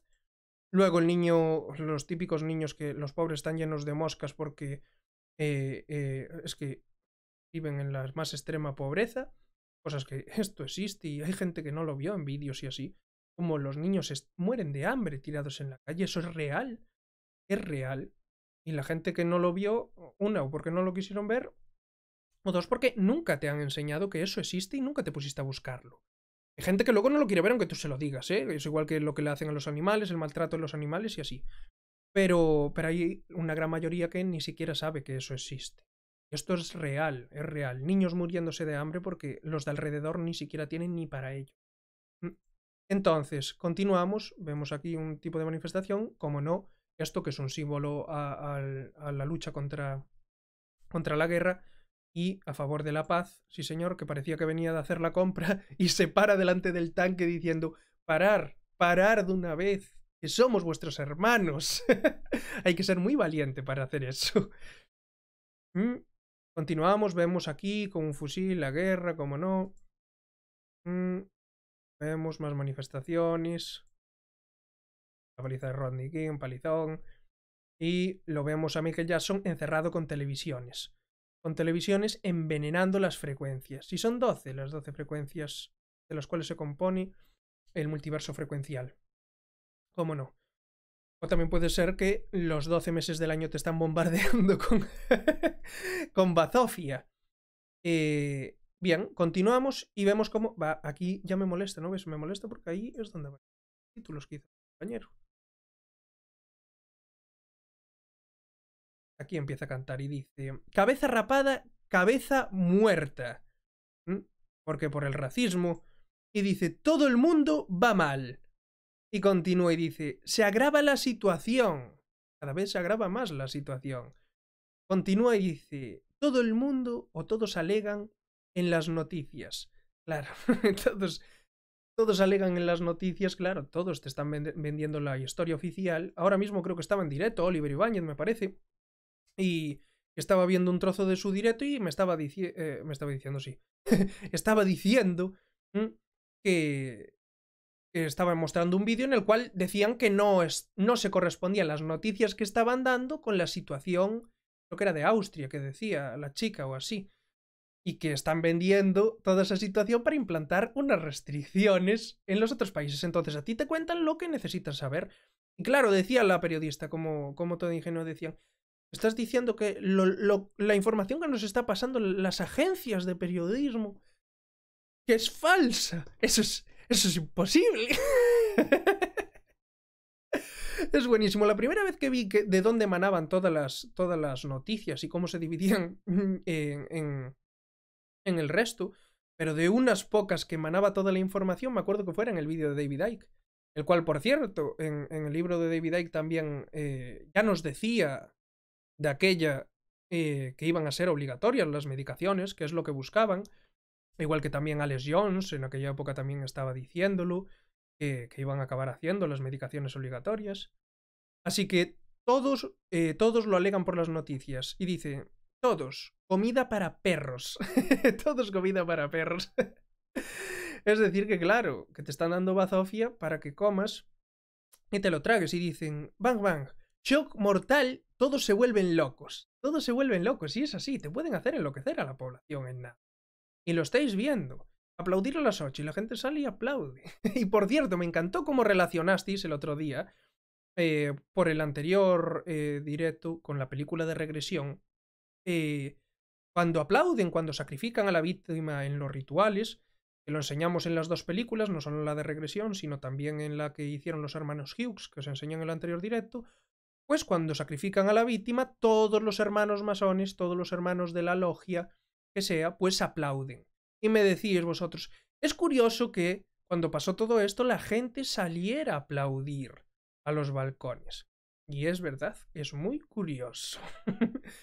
¿Tiene relación o no? Al final que aplaudes. Estás aplaudiendo la aberración, estás aplaudiendo algo que te están haciendo en tu contra. Es, es algo realmente cuando lo miras desde el punto de vista psicológico y a nivel de control eh, em, psicosocial es algo muy avanzado. ¿eh? no solamente les estás haciendo eh, encerrarse en sus propias casas voluntariamente, sino que por encima les estás diciendo que aplaudan y aplauden a la hora que quieren a, las personas que encerraron. o que tienen graves, eh, o digámoslo así, que tienen bastante peso a la hora de que te mantengan encerrado. La mayor parte de lo, del sistema sanitario y así no saben ni lo que están haciendo. Ya están empezando a salir algunos que son personas que son de la corriente oficial diciendo que en los primeros meses, que los primeros meses de todo esto, que se encerró a la gente y así, que muchos pacientes morían por mala praxis, porque daban unas indicaciones desde arriba de darle determinados productos, medicamentos, que ocasionaban la muerte. Y lo tienen que estar admitiendo ya. Así que por eso os digo que incluso las personas que parecen que muchos dicen son unos vendidos, muchos no son vendidos, muchos directamente no se enteran, están dormidos y no podemos culparlos, nosotros podríamos estar allí, hay que tener empatía. Entonces, continuamos y vemos cómo eh, aparecen todos en la cárcel, que es buenísimo este videoclip, después ponemos el de Brasil, pero este está muy bien porque salen todos en la cárcel, todos encerrados. Salen negros eh, primordialmente, pero también salen blancos, lo hace para todos. Y pone, van, van, shock mortal, todos se vuelven locos. Y dice, todo lo que quiero decir es que aquellos que realmente... Eh, perdonar, todo lo que quiero decir es que a ellos realmente no les importamos. No les importamos, y es verdad. Y entonces empiezan a revelar, todos los de la cárcel empiezan a, dar golpes en la mesa y a, luchar. Y realmente fijaros el mensaje que está dando aquí Michael. Es muy importante y avanzado. El mensaje que Michael está mandando es, podemos revelarlos, nosotros somos muchos más, y a ellos no les importamos. Entonces, esto no lo podían permitir los Illuminati, en contra de todo lo que ellos hacen. Si el más grande del pop, que por algo le llamaban el rey del pop, por la de millones de discos que vendía, por la de gente que lo seguía, entonces, si él dice, venir por aquí, la gente vendrá por aquí. recordar que Tupac lo decía. Tupac lo dijo claramente en una entrevista y decía, la gente me, me, quería tanto que si les decía que se pusieran a dar vueltas en círculo, la gente iba y lo hacía. Entonces, cuando tú comprendes que tienes esa capacidad de poder influir positivamente en la sociedad, ¿qué hacía Tupac? Dice, vale, pues me voy a montar mi propio partido político y voy a aprovechar esa capacidad que tengo de que la gente haga lo que yo considero bien, bueno, para que así tengamos un mejor sistema socioeconómico. Y por eso no le permitieron ni crear el partido y murió aquel año. esas cosas, esas cosas son las que te ayudan a comprender. Y aquí lo vemos, Michael Jackson era un grave problema. Estaba animando a la gente a que desobedeciera, a que comprendieran que a ellos no les importamos. Entonces se pone, ponen a, los, a los de la cárcel empezando a pensar, y ahí está encerrado, como no, Michael atado de pies y manos, con las televisiones. sí, señor. Y dice, guardarme rencor, hazme estremecer, nunca podrás matarme, júzgame, demándame. Es que es buenísimo. Eh, y a ver qué pasa aquí. Y dicen, todos lo hacen, júzgame, demándame que todos lo hacen. lo mejor de todo es que en el de Brasil, cuando llegas al, al, al 1.6, que es el, el, siguiente, cuando llegas al 1.6, que lo puedes ver lo vamos a poner aquí, vamos a poner 1.6. 1.6. Vamos a ponerlo. Aunque solo sea esa parte pequeñísima, pero vamos a ponerla. Espero que no cojan copyright. Pero vamos a ponerlo porque, porque lo dice. Golpéame, ódiame, nunca podrás romperme. Y cuando aparecen los, el, el, la pirámide y el ojo Illuminati, del billete del dólar, que aparece el ojo Illuminati, que todo lo ve, que aparecen eh, eh, eh, directamente porque Michael está contra ellos, pues justo él es cuando dice, guárdame rencor, hazme estremecer, nunca podrás matarme. Y él hace con la simbología de su baile como si se estuviera cagando. Pone la, la, posición de cagar, la que ponen siempre en los videojuegos y así, que la utilizan cuando matan a alguien, se ponen encima y hacen que cagan encima de él. Pues fijaros, vamos a ponerlo una vez. Espero que no me cojan copy dos, dos, eh, dos segundos o así, porque fijaros cómo dice, justo cuando aparece la, la pirámide del ojo Illuminati, nunca podrás matarme. Lo dicen claramente, nunca podrás matarme, y se refiere a los Illuminati, les está mandando un mensaje.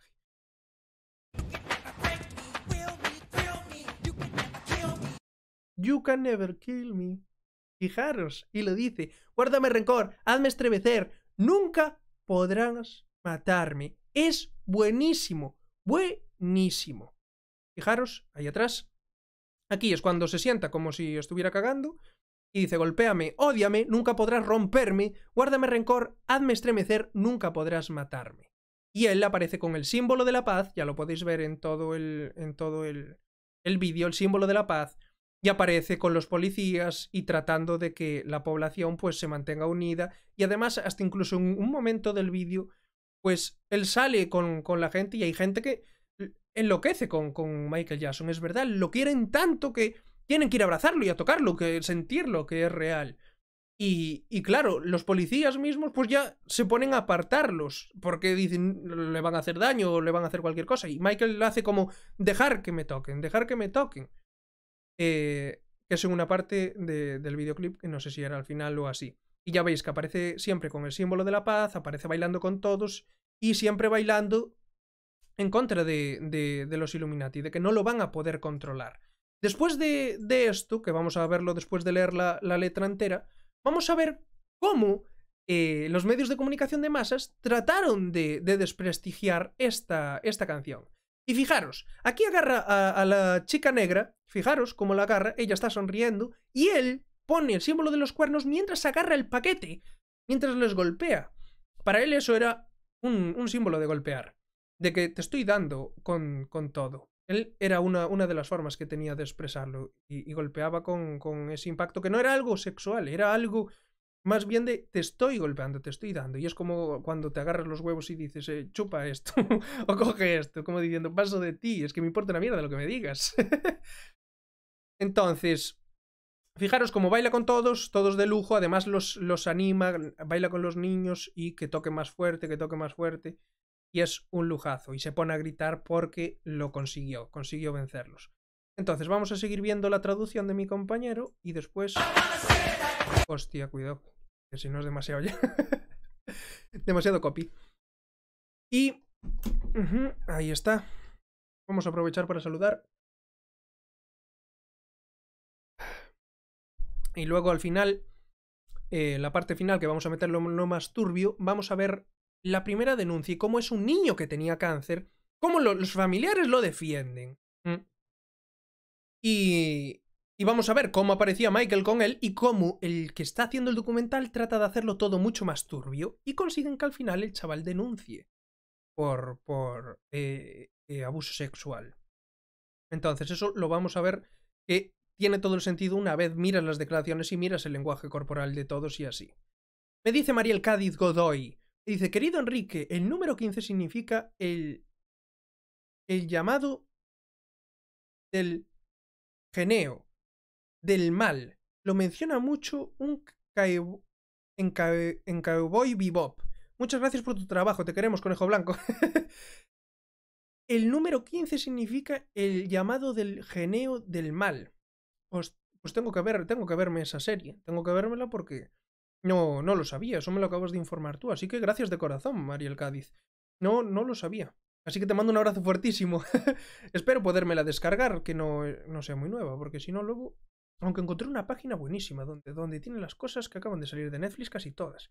A ver, a ver si lo tienen en esa página. Me dice Santiago Mansilla. Amigo Enrique, hoy es el cumpleaños de mi mujer Camila. Por favor, envíale un saludo. Te mandamos 33 abrazos desde Buenos Aires, conejo blanco. Pues sí, señor. Le mando un abrazo fuertísimo a Camila y, te lo digo de corazón. Espero que tengas un, un feliz eh, eh, eh, día de, de, fin de Analema. Eh, no sé cuántos años cumples, pero es tu cumpleaños, así que feliz cumpleaños y ya lo sabéis, en Oriente suelen celebrarlo después del cumpleaños por si mueres sobre esas fechas. Así que te deseo lo mejor para este nuevo Analema y, y esperando que enfaticemos siempre en lo, en lo positivo y en lo que los une en lugar de lo que nos separa. Celebremos cada día porque, ya lo sabéis, la abundancia es tener hoy lo que necesitamos para pasar el día de hoy. Esa es la abundancia. No penséis en mañana, ni en lo que pudisteis haber tenido, ni en los fallos, no. Disfrutarlo hoy. Así que Camila, un abrazo fuertísimo. A ti y a Santiago, ya sabéis que os quiero muchísimo. Os deseo lo mejor este año nuevo. sí, señor. Otro nuevo analema. Y vidas pasadas, muchísimas gracias por el superchat, hermano. Te lo agradezco de todo corazón. me encanta tu nick. Vidas pasadas, sí, señor. Carol Clau me dice, gracias, eh, mil gracias por hacer el, al fin el directo de Michael Jackson. Te lo pedí yo, ¿recuerdas? Millones de gracias. Siempre amé a Michael Jackson con toda mi alma, conejo blanco y corazón. yo, la verdad es que te digo una cosa. no me no había escuchado yo mucho la música de Michael hasta que empecé a despertar y vi el documental ese hace muchos años, ya sabes, pero a lo que voy, yo no empecé eh, admirando a Michael. Yo lo admiré después de entender todo lo que le habían hecho. Y después aún empecé a comprender más cosas después de, investigarlo, que es lo que os digo, aquí hay, hay cosas que no, aparecen en el documental que fueron cosas que fui hilando yo a medida de tener el conocimiento. Así que eh, Michael, yo me inclino más a que era una buena persona. Está claro que tenía desequilibrios mentales por lo de las operaciones, por, por eh, los, los, abusos de, de, niño, haber estado en la habitación de, con los hermanos mientras practicaban sexo con otras mujeres, por no haber tenido infancia, sobre todo por los abusos que hacía el padre de extorsionarlo para que trabajara cada día más y, se convirtiera en, digámoslo así, la cabeza de la familia, porque fue el que más dinero generó de todos y así. Y de hecho es eso. Al final, ¿quién era el, el que, el que querían en todos los lados? Era Michael. Ya no os digo después cuando despuntaba, ya os digo al principio. era Michael. Así que por eso que el talento que él, él, tenía se aprovecharon mucho de él y por eso tuvo esas carencias. Así que yo me inclino a que realmente tenía un buen corazón, era buena persona, pero sí que tenía ciertos desequilibrios mentales, como es normal al criarse en una situación así. Así que luego veremos, ahora cuando nos metamos, cómo lo de la pedofilia queda hmm, más que sesgado cuando empiezas a darte cuenta de, de, de cómo prepararon todo desde el principio. Lo veremos ahora. Así que, Carol Clau, muchísimas gracias de corazón por recomendármelo. y te mando un abrazo muy fuerte, ya sabes que te quiero. Y me dice Nito Rukeli, mi querido Nito, que es, es rapero, por quien quiera escuchar buen rap. Ya lo sabéis, Nito Rukeli. Y me dice, hola Enrique, ¿qué tal? ¿Sabes que me encanta lo que haces? Te pasé por Insta mi teléfono para pasarte mis temas. Abrazo. pues gracias, Nito, los escucharé. Y además ya, ya me dijiste de esa colaboración y si, si se da, hermano, pues, pues apareceré en, en uno de, tus videoclips, hermano. Si me, si ya, ya te dije, como me dijiste, si se habla de los temas que yo hablo y, y, y apoya mis principios, pues tenemos que apoyarnos los unos a los otros. Así que ya lo sabes. Te mando un abrazo muy fuerte, hermano. a lo largo de esta semana espero, espero ya contestarte y, y ver todo.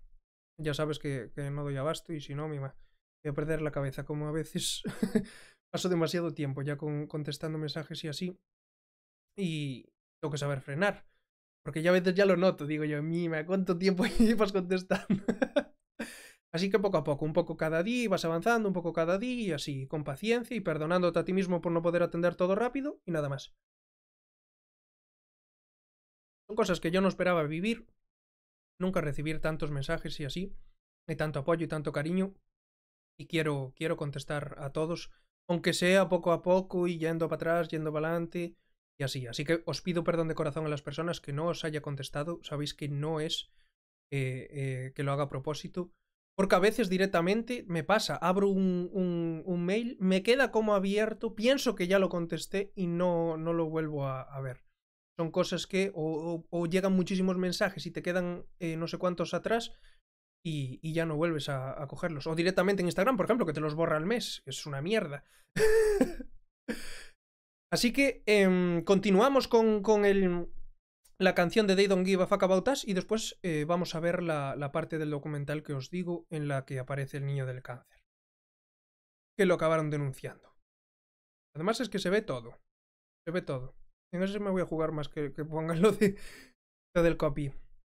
Lo del copyright, pero es lo que hay.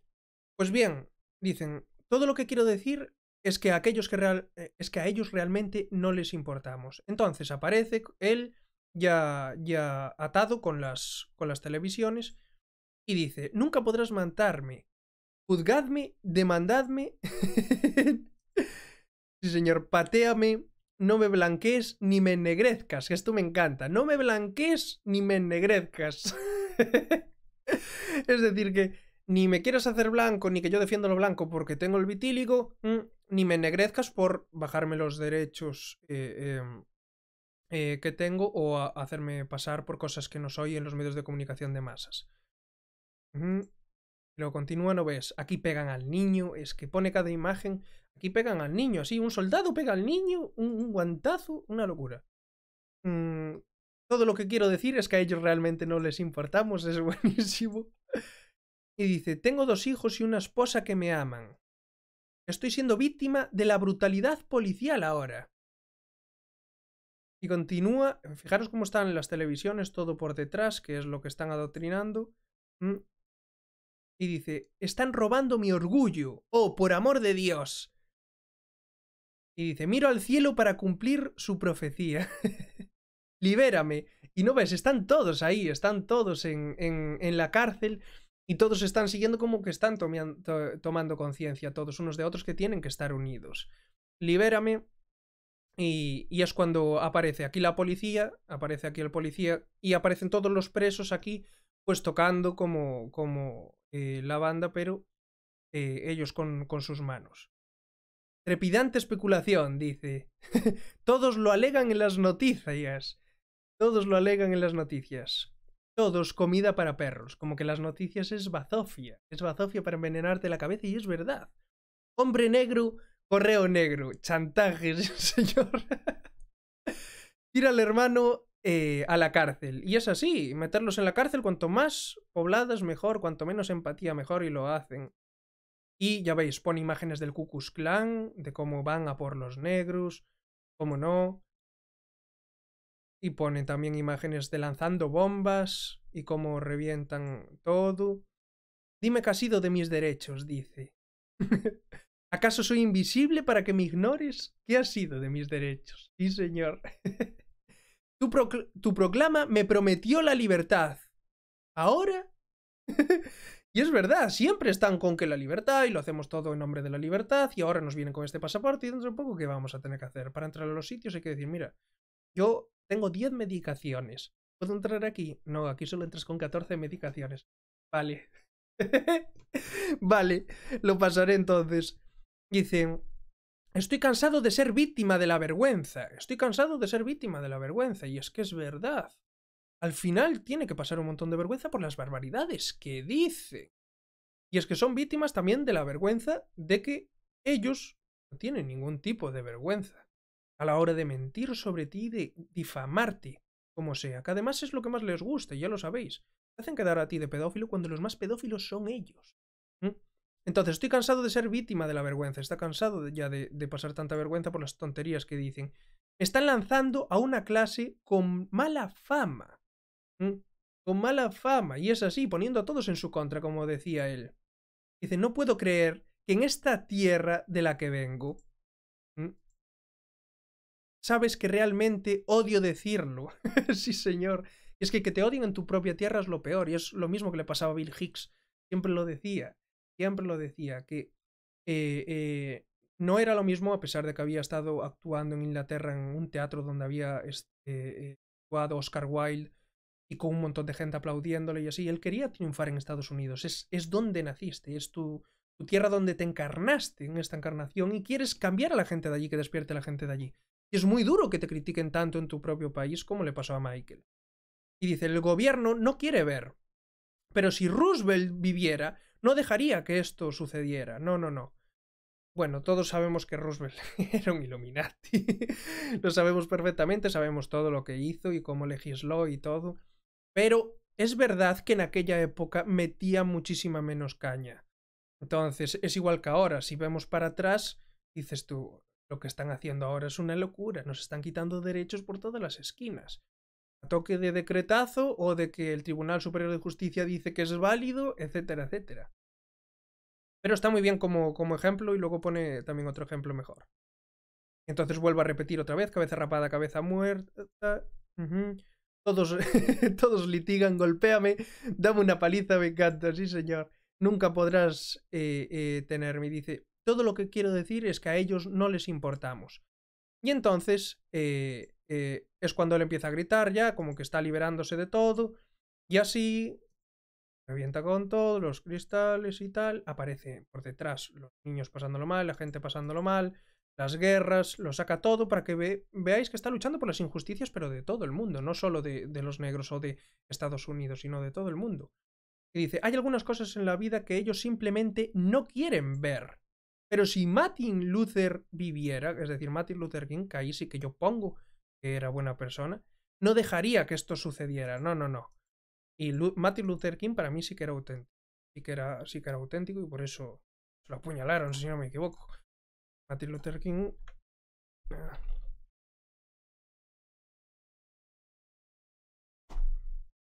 Creo que lo apuñalaron.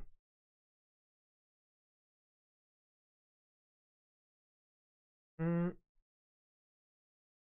Muere la mujer que apuñaló a Martin Luther King en 1958. Sí, apuñalado. Apuñalado. Todo el mundo va mal, dice. Situación, segregación, sí señor, segregarnos, dividirnos, son muy listos. Mm, Todo lo alegan en las noticias y dice, patéame, patéame, no me creas correcto o equivocado. Mm, Sí señor. Dice, todo lo que quiero deciros es que a ellos realmente no les importamos. Y es cuando se enfada, tira las mesas y todo, y todos bailando con todos, poniéndolos al unísono. Eso es lo bonito, está reuniendo a todos, está haciendo que la gente despierte. Y es muy importante, pone a todos bailando, incluso los polis se empiezan a, a- a unir. Y claro, es muy importante porque al final comprenden que todos tenemos que estar unidos. Y ya veis, Michael Jackson era el cabecilla. Para que veáis que él quería montar un movimiento social, no era estúpido. Sabía la influencia que tenía. Entonces tú creas esto y sabes que va a haber un reflejo en la sociedad, va a haber un impacto. Es muy importante. Y esto me pareció muy interesante, es los símbolos que hace. Y fijaros cómo, primero, vamos a ver si, si lo soy capaz de sacar. Están por aquí. Mm. A ver. Son estos. Son estos. A, ver si dándole play y pausa. Play y pausa. Hace. Fijaros. Hace los cuernos hacia un lado. Cuernos hacia un lado. Los Illuminati. Y le dice, esto va por vosotros. Voy a por vosotros.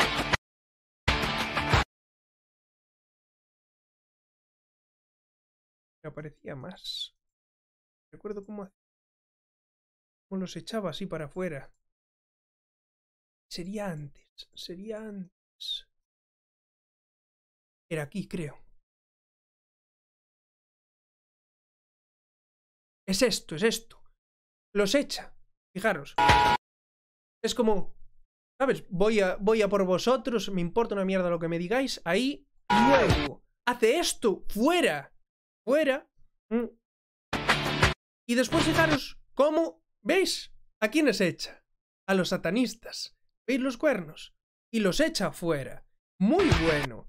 Y dice, voy a por vosotros. Esto es por vosotros. Es buenísimo.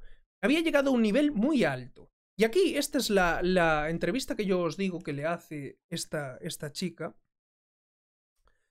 Y que. mm, Y que. Es muy interesante porque aquí los medios de comunicación tratan de hacer quedar esta, esta canción que es tan positiva para la sociedad como que es algo malo. ¿Mm? Vamos a darle volumen. Ahí está. Como que es algo negativo. Y atentos, atentos a lo que dice. Dices, eh, enjuiciadme, demandadme. ¿Mm? Como llevarme a juicio o demandarme. ¿Mm? And some people are saying that Y dice, y algunas personas dicen que eso puede ser antisemita. Escuchar, that is anti-Semitic. Que eso es antisemita. Siempre quieren llevarlo por ahí, eso es antisemita. Mm. Ya lo veis. Y ahora atentos a lo que le contesta Michael.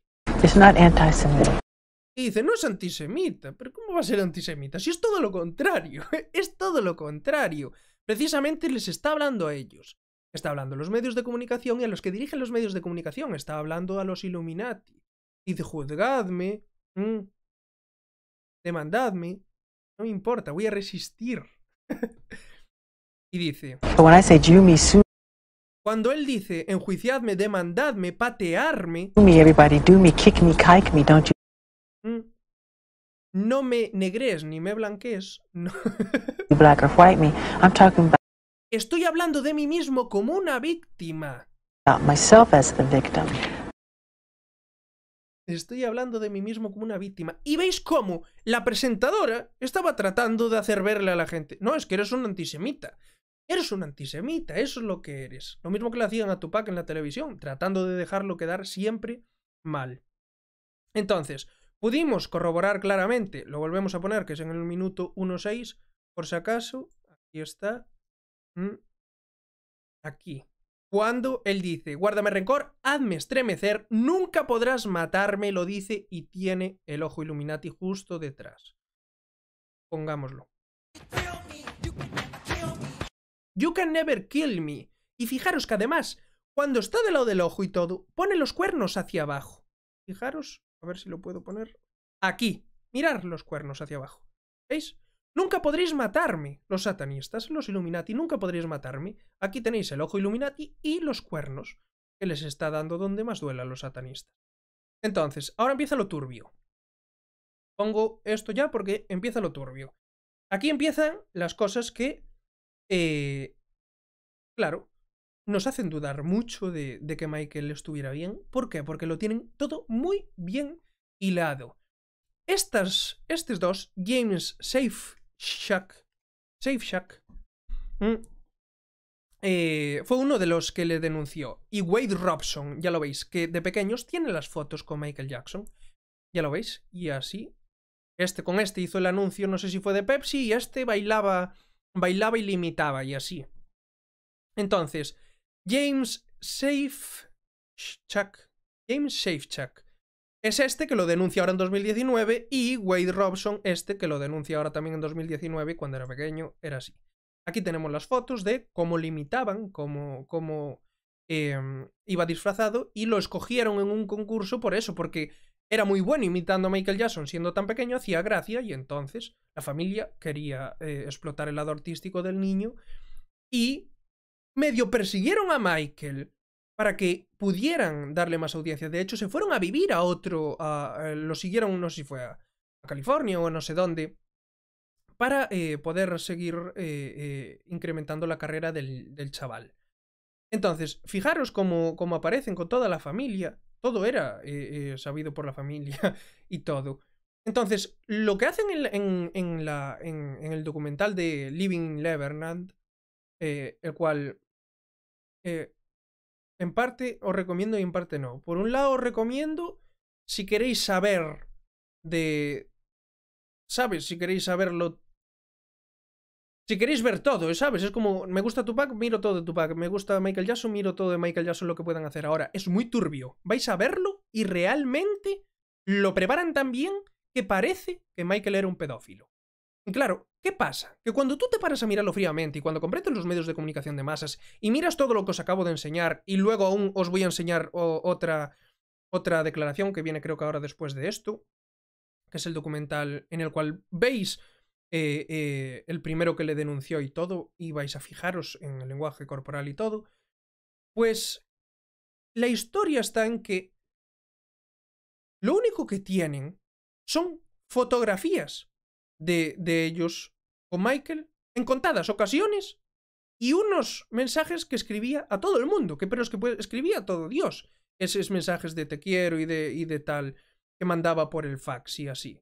Los hay, hay muchísima gente que cuando salió esto empezaron a mandar. A mí también me mandó eso Michael y no abusó de mí. A mí también me mandó eso Michael y no abusó eh, eh, de mí. Bien, ¿qué pasa? Estas dos personas, estos dos chavales y así, tenían vínculos económicos con, eh, los vamos a poner aquí en, grande para que los veamos, con lo, lo que hacían, trabajaban de, de, este montaba coreografías y así para Michael y todas esas cosas y tal. Y bueno, y el otro no me acuerdo ahora bien exactamente qué hacía. El caso es que los dos tenían, eh, eh, como quien dice, vinculaciones con los negocios, digámoslo así, que tenían que ver con Michael Jackson. ¿Mm? Bien, hubo una contratación que no sé por qué no se contrató a este al final. Que iba a ser el coreógrafo de no sé qué movida y no se le contrató. A partir de eso fue cuando emergió la denuncia. A partir de eso, hasta el 2019, no hubo problema. Después emergieron las denuncias y hizo el, documental de Living Neverland. Luego hubo un montón de cosas que coinciden en el tiempo que coinciden en el tiempo. Hoy no me quería meter con eso, por eso, ¿sabes? Eso, eso son cosas que coinciden en el tiempo y no se puede certificar que fueran exactamente por eso, pero realmente ves como cuando sacaron lo de Michael Jackson, pues había un montón de personajes poderosos, como por ejemplo cuando hablamos el anterior día de Weinstein, Harvey Weinstein, estaban saliendo a la palestra por abusos sexuales. Entonces, en el tiempo coinciden estas, estas eh, eh, publicaciones. Y dicen que Weinstein se llevaba muy mal con Michael Jackson, que no lo soportaba. Claro, Weinstein eh, pertenece a una logia, no de tan alto nivel como muchos otros, por algo sí que acabó en, en la cárcel, pero podemos ver claramente cómo había cierta conexión y animadversión hacia Michael Jackson por parte de la gente poderosa. Entonces, salen ciertas cosas que eh, es lo que os digo. En este documental de Living Neverland, yo lo vería si tenéis curiosidad y así. Son dos horas, me parece, o así. Pero cuando te paras a pensar fríamente lo que viste, son testimonios que muy bien. Yo son testimonios y yo creo a los testimonios de los niños de las logias Illuminati, de cuando hubo sacrificios y así. Pero es que hay ciertas cosas de esto que huelen muy turbio. Porque son personas muy mayores que pudieron haber denunciado hace mucho, pero vivían del dinero de Michael Jackson. Y entonces, cuando no hubo más afluencia de dinero, pues hubo denuncia para tener mucho dinero. Unas denuncias multimillonarias. Y personas que estuvieron con él, como fue Macaulay Culkin y todos estos, que estuvieron en su casa y estuvieron con él, dicen que es todo mentira, que no fue pedófilo. Así como otros, en cambio, sí que acusan de pedofilia a otros. Entonces, esas cosas son muy turbias. Ahora, yo lo que os voy a enseñar es el caso Arbizo. El caso Arbizo es, se supone, o, creo tener entendido que es el, el primero. Vamos a, a, verlo exactamente. Caso Arbizo Mitchell Jackson. Años. Michael Jackson. Mm.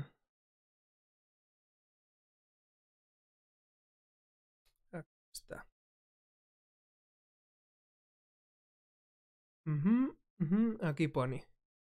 Unos 15 años, el 13 de junio de 2015, el día que el rey del pop no pudo controlar el acento abusar de menores de 13 años. Logró, eso sí, disparar todas las dudas.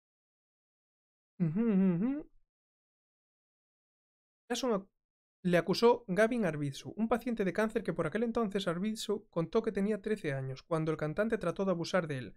Arvizu era un habitual de Neverland y dormía con Jackson en su habitación.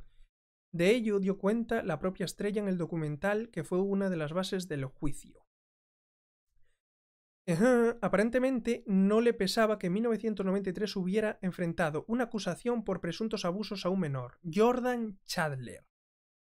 Vale, esta es la del 93, la de Jordan Chandler. Y luego es el caso Arbizo. Eh, aquí lo pone. En esta ocasión, el caso no fue a juicio por la negativa del niño a colaborar. Y después de que el cantante hubiera aceptado pagar 23 millones para resolver la demanda. ¿Mm? El niño no quería ir a declarar. Fijaros, Jordan Chandler. ¿Mm? En abril de 2005, Ralph Chacón, un antiguo miembro de la seguridad de Neverland, testificó que había visto a Jackson practicándole sexo oral a Chandler, además de verlo besándolo apasionadamente. Los relatos en esa dirección han sido cuantiosos. El último documental en sacudir la figura, Living Neverland, fue emitido por HBO y dirigido por el británico Dan Reed. El film se centra en Wade Robson y James Shifchak. Bien, Aquí podemos ver que el primer caso fue de 1993, a Jordan Chandler, el cual se negó a testificar el niño, no quería colaborar, ¿m? y Michael aún así pagó 23 millones por la demanda. Fijaros, en abril de 2005, Ralph Chacón, un antiguo miembro de la seguridad de Neverland, testificó que había visto a Jackson practicándole sexo oral a Chandler, además de verle besándolo apasionadamente.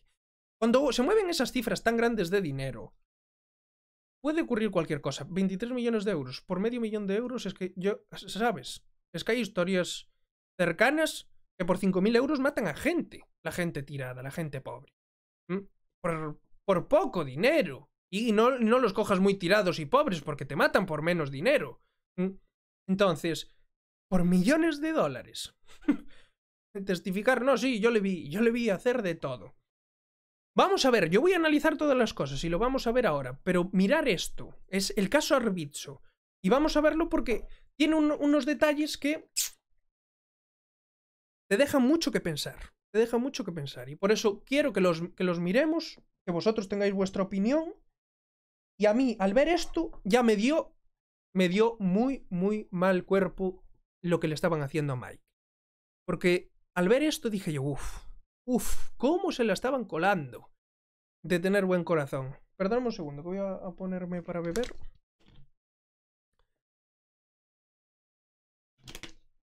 Aprovecho para saludar y continuamos.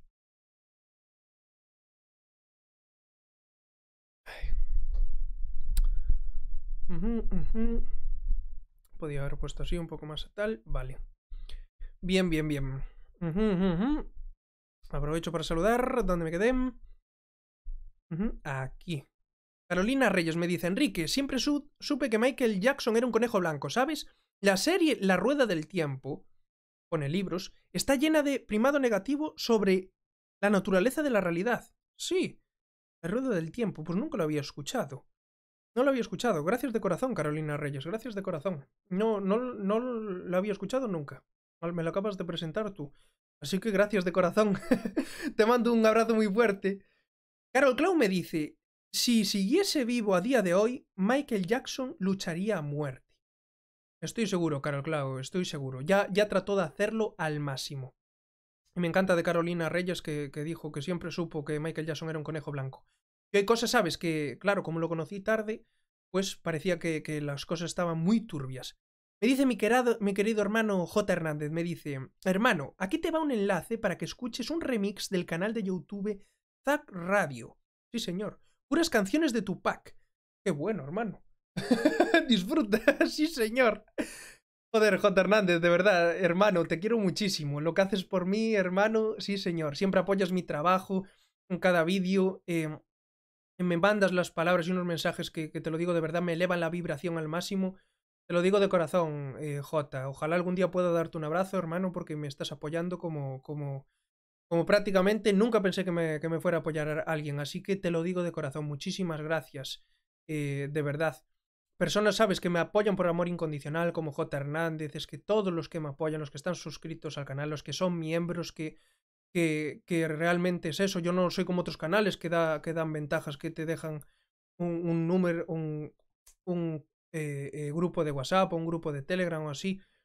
M- Lo hacen por amor incondicional y de verdad que me dais, me dais eh, esperanza de que un mundo mejor es posible. Me apoyáis todos, gracias de todo corazón a todos los miembros del canal, a J. Hernández, a todos los que, los que me apoyáis en cada directo, a todos los que me hacéis donativos y me apoyáis económicamente, a Sergio Algas, porque realmente, hermano, lo que hiciste por mí fue algo que, que aún me abrió más los ojos y digo yo, eso es amor incondicional puro. Muchísimos, me habéis hecho regalos como, como nunca lo había pensado que podría vivir, así que me siento muy afortunado, os lo digo de verdad. Para mí es un privilegio vivir esta encarnación. No pensé que podría haber, vivir cosas tan buenas, así que gracias a todos de corazón. y me dice, mm, eh, aquí me dice Pablo Guzmán, saludos desde Los Ángeles, buenísimo trabajo el que realizas, compadre. Siga así, te necesitamos y te queremos, hermano. gracias de corazón.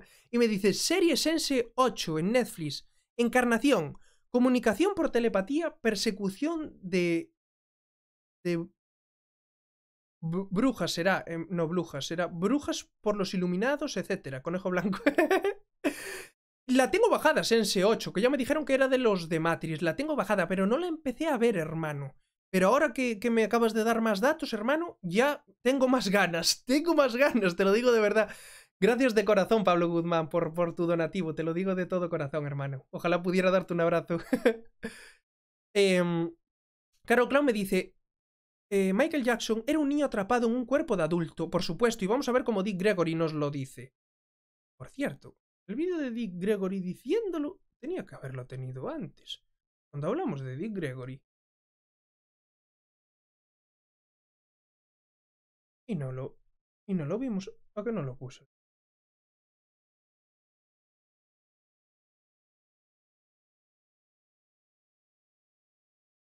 Pues, pues no lo puse. no lo puse. No lo puse el vídeo de Dick Gregory al final. Pues Dick Gregory dice exactamente lo que dices tú, Carol Clau. Dice que, os lo dejé en la descripción del vídeo, le dais y ya va a poneros uno. Eh, Dick Gregory, Michael Jackson, Tupac. Y ya vais, son 11 minutos me parece, y vais a escuchar como dice ya del principio que, que Michael Jackson era un hombre con cabeza de niño, porque no había tenido infancia. Entonces se explica todo y es muy importante. Así que ya lo sabéis, Dick Gregory era muy buena persona y influyó positivamente tanto en Prince como en Michael Jackson, que sí que lo conoció en persona, a Prince no, etcétera, etcétera. Así que muchísimas gracias, Carol Clow, por, por decirlo, porque Dick Gregory lo confirma y dice, además era asexual, en cualquier entrevista suya siempre ves un niño en él. Tienes razón, Carol, tienes razón. Es lo que vamos a ver ahora en, en la entrevista esta del caso Arbitzo. Lo vamos a ver porque realmente ves la inocencia de Michael Jackson y de que no ve mal en lo que está haciendo. Y el otro, el entrevistador, lo aprovecha. Lo aprovecha muy bien, son muy listos. Así que, eh, gracias de corazón, Carol Clau, por tus palabras, porque tienes toda la razón. Mayra Cortés, muchísimas gracias por el super chat. Un abrazo fuertísimo. Y me dice Carol Clau, eh, lo que sí que tengo dudas es de que lo matasen, porque en Estados Unidos es legal fingir tu muerte si esta peligra. Y hubieron cosas muy raras el día de su fallecimiento. Yo creo que sí que creo que sí que murió porque era, era muy peligroso dejarlo vivo y aparte estaba ya muy, muy deshecho. Se le nota incluso en la llamada, ¿sabes? Es como cuando hablamos de Aaron Swartz, ya se le veía muy deprimido al final y así. Eh, otra cosa ya, ¿sabes? Es si lo ves muy bien físicamente y lo, lo, escuchas fuerte y así. Pero ya ves en la llamada anterior que la vimos hoy de, de Michael Jackson, ya se notaba que el pobre luchaba por hablar. Escucha muy bajo, eh, se para mucho, porque es una persona ya que está muy, muy cerca de la muerte. Así que yo sí que no dudo que, esté muerto Carol Clau, pero respeto que tú, que tú opines así. Así que te mando un abrazo fuertísimo, Carol. es muy interesante lo que dices, aparte de que, de que sí que es legal fingir la muerte. Me dice Doctor Pool, mi querido hermano. Hola, hermano, estoy aquí en casa escuchándote. ando, eh, ando ganas de un café con pan o quizá mejor unas papusas con café. Bendiciones, hermano, cuídate. papusas, es que eso lo hablaste el otro día con corazón, con Cora, y, no sé qué son papusas. ¿Qué son papusas? A ver. Papusas. Proviene de pilpil, pupusagua, que en español se pronuncia popotlax, o popotol, que significa grande, relleno y de... Eh, o tortilla. y es como un, pan o algo así, lo que estoy viendo aquí. Le puedes echar ingredientes por encima y así. La tortilla centroamericana de moda. Pues, qué bueno. Yo no lo conocía, eso yo nunca lo probé. No, hombre, me imagino que se podrá hacer vegano, solo con ingredientes veganos. Ahí hay de todo. Ahí, sabes que parece solo pan y ahí eh, parece que lleva de todo. Así que espero que lo disfrutes, Doctor Bull, si estás tomando unas papusas. pupusas, perdona, pupusas. Así que te mando un abrazo muy fuerte, ya sabes que te quiero mucho, hermano. Vamos a darle caña con, con el caso Arbitzo porque realmente es algo muy potente esto y quiero que lo miréis. A mí me, me, me ayudó mucho a, a comprender que realmente todo seguramente sea una trama. Y dice, Gavin Arbitzu es un chico que acusó a Michael Jackson de abusar sexualmente de él en 2005. Después de la emisión del documental Viviendo con Michael Jackson, del periodista británico Martin Bashir. Y continúa aquí. En dicho documental, y gracias a una edición inteligente, Bashir manipula la información para insinuar una extraña relación entre Michael y el chico. Esto es evidente al ver el documental, manipulado para destruir la imagen de Michael. Estos son unos fragmentos del documental. Y entonces aparece ¿eh? aquí el documental. Aquí aparece. Y aparecen todos juntos. Y va a empezar a, a, a, contar, atentos. Y entonces conocí a Gavin, de 12 años. Y a su hermano y a su hermana. Eso lo está redactando el Basir, el, el que está eh, diciendo. Gavin conoció a Jackson hace dos años. Y ahora dice, eh, porque creo que esto ya no es el que son ellos, a ver si lo escuchamos. Not sick at all, no more cancer.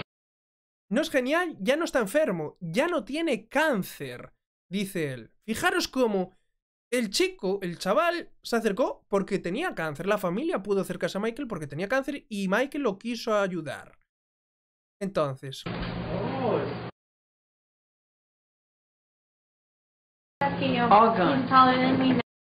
Mira, dice la hermana, ya está más alto que yo. Le dijeron que iba a morir. ¿No es increíble? Y sobrevivió. That great? Fijaros, Michael diciendo, no es increíble que, se- que- que estuviera vivo. to plan for his funeral because Le dijeron a mis padres que se prepararan para el entierro.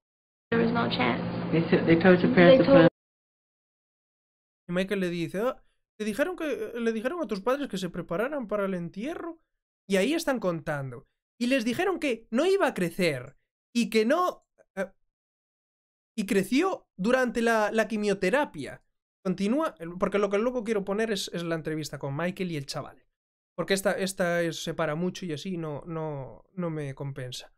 Y dice, pasé de 1,45 centímetros, dice el chaval, a 1,65, bueno, centímetros no, 1,45 metros, perdonar, Mm. y a 1,65 metros. Y continúa y dice, los médicos no lo saben todo, dice Michael. Esto es buenísimo, esto es buenísimo. Voy a ponerlo porque esto es buenísimo. Michael diciendo que los médicos no lo saben todo.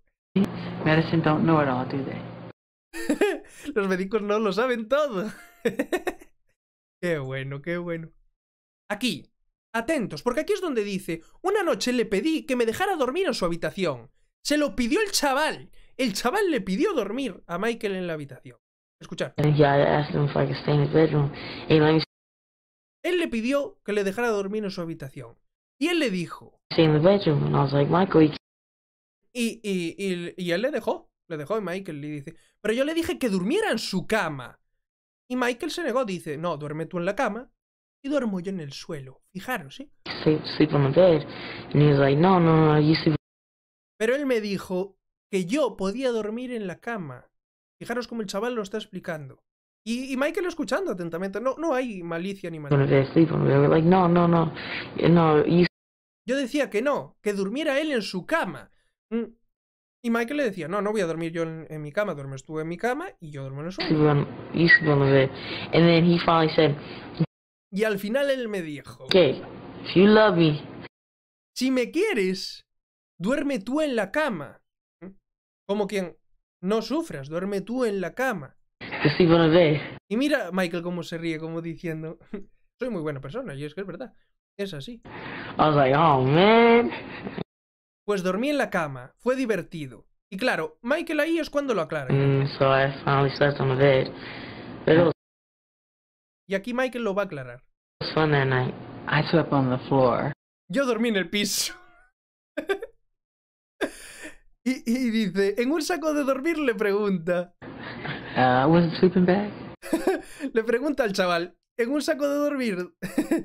y, y el chaval le va a decir, no, apilaste unas pocas mantas, Nah, you, packed the whole vest of like pusiste un montón de cobijas en el piso. Cobijas no sé si se, si se referirá a mantas o a almohadas, a ver si escucho. blankets on the floor. y se parten el culo. Allí, delante del tipo que les está grabando para hacer un documental. ¿Mm? Si eres un pedófilo, ni, ni es que ni te prestas a aparecer con un niño delante de las cámaras. ¿Mm? Michael, eres un hombre de 44 años, le dice el presentador. But Michael, you know, you're a 44 year old man now. Fijaros ya cómo empieza a enturbiar todo. Y ya se empieza a enrarecer el ambiente. What, what do you get out of this? ¿Qué sacas de todo esto?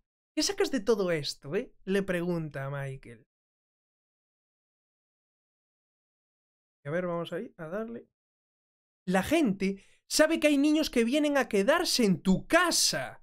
Mm, ya empieza a enturbiar el, el coso. No voy a poner porque esa es la voz del fulano y no quiero ponerla.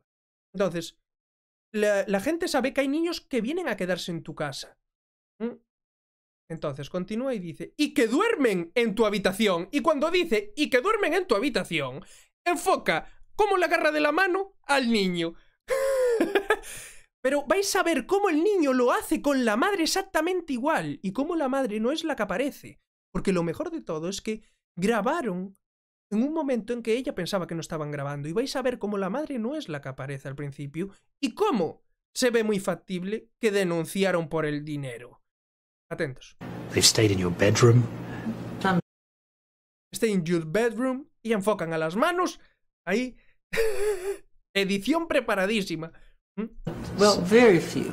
Y dice, muy pocos niños. ¿Pero qué te piensas? Que yo, que yo, yo venga, traigo a niños. But, you know, somehow Y mira el niño, el niño es muy mimoso porque lo pasó muy mal con, con el cáncer. Entonces es muy mimoso y vais a ver que lo mismo que hace con Michael, lo hace con la madre. Está tocándole y abrazándose seguido y así apoyado con la madre y la madre le va a llamar la atención después y le va a decir, ponte recto, cuando piensa que no están grabando. have, Dice, bueno, algunos han and they quedado. say, is that really a Y la gente pregunta si es correcto que un hombre haga eso. How do you respond to that? I feel sorry ¿Qué respondes a eso? Y dice Michael, siento lástima por ellos que piensen así. for them because that's judging someone who's Están juzgando a una persona que quiere ayudar a otro. Fijaros. Y con el niño apoyado y agarrándole de la mano. Es que le importa una mierda. Wants to really help people. What can Bien. Luego ponen flamencos. Ponen a los flamencos ahí. Mima, Mima, el que editó esto. Sí, muy bien que los flamencos estaban en Neverland, pero calzarlo ahí justo cuando... Dejarme que lo cojo otra vez. Mima. Ponte. what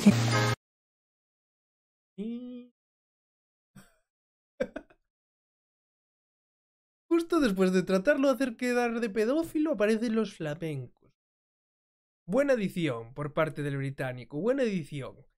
Mm, Bien, continúa. Y, y él empieza a seguir distorsionando todo y dice, me sentí incómodo después de esta charla. Mm, con lo que yo consideraba una sesión con los niños y aparece todo como juguetes y como Disneyland. Bien, eso lo razona Michael. ¿Por qué tiene un coso como Neverland y, dice, porque yo no puedo ir a Disneylandia, no puedo ir a esos sitios porque no me deja la gente. Si ya una persona como Auron Play o, o, cualquiera de los grandes rubios o así, no puede ir ni, ni, a, ni al Portaventura ni a ningún parque de atracciones porque la gente se abalanza a, a ellos y no los deja ni respirar.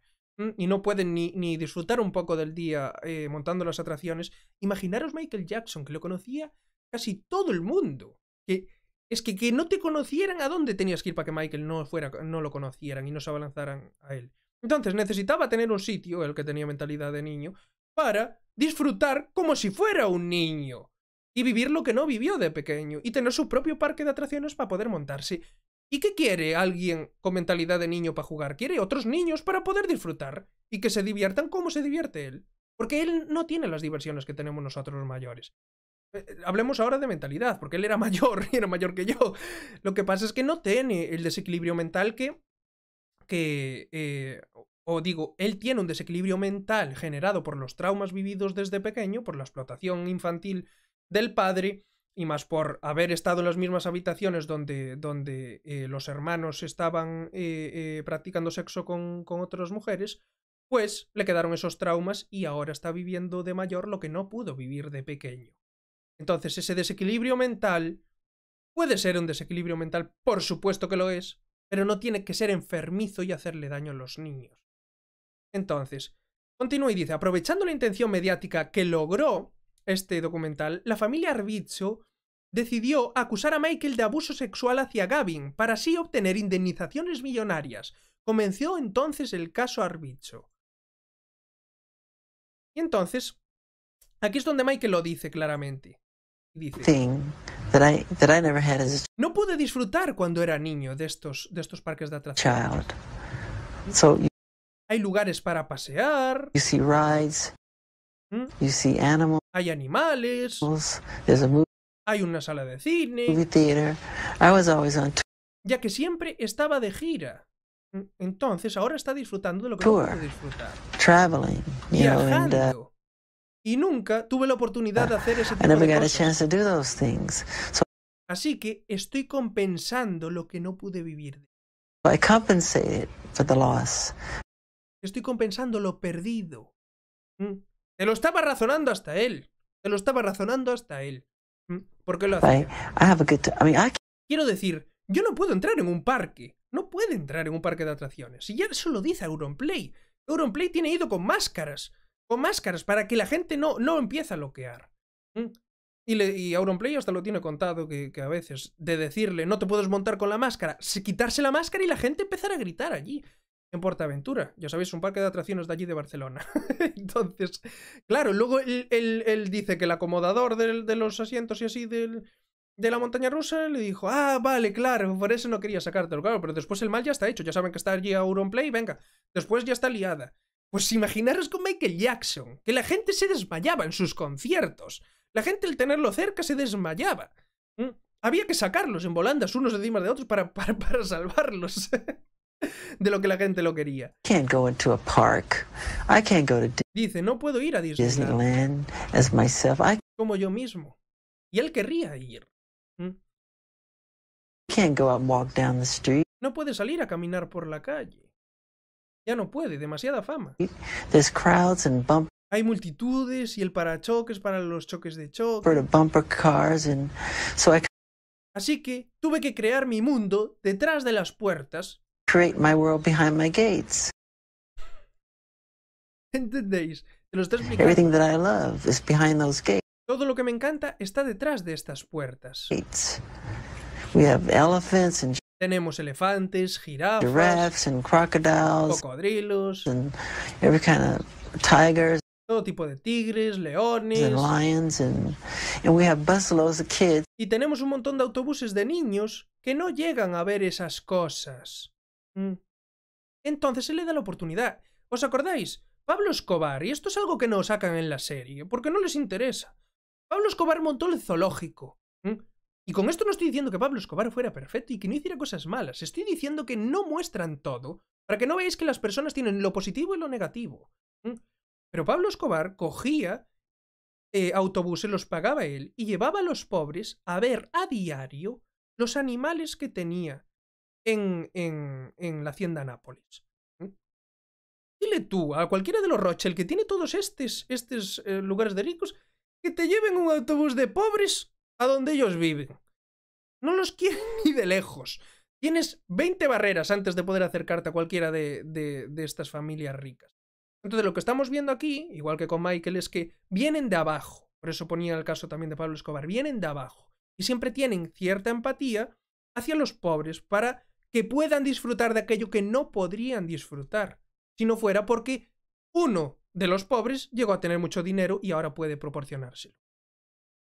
Who don't get to see those things. They come up, see Y vienen niños enfermos children, and enjoy it. y disfrutan de ello. ¿Mm? Y él está feliz. Ya ves, si salen los niños y disfrutan.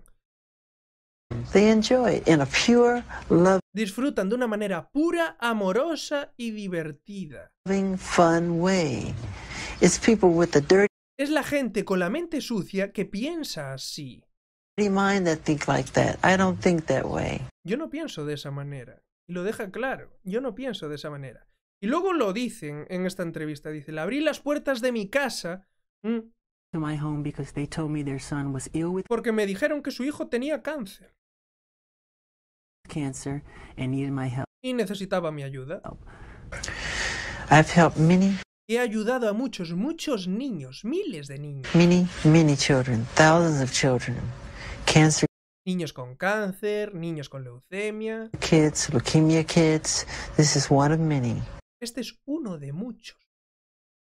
When I first saw him, Cuando lo vi por primera vez, he was totally bald headed, estaba totalmente pelado. No tenía pelo. white as snow from the Blanco como la nieve por la quimioterapia. chemotherapy, very Se le notaban los huesos. bony, look anorexic, anoréxico. no eyebrows, No tenía cejas ni pestañas. no eyelashes, and he was so weak. I- Estaba tan débil que tenía que llevarlo desde la casa del cuarto de juegos recreativos. I would have to carry him from the house to the game room, or push him in a wheelchair O empujar su silla de ruedas. to try to give him a childhood, a life. Intentaba darle una niñez, una vida, antes de que muriera. Because I felt bad. Yo me sentía mal. Él lo tiene todo y quiere dar a los demás. So my heart go out to those Así que mi corazón está con esos niños. Yo siento su dolor. children. I feel their pain. Fijaros, ¿eh? Fijaros. Y luego viene el vídeo de refutación de la familia Arbizo. Es decir, que ellos en 2003 ¿m? pues empiezan a apoyar a Michael y dicen que no hay ningún tipo de problema y así. Luego, cambia la historia. Perdóname un segundo que beba.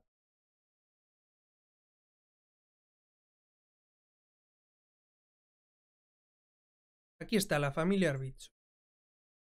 Grabado tres semanas después de que Bashir insinuara en su documental que el señor Jackson tenía una relación inapropiada con Gavin Arbitzo. Tres semanas después. Y entonces aparecen y pone, mis hijos y yo sabemos lo que es ser rechazados, relegados, despreciados y ser la comidilla. Entonces, dice, mirar. Only because Mm. Dejados de lado solo por nuestra clase social o por lo que estábamos pasando. Y Michael no lo hizo. Él dijo, venid a mí. Les abrió las puertas de su casa. Y continúa y dice, no solo Gavin, fue Star y fue Davlin y yo. Y nos llamó su familia, todos los hermanos que están por ahí también fueron. ¿Mm? Y dice, y fue Gavin quien le preguntó, ¿puedo llamarte papi? Fue Gavin, quien le preguntó a él, ¿puedo llamarte papi? Y Michael dijo, por supuesto. Así que gracias a él, Spart, Stark y Davlin le llaman papi Michael. Todos los hijos le llaman papi Michael. ¿Mm? Y entonces, ella va a contar una relación muy inocente y preciosa que todo el mundo ha sacado fuera de contexto. Esperar a ver si... No, vale, es, es ahí.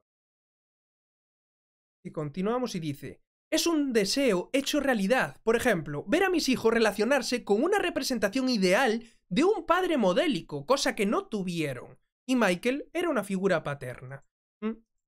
Y continúa y se ponen a reír.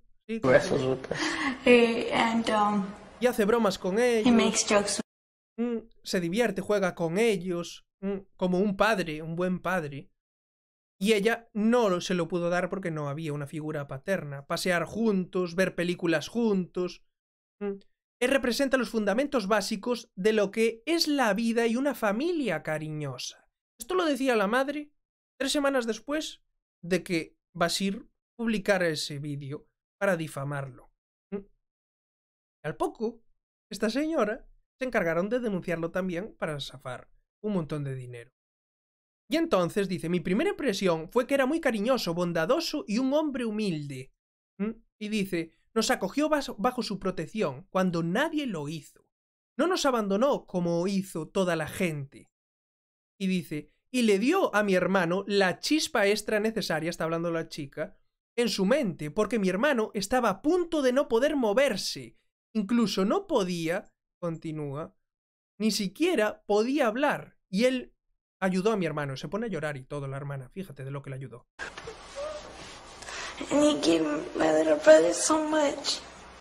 Fijaros. Él le dio muchísimo a mi hermano y está llorando.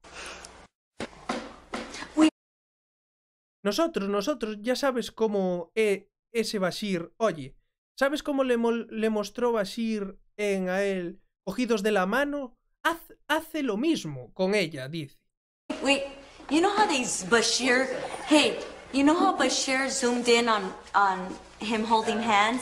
Do that the same thing. Because you know- Because, because that's what a mother uh, Like, does know, with a Es como lo hace con una madre o con un padre, es así.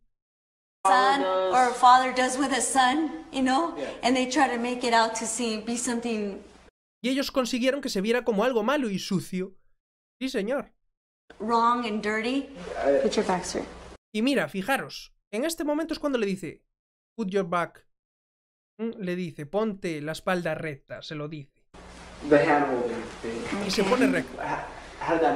Oh, we're on camera? Y mira, y le dice ella, ah, estás grabando. Mm, Fijaros, Yeah. Oh, We are? Yeah, is it rolling?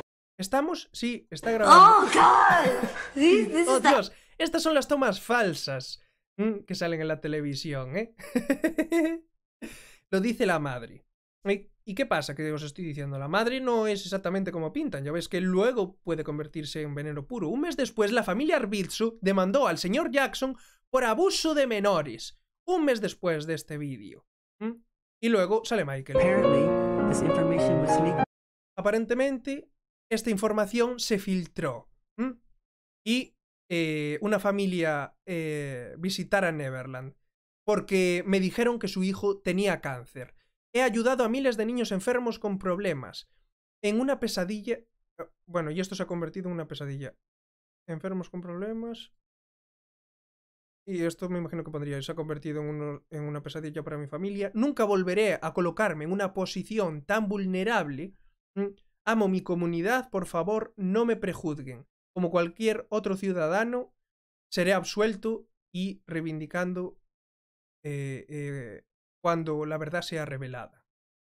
Entonces, mirad lo del caso Arbizo ya como, como cuando miras el lenguaje corporal y cómo se la sudaba estar con el niño eh, eh, delante de la cámara y de todo, ¿sabes?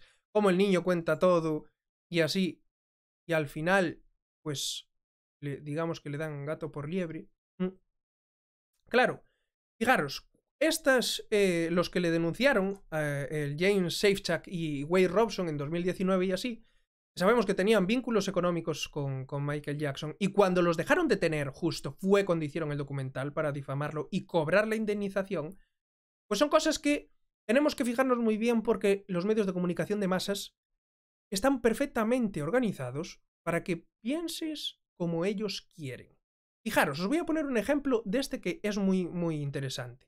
Y es, Michael, recordar que lo pusieron y decían que, además esto salió hasta en Badun, ¿eh? en, uno de los canales, o en Badaboom, uno de estos canales que, que tiene millones de suscriptores en YouTube y así.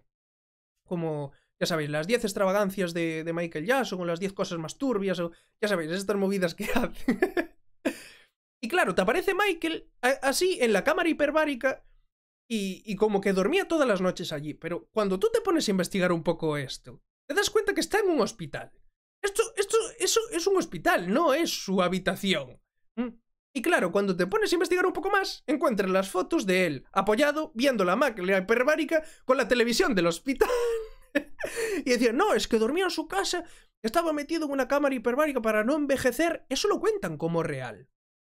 Y recuerdo cuando un, un tuitero lo, lo sacó y decía, está claro que no hay ningún entendido y que solo ha dado validez a los rumores ridículos infundados que he escuchado, como lo de la cámara de oxígeno. Michael se quemó la cabeza rodando un spot y compró una cámara para donar a la unidad de quemados del hospital que le trató. Fijaros, era una donación, ya se puso allí para hacer promoción de que lo había de que lo había donado y así, como agradecimiento por lo que habían eh, cuando le ayudaron cuando él se quemó.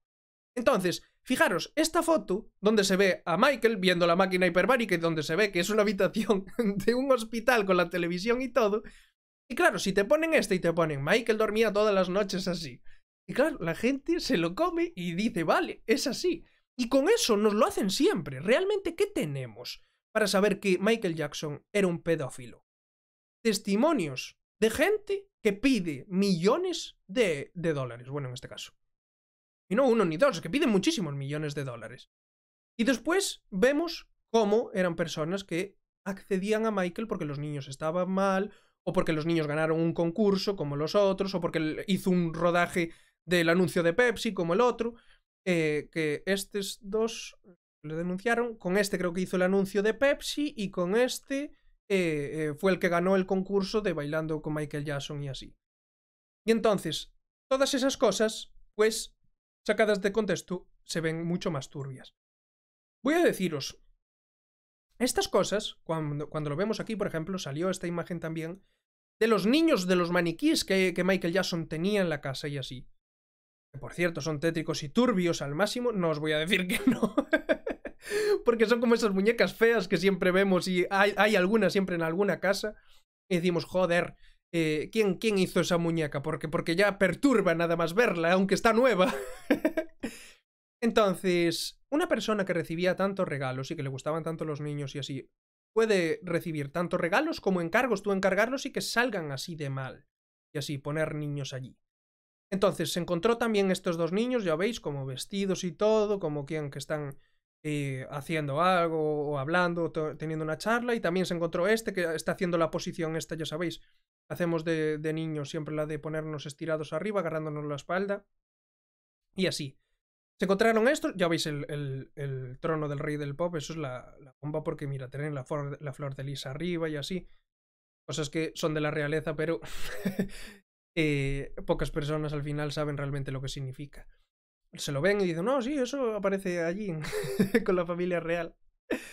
Pero, mm, pero no se fijan en los detalles. Y a lo que iba, que ya sabéis que la flor de lis representa el linaje genético de las familias reales. Pues bien, esos, estos parecen bastante turbios, no os voy a decir que no. Estos maniquís, que son contados. ¿Sabes? Que tiene allí como quien tiene almacenado un montón de movidas y así. Pero luego tú miras los niños que están ubicados todos por, por Neverland y decían, bueno, es que tiene todo lleno de niños. Son unas estatuas de bronce que son preciosas, de niños disfrutando. Ninguna tiene ni carácter sexual ni nada. Tienen un cochecito y la niña está con él. Y lo que están representando realmente es momentos que Michael no pudo vivir. Momentos que todos nosotros vivimos, de estar con nuestros amigos, estar libres, no estar condicionados ni con un padre que nos está explotando para ganar el máximo de dinero. Entonces, estás viendo, ¿no ves? Esta imagen del niño que está compartiendo la chocolatina con, con la niña y la niña la agarra, están montados en el cochecito, eh, niños jugando encima del tronco, pasando por, por encima del riachuelo, ya veis, todas las figuras de, de niños que, que tenía de bronce, eran muchísimos. Justo niños, tres niños subidos en un tronco mientras pasa el agua por, por debajo. Son figuras de, de buen gusto, no son una cosa tétrica ni asquerosa. Son figuras que ya veis, niños jugando mientras estaban ahí. Esto no es como cuando vemos, como cuando vemos los dibujos de los niños de- del metro de, de... ¿Era el metro o, o era en el aeropuerto? Ahora, ahora no me acuerdo bien dónde eran. Los dibujos aquellos tétricos, ¿os acordáis? Con niños y de todo, gente con cámaras de gas. Ahora ya sabemos, eh, con máscaras de gas. Sabemos bien de dónde venía toda la historia. Y bien, antes de rematar esto y mi conclusión final y así, aprovecho para saludar y aprovecho para beber porque tengo una sed loca. ¿Dónde me quedé? Me quedé aquí. Perdóname un segundo que beba.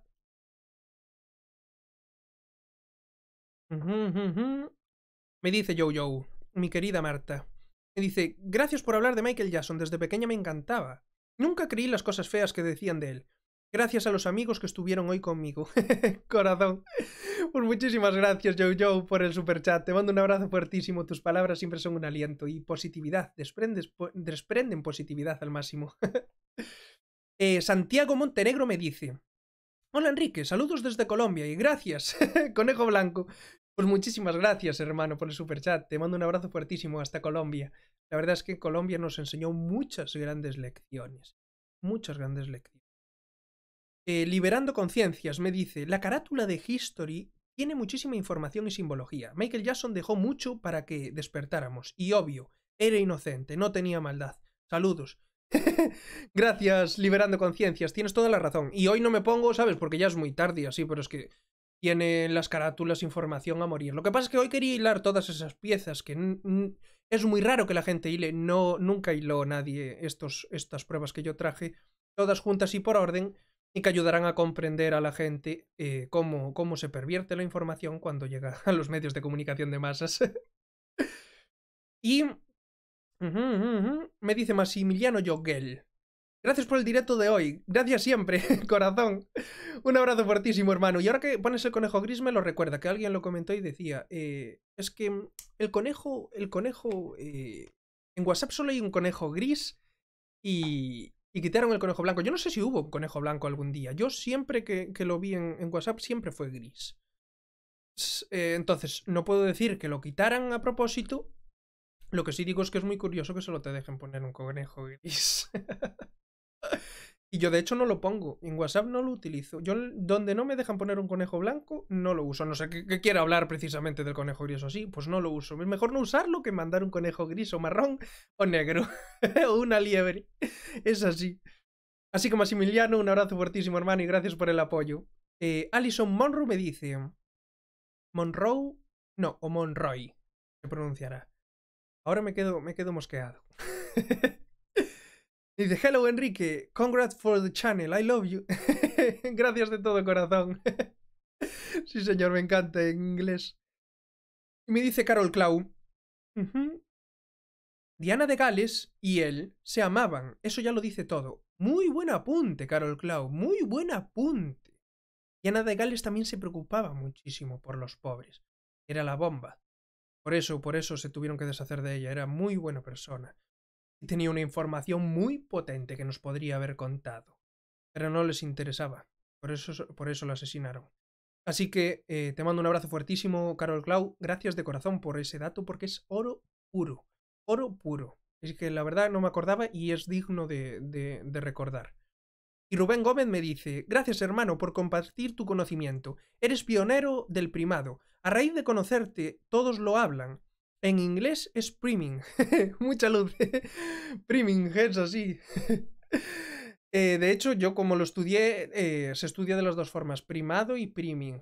Y hay quien dice que no se dice primado, que, de, que debería de ser de otra forma, pero bueno, eh, yo lo utilizo así, es como lo conocemos y al final lo importante es comunicarnos. No importa exactamente cómo lo dices, sino que la gente te comprenda, porque ¿qué importa que tú utilices una palabra muy, muy bonita, que dice mucho si las personas no la comprenden? eso es lo complejo. Y eso, esto me recuerda a un comentario que me hacía Iván, que es un seguidor del canal de hace muchísimo tiempo, que lo aprecio mucho.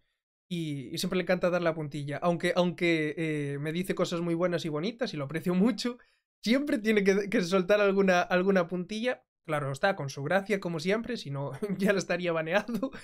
Y, y me dice, eh, por cierto, Enrique, muy bueno todo y así, pero recuerda lo que te dije aquella vez. Eh, es decodificación, no descodificación. y yo ya le dije, y además se lo tengo, se lo tengo dejado. Y vamos a ponerlo hoy, vamos a ponerlo. Eh, eh, que yo lo que hago es descodificar, descodificar. Y lo ponemos, y ya lo pone aquí. Imprimimos pantalla, ponemos el paint, mm, control V, vamos aquí, Vamos a Uh Sí, ya lo... Y ahora vamos a ponerlo aquí, una diapositiva. Vamos a ponerlo y... Aquí. Aquí lo tiene. Descodificar aplicar las reglas adecuadas a un mensaje que ha sido emitido en un sistema de signos determinado para entenderlo. Esto es lo que yo hago. Yo hago descodificación. Así que un abrazo muy fuerte, Iván, sí, señor. Mm, bien, bien. Eh, continuamos y con la reta final, que es lo que os quería eh, comentar es precisamente esto, mirar las, las estatuas todas de bronce, un niño jugando con el perro, el perro, el perro tirando. Son momentos bonitos de la infancia que son muy bonitos eh, vivir. Entonces, todas estas cosas no son turbias. Tener esto en Neverland era bonito. Claro, no es lo mismo eso que los, los maniquís estos contados que tenía, que eran aborrecedores dan asco, pero, pero es como quien colecciona muñecos y así. Hay algunos que son horrendos y hay algunos que son regalos, que te los hacen y es normal que no los tires, sobre todo cuando tienes tantísimo espacio. Que, que tienes ahí cosas después. Eh, vamos a verlo ahora. Aparte de, de las estatuas de bronce y así, que ya veis que no son nada turbias, el niño este está como desnudo, que es pequeño, pero está jugando con un caracol. ¿Cuántos de nosotros no vemos a los niños desnudos en la playa? No es que todos los niños estén desnudos, es que uno está encima del caracol y es típico un niño pequeño esté desnudo. Y aquí lo podemos ver igual. Están todos vestidos y así y están jugando como a hacer el, el círculo todo agarrados de la mano y jugando. En otra figura ya lo veis, están bajando por el, por el tobogán, todos divirtiéndose, y en otra que esta me encanta, están como los niños, un, digamos, el niño mayor ayudando a el niño más pequeño a coger las cosas del árbol o a tocar determinada rama, una cosa muy bonita. Entonces, esto no es turbio. Esto no es turbio. Y. No, es que tenía todo lleno de estatuas de bronce de niños. Bueno, hermano, son, son, son estatuas que tienen todo el sentido. No como lo que hablaba antes, creo que era el aeropuerto de Denver o no sé en qué metro era. Que había unas cosas con niños y con muertos y con todo que eso dices, eso sí que es turbio. ¿Mm? Y bien, eh, vemos los bustos de Michael Jackson, estos, que también lo sacan como una de las cosas más turbias de, Michael Jackson, en los cuales podemos ver que era su cara. y que son diferentes expresiones y muecas, que esto debe de ser un regalo de alguien que se lo haría, no se iba a poner el hacer estos moldes. Entonces, tienen estos, estos eh, digamos así, estas muecas o así, y, deja de contar, esto es lo que tiene de turbio, ¿sabes? Son unos bustos. Hay bustos y bustos, ya lo sabéis. Y luego también otra de las cosas más turbias también que suelen sacar de Michael es esto, la obra que se llama Campo de Sueños. Que hay eh, eh, también, eh, no sé si uno o dos más de este estilo, en el que Michael sale rodeado de niños que le quieren y que están disfrutando porque Michael les proporciona esa diversión en Neverland y en, y, y, donándoles dinero y arreglando sus vidas, etcétera, etcétera. Pues bien, claro, lo relacionan esto con el flautista de, Amelín, de Jamelín, ¿era de Jamelín o de Amelín? Ahora ya no me acuerdo. El flautista. Flautista de Hamelin era. Aunque bueno, depende de cómo lo pronuncies. La H no se pronuncia español, podríamos decir Hamelin. Aquí está. Cuento datado de los hermanos Grimm. Este sabían bastante de lo que hablan los hermanos. Saben de lo que hablan, que no son estúpidos. Mm, en él se respiraba aire puro todo el año, y puesto estaba situado en el valle, en plena naturaleza. Y claro, es como que engaña a los niños y así.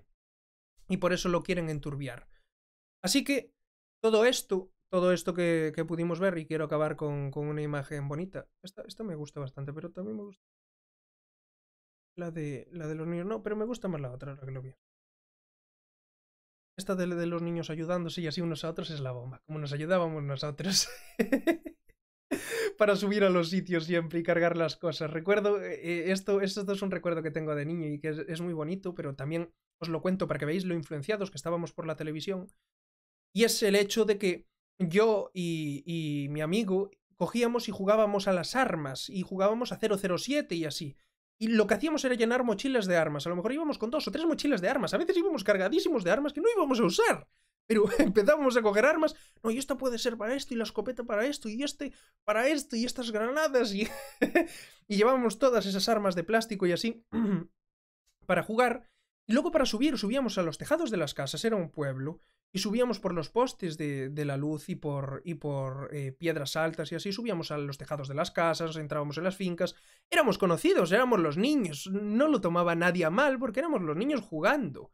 Salvo quitando dos señoras o así que le, les eh, trabas en la finca y no querían que tocaras a lo mejor su maíz o cualquier cosa que nosotros tocáramos, pero quitando la, las dos señoras que no, que no estaban así, el resto, todo el mundo nos conocía y sabía qué estábamos haciendo jugando. Éramos niños pequeños. Y un día jugábamos en los tejados, otro día jugábamos en las piedras, otro día jugábamos en medio del monte. y lo interesante de todo esto, para que veáis el condicionamiento de la televisión, es que nos encantaban las armas. Y yo en mi vida he disparado un arma.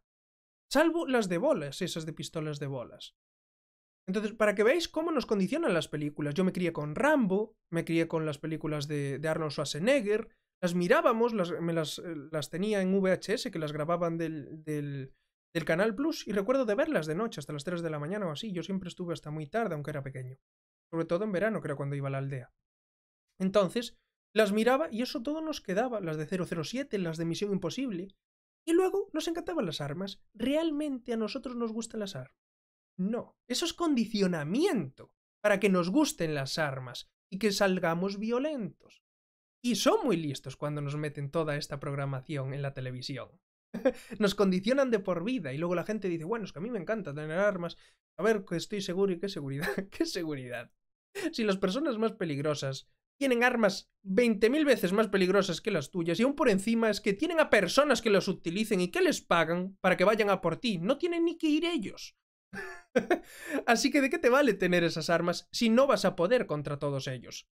Entonces, esto es muy importante de, de comprender el condicionamiento y eh, despedirme de todos, como no, diciéndoos que es verdad, tendremos, eh, eh, tenemos, voy el, el, jueves creo, el jueves sí, el jueves a las 8 así estaré en Canal 5, en, en, en Canal 5 en Twitch, si no me equivoco, con los hermanos Barea y así vamos a hacer eh, primado negativo de la Tierra plana. Voy a preparar todo, todo un, PowerPoint de primado negativo, así de unas cosas que tampoco enseñé y así, y otras antiguas también, porque son buenísimas, de la Tierra plana. Así que estaré el jueves en Canal 5, en directo en Twitch. Y eh, el viernes seguramente, si lo apalabro esta semana, seguramente hagamos una charla aquí en mi canal eh, con psicólogos por la verdad de Argentina y con un psicólogo también aquí de España y yo, es decir, dos, dos y dos. Yo no acabé la carrera de psicología, ya lo sabéis, pero eh, eh, como es a lo, que, a lo que me dedico y lo que me gusta, pues eh, tienen la estima de tenerme en cuenta y de querer hacer un directo conmigo. Así que me encantará tenerlos por aquí por el canal y de escuchar también las opiniones de los psicólogos argentinos, psicólogos por la verdad argentina y de parte de Psicólogos por la Verdad de España, que están haciendo un grandísimo trabajo despertando mentes y, como no, apoyando, eh, digámoslo así, a la resistencia. así que me despido. Aquí un abrazo fuertísimo para Carol Clau, como no, para Rubén Gómez Núñez, un abrazo muy fuerte, hermano, gracias de corazón por el super chat. A Doctor Pool que me dice, bueno hermano, este día casi llegamos a 2.000 miembros en Telegram. Si pasamos de eso, yo invito a pupusas esta noche. Qué bueno, hermano, sí, señor. Lo de las pupusas, tío, ahí lo abordaste. ¿Y cómo puedo quitar esto del clean? No, thanks, ahí, que no me deja ver. Y, y me dice, me dice, gracias a ti y por unirnos. Sí, señor. Esas pupusas tienen que estar de lujo. Pues nada, hermano, espero que superéis los 2000 en breves. Sí, señor, y estéis todos juntos compartiendo conocimiento, que eso es lo que me encanta, con mucha empatía. Así que, doctor Pool, te mando un abrazo muy fuerte y gracias de corazón por tener esa iniciativa y así estar eh, compartiendo entre todos. Te mando un abrazo muy fuerte desde aquí, espero que tu empresa esté yendo bien y que tus empleados estén contentos y tan eh, eh, elevados de vibración como tú. Y Kim San Lee, como no, un abrazo fuertísimo. Gracias por el super chat. Y déjame ver porque tenía aquí. Tenía aquí el. ¿Dónde está? ¿Dónde está? Cabro. Mm. Aquí. Datos de vibración como tú. Pause. Vale, vale, vale, vale, vale, vale, vale, vale. Listo. Lo tengo todo listo. Quería repasarlo todo. Así que nada, Kim San Lee, muchísimas gracias por el super chat. Te mando un abrazo fuertísimo desde Galicia, directo a tu corazón. Y George, George Irisarri, George Irisarri. Eso parece vasco, parece vasco el apellido. Irisarri. Mm. George, muchísimas gracias por el super chat, hermano. Gracias de corazón por valorar así mi, mi, mi trabajo. Y te mando un abrazo muy fuerte desde aquí. Gracias a todos de corazón los que me apoyáis, a los miembros, a todos los que me escribís comentarios profundos que realmente elevan mi, vibración siempre. Os quiero a todos muchísimos y nos vemos el jueves, ya lo sabéis, en Canal 5 y, como no, nos vemos el viernes seguramente, si a palabra la, la, la charla, con Psicólogos por la Verdad Argentina y Psicólogos por la Verdad España. Tendremos una amena charla. Así que os quiero muchísimo y nos vemos el jueves en Twitch y el viernes aquí. Chao.